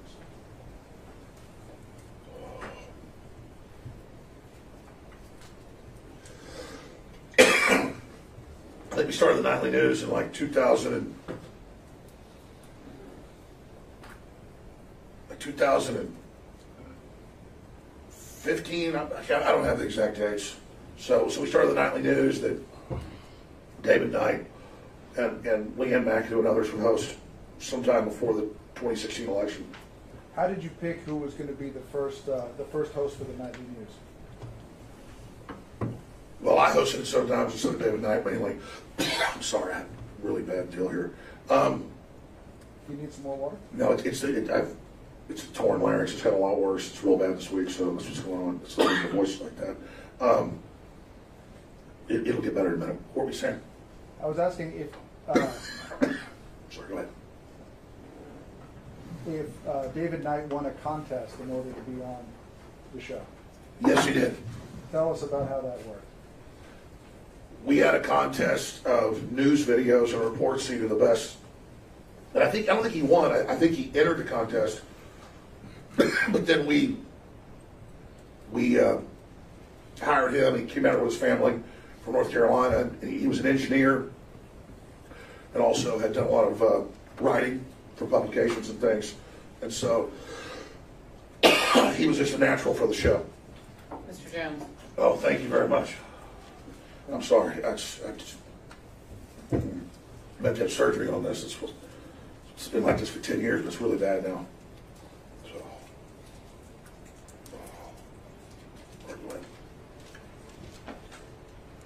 That's the exception to the food and the corporate. There you go. You're nice to me. All right, go ahead. Um, Alex, uh, you obviously have a very busy work schedule to yourself, for yourself. Do you tell the other hosts what to say or what to cover? We're starting to. well, I mean, no, not the past. Not really. Very rarely. Other than I try to pick people that already have done shows, that I've seen their work, that I think are trying to tell the truth, that are smart, and who are funny. I think we've done a pretty good job of that. Uh, but they're definitely, we're trying to put in more, more oversight and be more careful, obviously, about what we do. We've, we've definitely learned a lesson from this process of not just things we did wrong, but how people misrepresent what we've done. Is it fair to say that yourself and most of your hosts are self-taught uh, through the radio business? Owen has a degree in, in media, but he'll tell you he didn't learn anything with that. It was all working at those radio stations from the bottom, you know, up. He got on to the top. And it was the same way. Owen had a similar deal that I did. I mean, I volunteered when I was at Talk Radio. Um, I wasn't paid the first six months, and then I got into sales and things. But I was I was doing producing for sports shows. We uh, I even got hired by the Howard Stern show uh, to do a, a interview with uh, Dennis Hopper and, and some other folks at, at, at a big film festival at the Governor's Mansion. Uh, so I did that, and I worked for Howard Stern on that job. Uh, so I was doing everything, and then that was unpaid uh, to, to, to, to do that. Would you say that your organization is more like a, a radio show or more like a, like a newspaper like the, uh, the Austin Statesman? No, we don't pretend to be. We're more like the op-ed page in a newspaper, giving our opinion, than say the investigative journal section of something. So yes, we're we're like the op-ed, or we're like the funny papers in, in, in, as well. I mean, we've got really serious stuff we do, where we say, here's the documents, here's where they said it, this is what's going on, and then we also have the op-ed opinion stuff we do, which is what talk radio is, and then we also um, have satire and uh, you know things like that, where it's completely obvious that I'm dressed up in like like Cobra Commander, that I'm not actually Cobra Commander. People know that's a joke. Let's talk a little bit about where you get your funding. Um, when's the last time you had a, a corporate sponsor for InfoWars? Mean a big one? Yeah.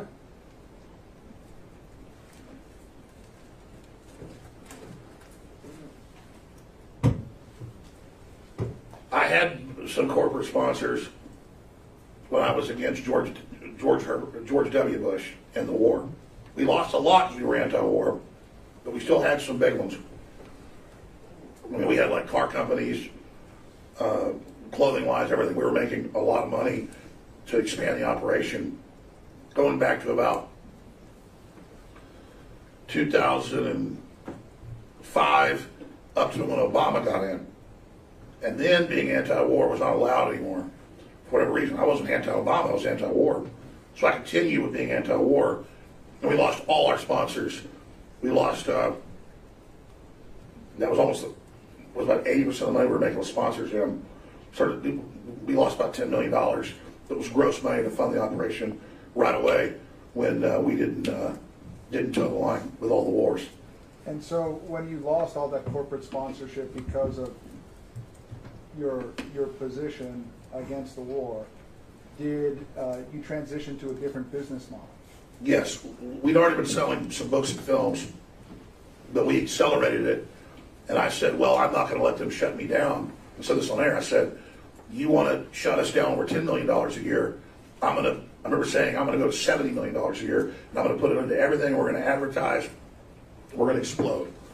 And so that was my promise, and I fulfilled it. And why is it important for you to be self-funded? That's what the system fears. It's actually come out.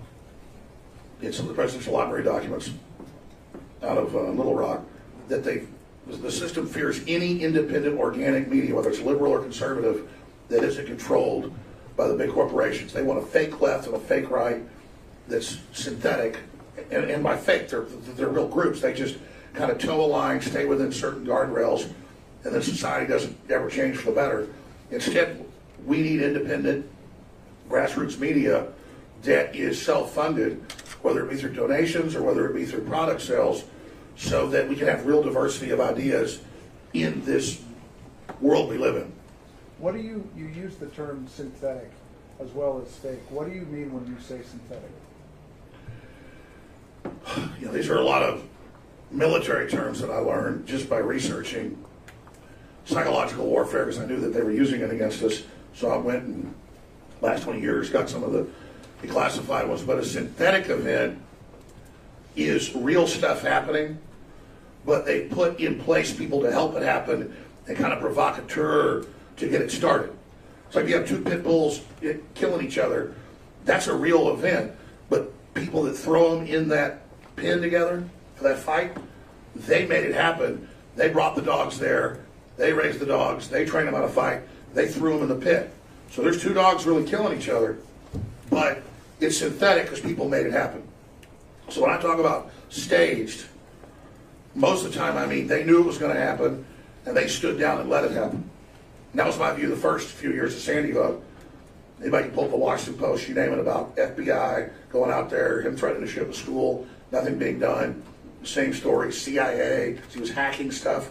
Was that, so that's where everybody thought it was really suspicious up front was because those telltale signs that we've seen before of those type of synthetic connections, which don't always mean it was staged, but that's the type of things people look for.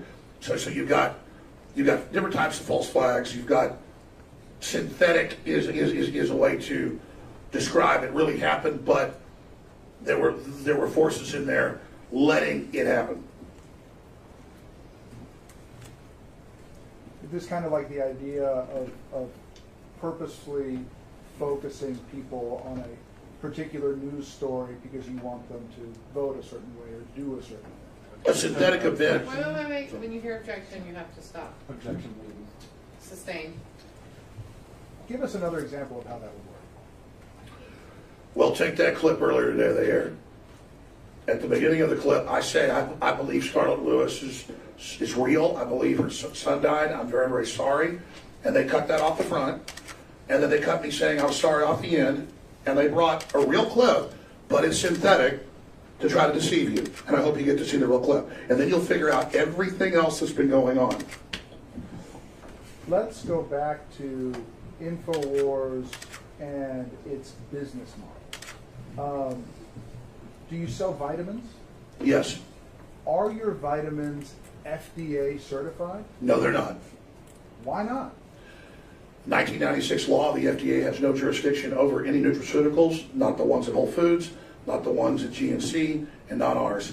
And ours are private labeled, top brands that are sold at Whole Foods, GNC. We have it made by the top lab recognized in the United States. All we do is put our label on it so we know it's triple tested, the highest quality, and that's why people love it because it is the best out there. And I'll give it to Whole Foods and I'll give it to GNC uh, and others. They've got the same stuff. There's all sorts of crap you can buy at a gas station out there. That's not what ours is. I mean, we buy our PQQ and, and CoQ10 from the Japanese. I mean, it's the best. It costs five times what synthetic PQQ and CoQ10 cost.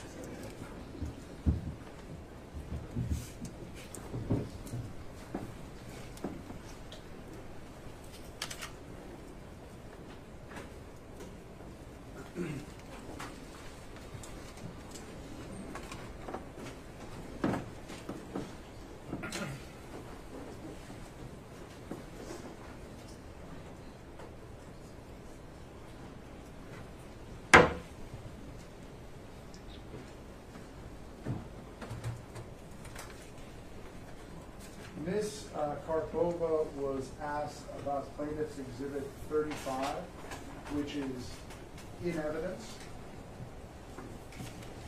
I'm gonna put on the camera here. Can you see that? Yes, barely. You need reading glasses? No, that, I'm, I'm barely sure. Well, let me walk it up to you, and you can tell us just generally what kind of document that is.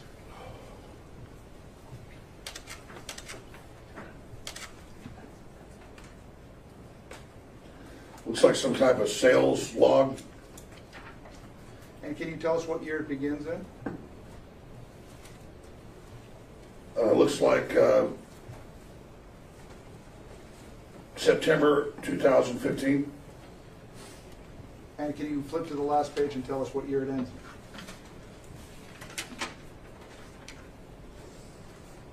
It ends, it ends in December 2018. If you flip back to the front, can you see the headings? Yes, Can you see the column that, you all right? yeah. Don't worry, it's not COVID, it's the torn larynx. Sorry, go ahead. Sorry, we're sorry, go ahead. There is a uh, column that is labeled invoice. Uh-huh, yes, Would that represent gross sales? I believe so. And let's flip to the last page and you can tell us what the gross sales number is. One hundred sixty-five million, two hundred thirty thousand.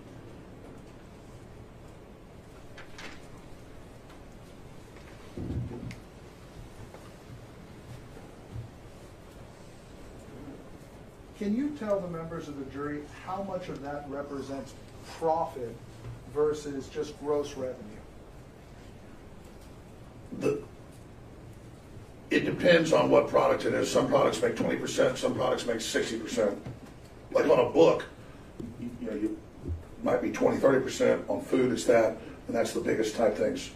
Um, on supplements, if they're on sale, you make fifty percent of it. If it's not on sale, uh, you make you know more than that. Sometimes a hundred percent markup, uh, but usually it's on sale. So it, it, it really all depends. I can tell you bottom line numbers though uh, of, of how much money I've been paid, things like that, or how much money's there. Before we, we discuss that, let's, um, let's talk about InfoWars, the organization. Would you describe it as organized or chaotic?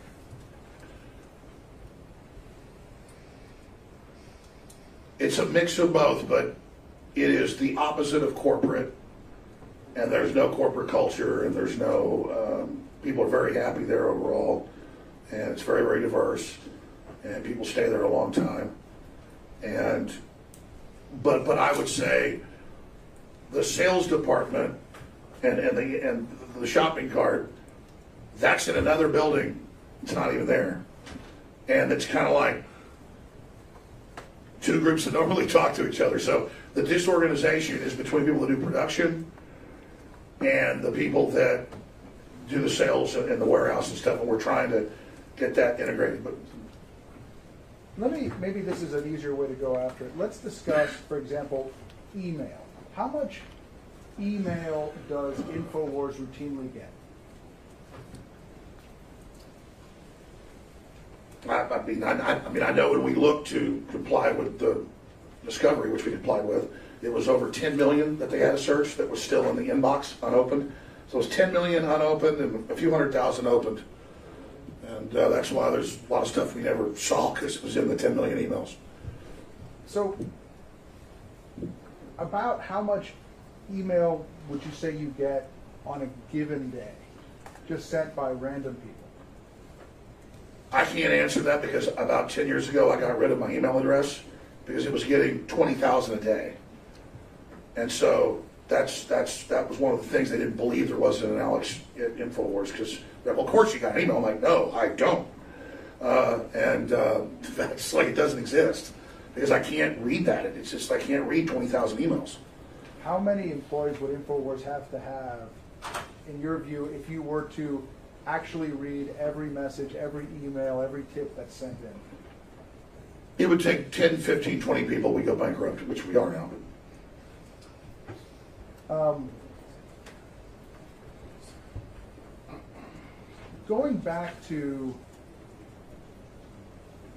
I want to ask you a question. There's a, a term that's been thrown around um, during this trial of uh, the truther community or truth people. Um, what does that? I have a couple of motions I'm gonna take up outside the presence of the jury. I don't know if you want to do that now or wait till there's to do it. That really depends on you, Mr. Bankston, whether you think I need to hear them now or later. I'm, I'm worried they need to be heard contemporaneously, so I'd like to. All right. Um, we're gonna, just, just sit tight for a second. We're gonna take a break. I don't know if it will eat up the rest of the afternoon or not, so I'm not gonna release you in case it doesn't. I wanna not waste any time. Um, and so I'll send someone back if you're gonna go or if you're gonna come back. Remember all of my instructions. On the chance that I don't see you before tomorrow, please arrive at eight forty-five like normal for us to get started. All right, thank you. All right. rise.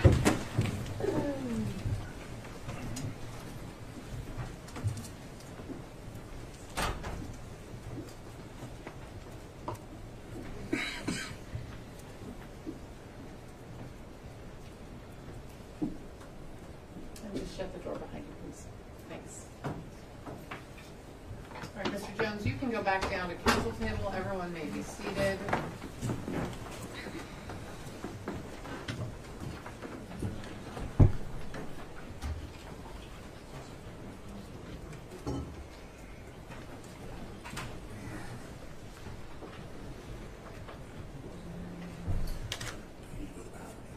You just have to wait until the jury's move to their space before you can leave the room.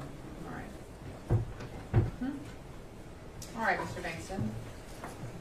I don't know what's going on, Your Honor, but I need to bring a couple motions there for jury instructions, and then I'm gonna go ahead and bring a motion for sanctions right now on the record. I know you don't wanna hear it from the top, but the jury instructions are coming now. Um, we have, as you know, there's been a pattern of Mr. Reynal blatantly violating MILs and court rules. Um, it, it, Mr. Reynal just absolutely solicited direct testimony from Mr. Jones that he is bankrupt. Mr. Jones has testified straight into the record that he's bankrupt, which is not true, which is a sham that's going on right now, which Mr. Jones pulled sixty million dollars out of his company last year. But the most important part, Your Honor, is you have a standing, you have a motion in limine entered in this case that is in no uncertain terms that they cannot, due to violating your orders repeatedly to provide networks information, they cannot apply evidence of net worth. Mr. Jones just intentionally did that in violation of your order to attempt to poison this compensatory damage verdict, to try to tell this jury that he's broke, when he's not. And that's in violation of your order. And Mr. Randolph drew that right out of him. Totally expecting that to happen. It was very obvious from the question he asked, and wants Mr. Jones tell this jury he's broke. That is ridiculous. The second is that he absolutely, Mr. Jones just fully testified that we complied with discovery. I am under the standing MIL not permitted to mention discovery disputes. But we both know Mr. Jones did anything but comply with discovery and did that for four years, thumbing his nose in the face of this court in rank contempt. There needs to be an instruction to the jury that he did not comply with discovery. that materials that were repeatedly ordered by this court will not turn over. Some of that includes his net worth information.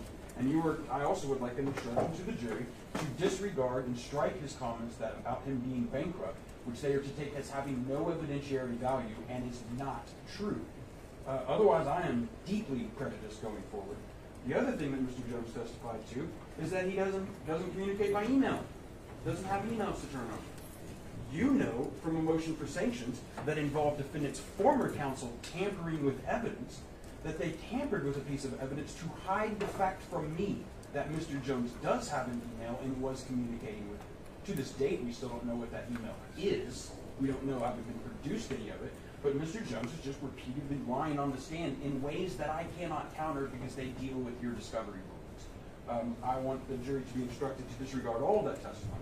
That, that it has been already found by the court that Mr. Jones does have an email, that he did not turn those emails over, and did not admit and deny the existence of that email, that he did not comply with discovery, that he is not bankrupt and the jury is not to consider him. Additionally, on top of those instructions, we are now formally moving for sanctions against both Mr. Jones and Mr. Reynal, who we believe intentionally solicited testimony to sabotage this jury. And I would not normally make that accusation so openly against a fellow attorney had that attorney not continually violated rules of this court on every single day, including before putting Mr. Jones on, clearly attempting to solicit from a witness an attorney-client communication earlier into this day, which, as we've seen him violate rules that a first-year law student should know, a first-day law student should know not to ask the plaintiff about her communications with counsel. This is absolutely in bad faith. Therefore, we'd like jury instructions and we're filing a motion for sanctions. Would you like to respond, Mr. Raymond? If Your Honor thinks it necessary, I will. I think that Your Honor can review the transcript of my questions. I don't think my questions elicited that testimony. Uh, I'm sorry that that came out. I don't think that there was anything I could have done in my questioning uh, that that would have prevented it from happening. I know that Your Honor has contemporaneous transcript and can look it over. So I, I would urge you to do so um, because I, you know, I'm sorry it happened. I tried to move on very, very quickly. I think Your Honor saw me raise my hand. Um, but I can only ask the questions. Let me ask Mr. Jones a couple of questions while you're under oath. Yes. What did your attorney tell you about your testimony today? Not, let me, I want to be very careful. Um, were you instructed that there were some things you could not testify about? Yes, And do you remember what they were? yes. And what were they? Just top level. I'm trying to remember that, first there was a document you put out saying, don't talk about free speech, don't, uh, don't say I'm innocent, uh, and, and, and a bunch of other stuff, and then, and then that got withdrawn, you, I believe you withdrew it, I think called motion limiting. Okay, so you don't remember? No, no, no, I, I, No. I remember currently. Stop. Remember day one where I said, it's an unfair world and you don't get to interrupt the judge? Do you remember that? Sure. Yeah, okay. But the judge gets to interrupt you? Yeah. Remember that? Yeah. Um, okay, so you don't really remember what you were not supposed to testify about. That's what I'm hearing, because you said, yes, I remember, no, I don't remember. Well, let me, I'm trying to remember. Okay, Um, I don't want you to try and remember. No, I, I remember don't some want you things. to try and remember. You either knew or you don't. Um, I remember him saying, don't talk about, don't talk about the financial stuff or something like that, like a week ago when I asked him. And then I remember today watching part of Heslin's testimony when I was coming here and him talking about the bankruptcy. So I thought that was totally fine. I mean, he gets to, why, why not just do what he gets to do? Mr. Jones, Yeah. stop making, just stop. Okay. All right, um, you can sit down, Mr. Jones. Do you have any reply, Mr. Bankston? Uh, not really. And I'm gonna- actually, before I hear from you, you know whose obligation it is, Mr. Reynal, to make sure that any witness you put forward understands the orders in limine, understands what he is not allowed to say because of orders that I have made before now, right? As an attorney, it's an impossible position That wasn't the question I asked you. I would, I know that it is my obligation to communicate your honor's orders. Beyond that, I, I think that's all I need to say. Your Honor, the only thing I would say, and I actually probably do need to ask for an additional jury instruction, uh, during the same testimony, and the reason why I do not believe that Mr. Reynal was keeping a tight leash on his client for MIL, and why I do believe he was intentionally trying to violate them, is Mr. Reynal had a long series of questions about whether Mr. Jones is a pundit who merely gives his opinion, does not provide facts, was not stating facts, was only giving his opinion.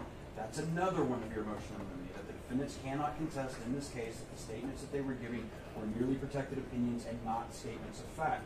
That all came out intentionally from Mr. Reynal, and you know too through the rest of this testimony that he's been intentionally trying to drive out the liability sections of your MIL. As we said yesterday, we think he's intentionally trying for a mistrial.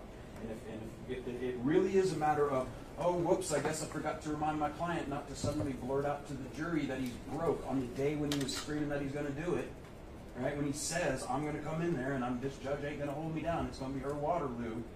And then he comes in here and do that. Maybe we'd forgive, forgive it if he wasn't also asking questions that were directly in violation of motion. And Your Honor, we believe this is just egregious. Your Honor, if All I right. may on that point, just on that point, um, Your Honor has ruled already that during this phase of the trial, we are to discuss and, and uh, over my objection, all the issues raised by Rule 41, 11. I, I've been objecting to that. Except net worth. Well, except net worth. And within that, for the jury to make an accurate determination, you need to talk about intent. You need to talk about degree of malice. You need to talk about how extreme the behavior was or wasn't. And so the testimony I'm eliciting, which I believe, I, I've never said, nor has my client said, that Your Honor's ruling shouldn't stand.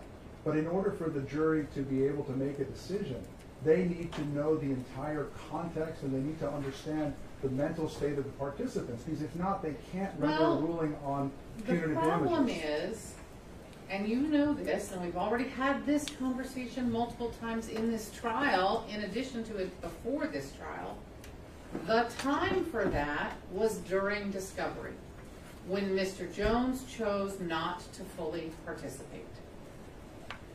It is not the time to do that now. If there is anything that he would like to put forth as a defense, he needed to do it a year ago during the discovery process. It's too late now. And when you ask questions that imply or outright say that he didn't know how to be a journalist or he wasn't a journalist, you're calling into question my ruling, which was based on a long-standing principle in the law, that if you intentionally, repeatedly, and over years, in this case, again and again, refuse to participate in discovery, that is proof that you do not have a meritorious defense. That was the basis of my ruling. You cannot attack that in this trial. For motions to, for sanctions, you've got to write them down. They're under advisement until they're written down and filed. We'll take that up post-trial. Your Honor, so that I don't run afoul of your ruling. I'm not done. I'm sorry. You don't even know what it is yet.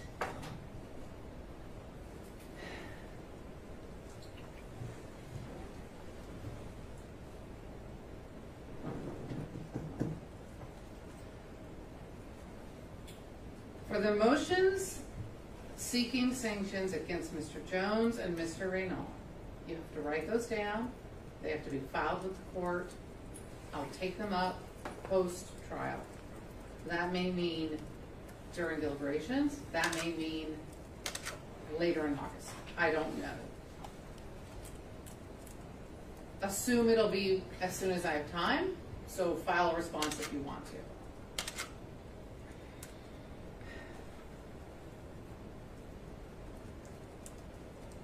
Mr. Jones, you may not say to this jury that you complied with discovery. That is not true. You may not say it again. You may not tell this jury that you are bankrupt. That is also not true. You may have filed for bankruptcy. I don't know that, but I've heard that. That doesn't put, that doesn't make a person or a company bankrupt.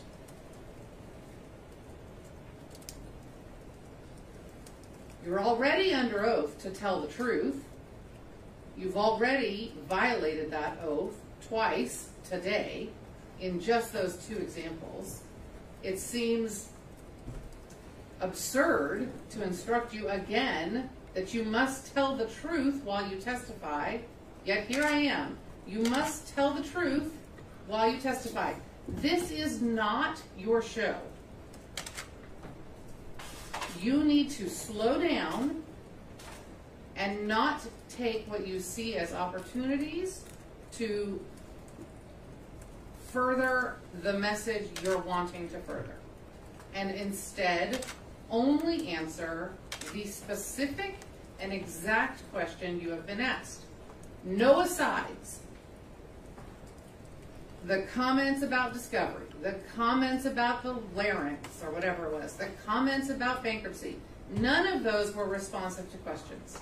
They were just you abusing my tolerance and making asides to the jury improperly and in at least two cases, untruthfully. Do you understand what I have said? Yes or no? Do you understand what I have said? Yes, I believe what I said was true, so Yes, you believe everything you say is true, but it isn't. Your beliefs do not make something true. That is, that is what we're doing here. Just because you claim to think something is true does not make it true. It does not protect you. It is not allowed. You are under oath. That means things must actually be true when you say them. Don't talk. You understand what I have said. I do understand. You understand the instructions I have given you for your testimony in court. Yes, I'm not going to bring the jury back today. My staff is listening. They can let the jury go home. We'll start back up tomorrow. When you come back to testify tomorrow, one more time, no asides. Do you understand what I mean when I say no asides? yes, Answer only the question asked of you. Do you understand what I mean when I say only answer the question asked of you? yes, You understand you will still be under oath when you return tomorrow morning yes, to complete your testimony. And you understand that that means you must only testify about things that are true. to the best of my knowledge. If you don't know something, you don't say it. If you're asked about your opinion, you can give your opinion. But if you're asked to relate something that's truthful and a fact, it must be truthful and a fact. Not an assumption, not a guess, not an opinion. Do you understand? Yes. All right, you can sit down. Anything else? Yes, sir. Just so that I can make sure that I don't run afoul of Your Honor's motion in limine or earlier rulings. Just to be clear, we call them motions. I don't issue motions, I issue orders. These are orders in limine and have been ordered since before this trial started. Is Your Honor ordering me not to explore the nature of the wrong? That is very broad. The character of the conduct involved? You may not elicit testimony designed to leave the jury with the impression that Mr. Jones and Free Speech Systems did not defame Mr. Heslin, or that Mr. Jones and Free Speech Systems did not engage in the intentional infliction of emotional distress against Ms. Lewis and Mr. Heslin.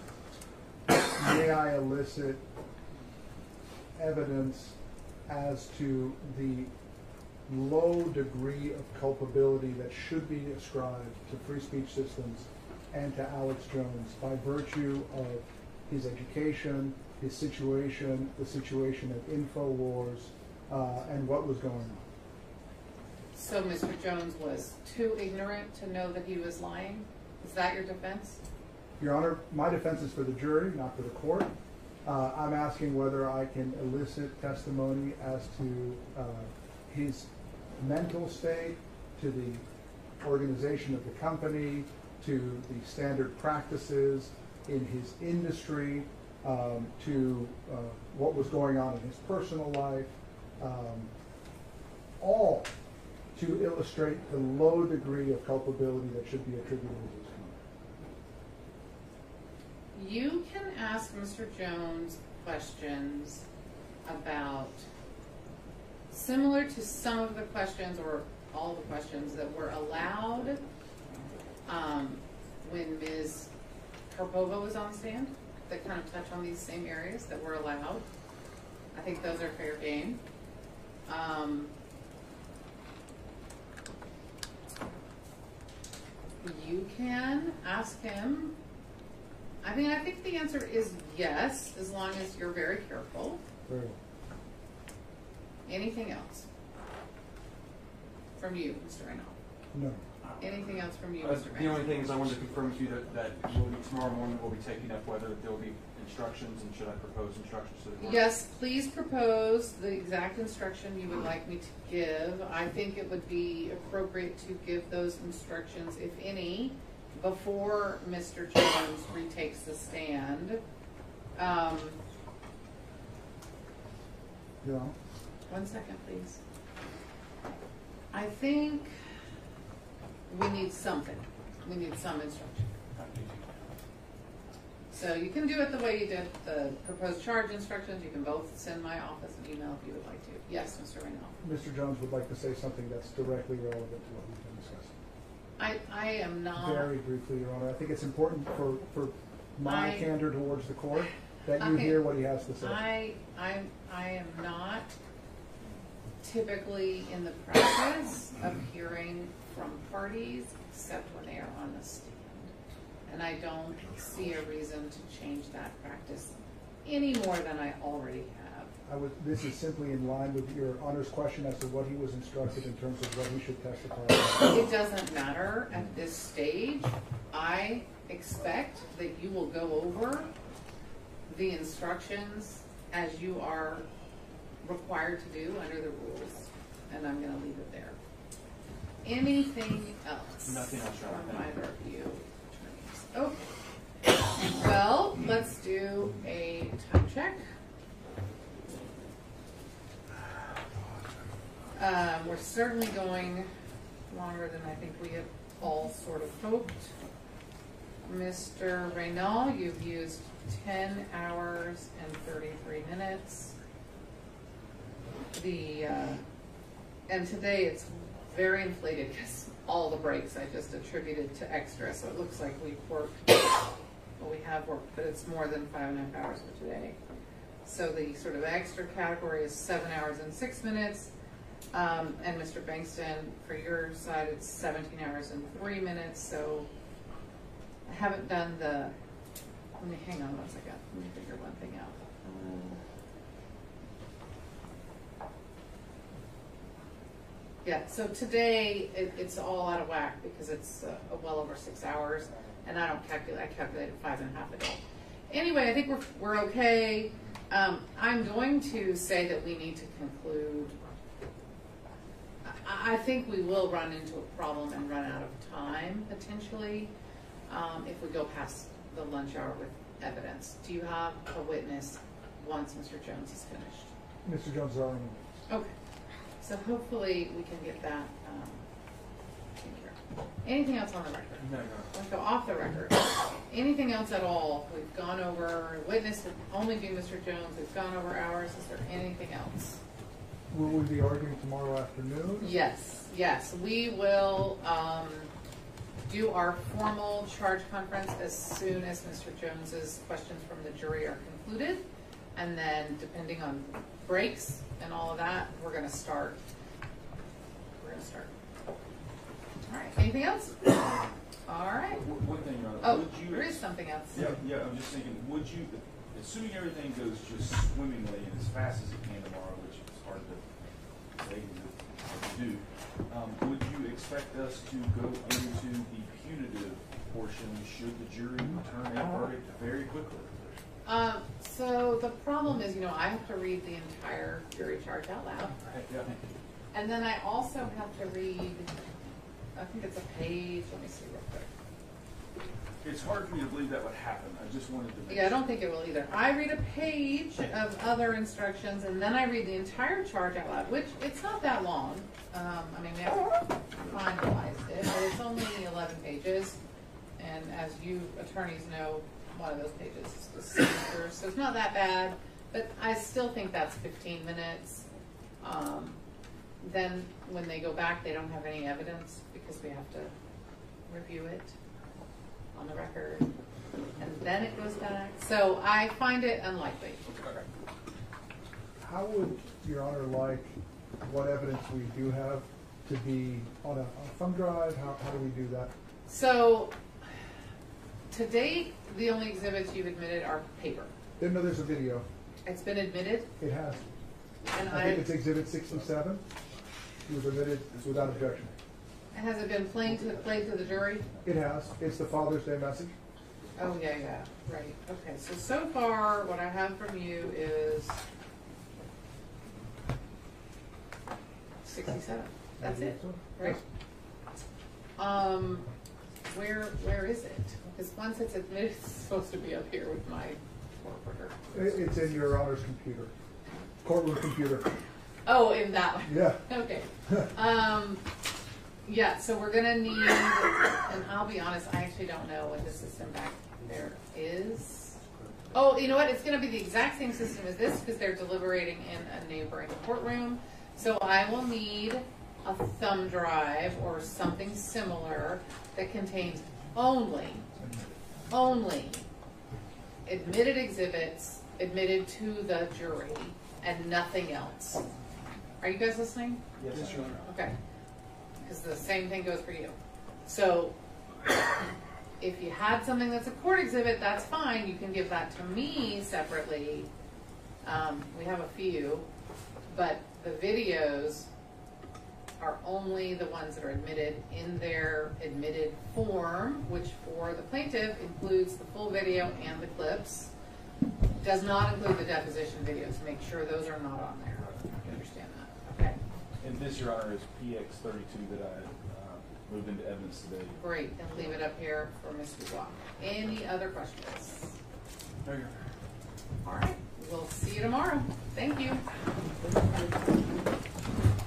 All rise.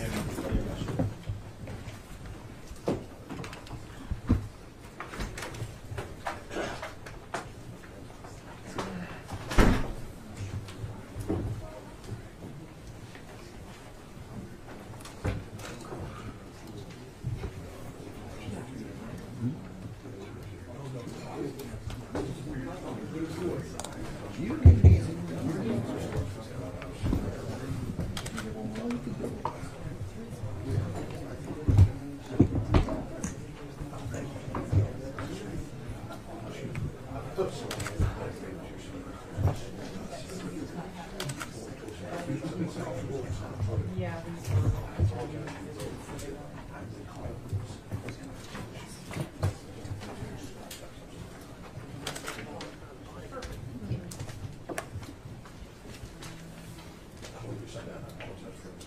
And that he's slow and autistic. No, I'm slow on certain things, too. I'll I'll be honest on here. Stuff you said. That's it, we're not talking anymore, you're not doing this, I'm not- that- that's not even a thought, that's not the way this goes. Ownership on him. Why, you can't feed them fake videos anymore? That's what you're trying to do, shut my mouth, you'll never succeed. Okay. Well, I think I'm autistic too, buddy.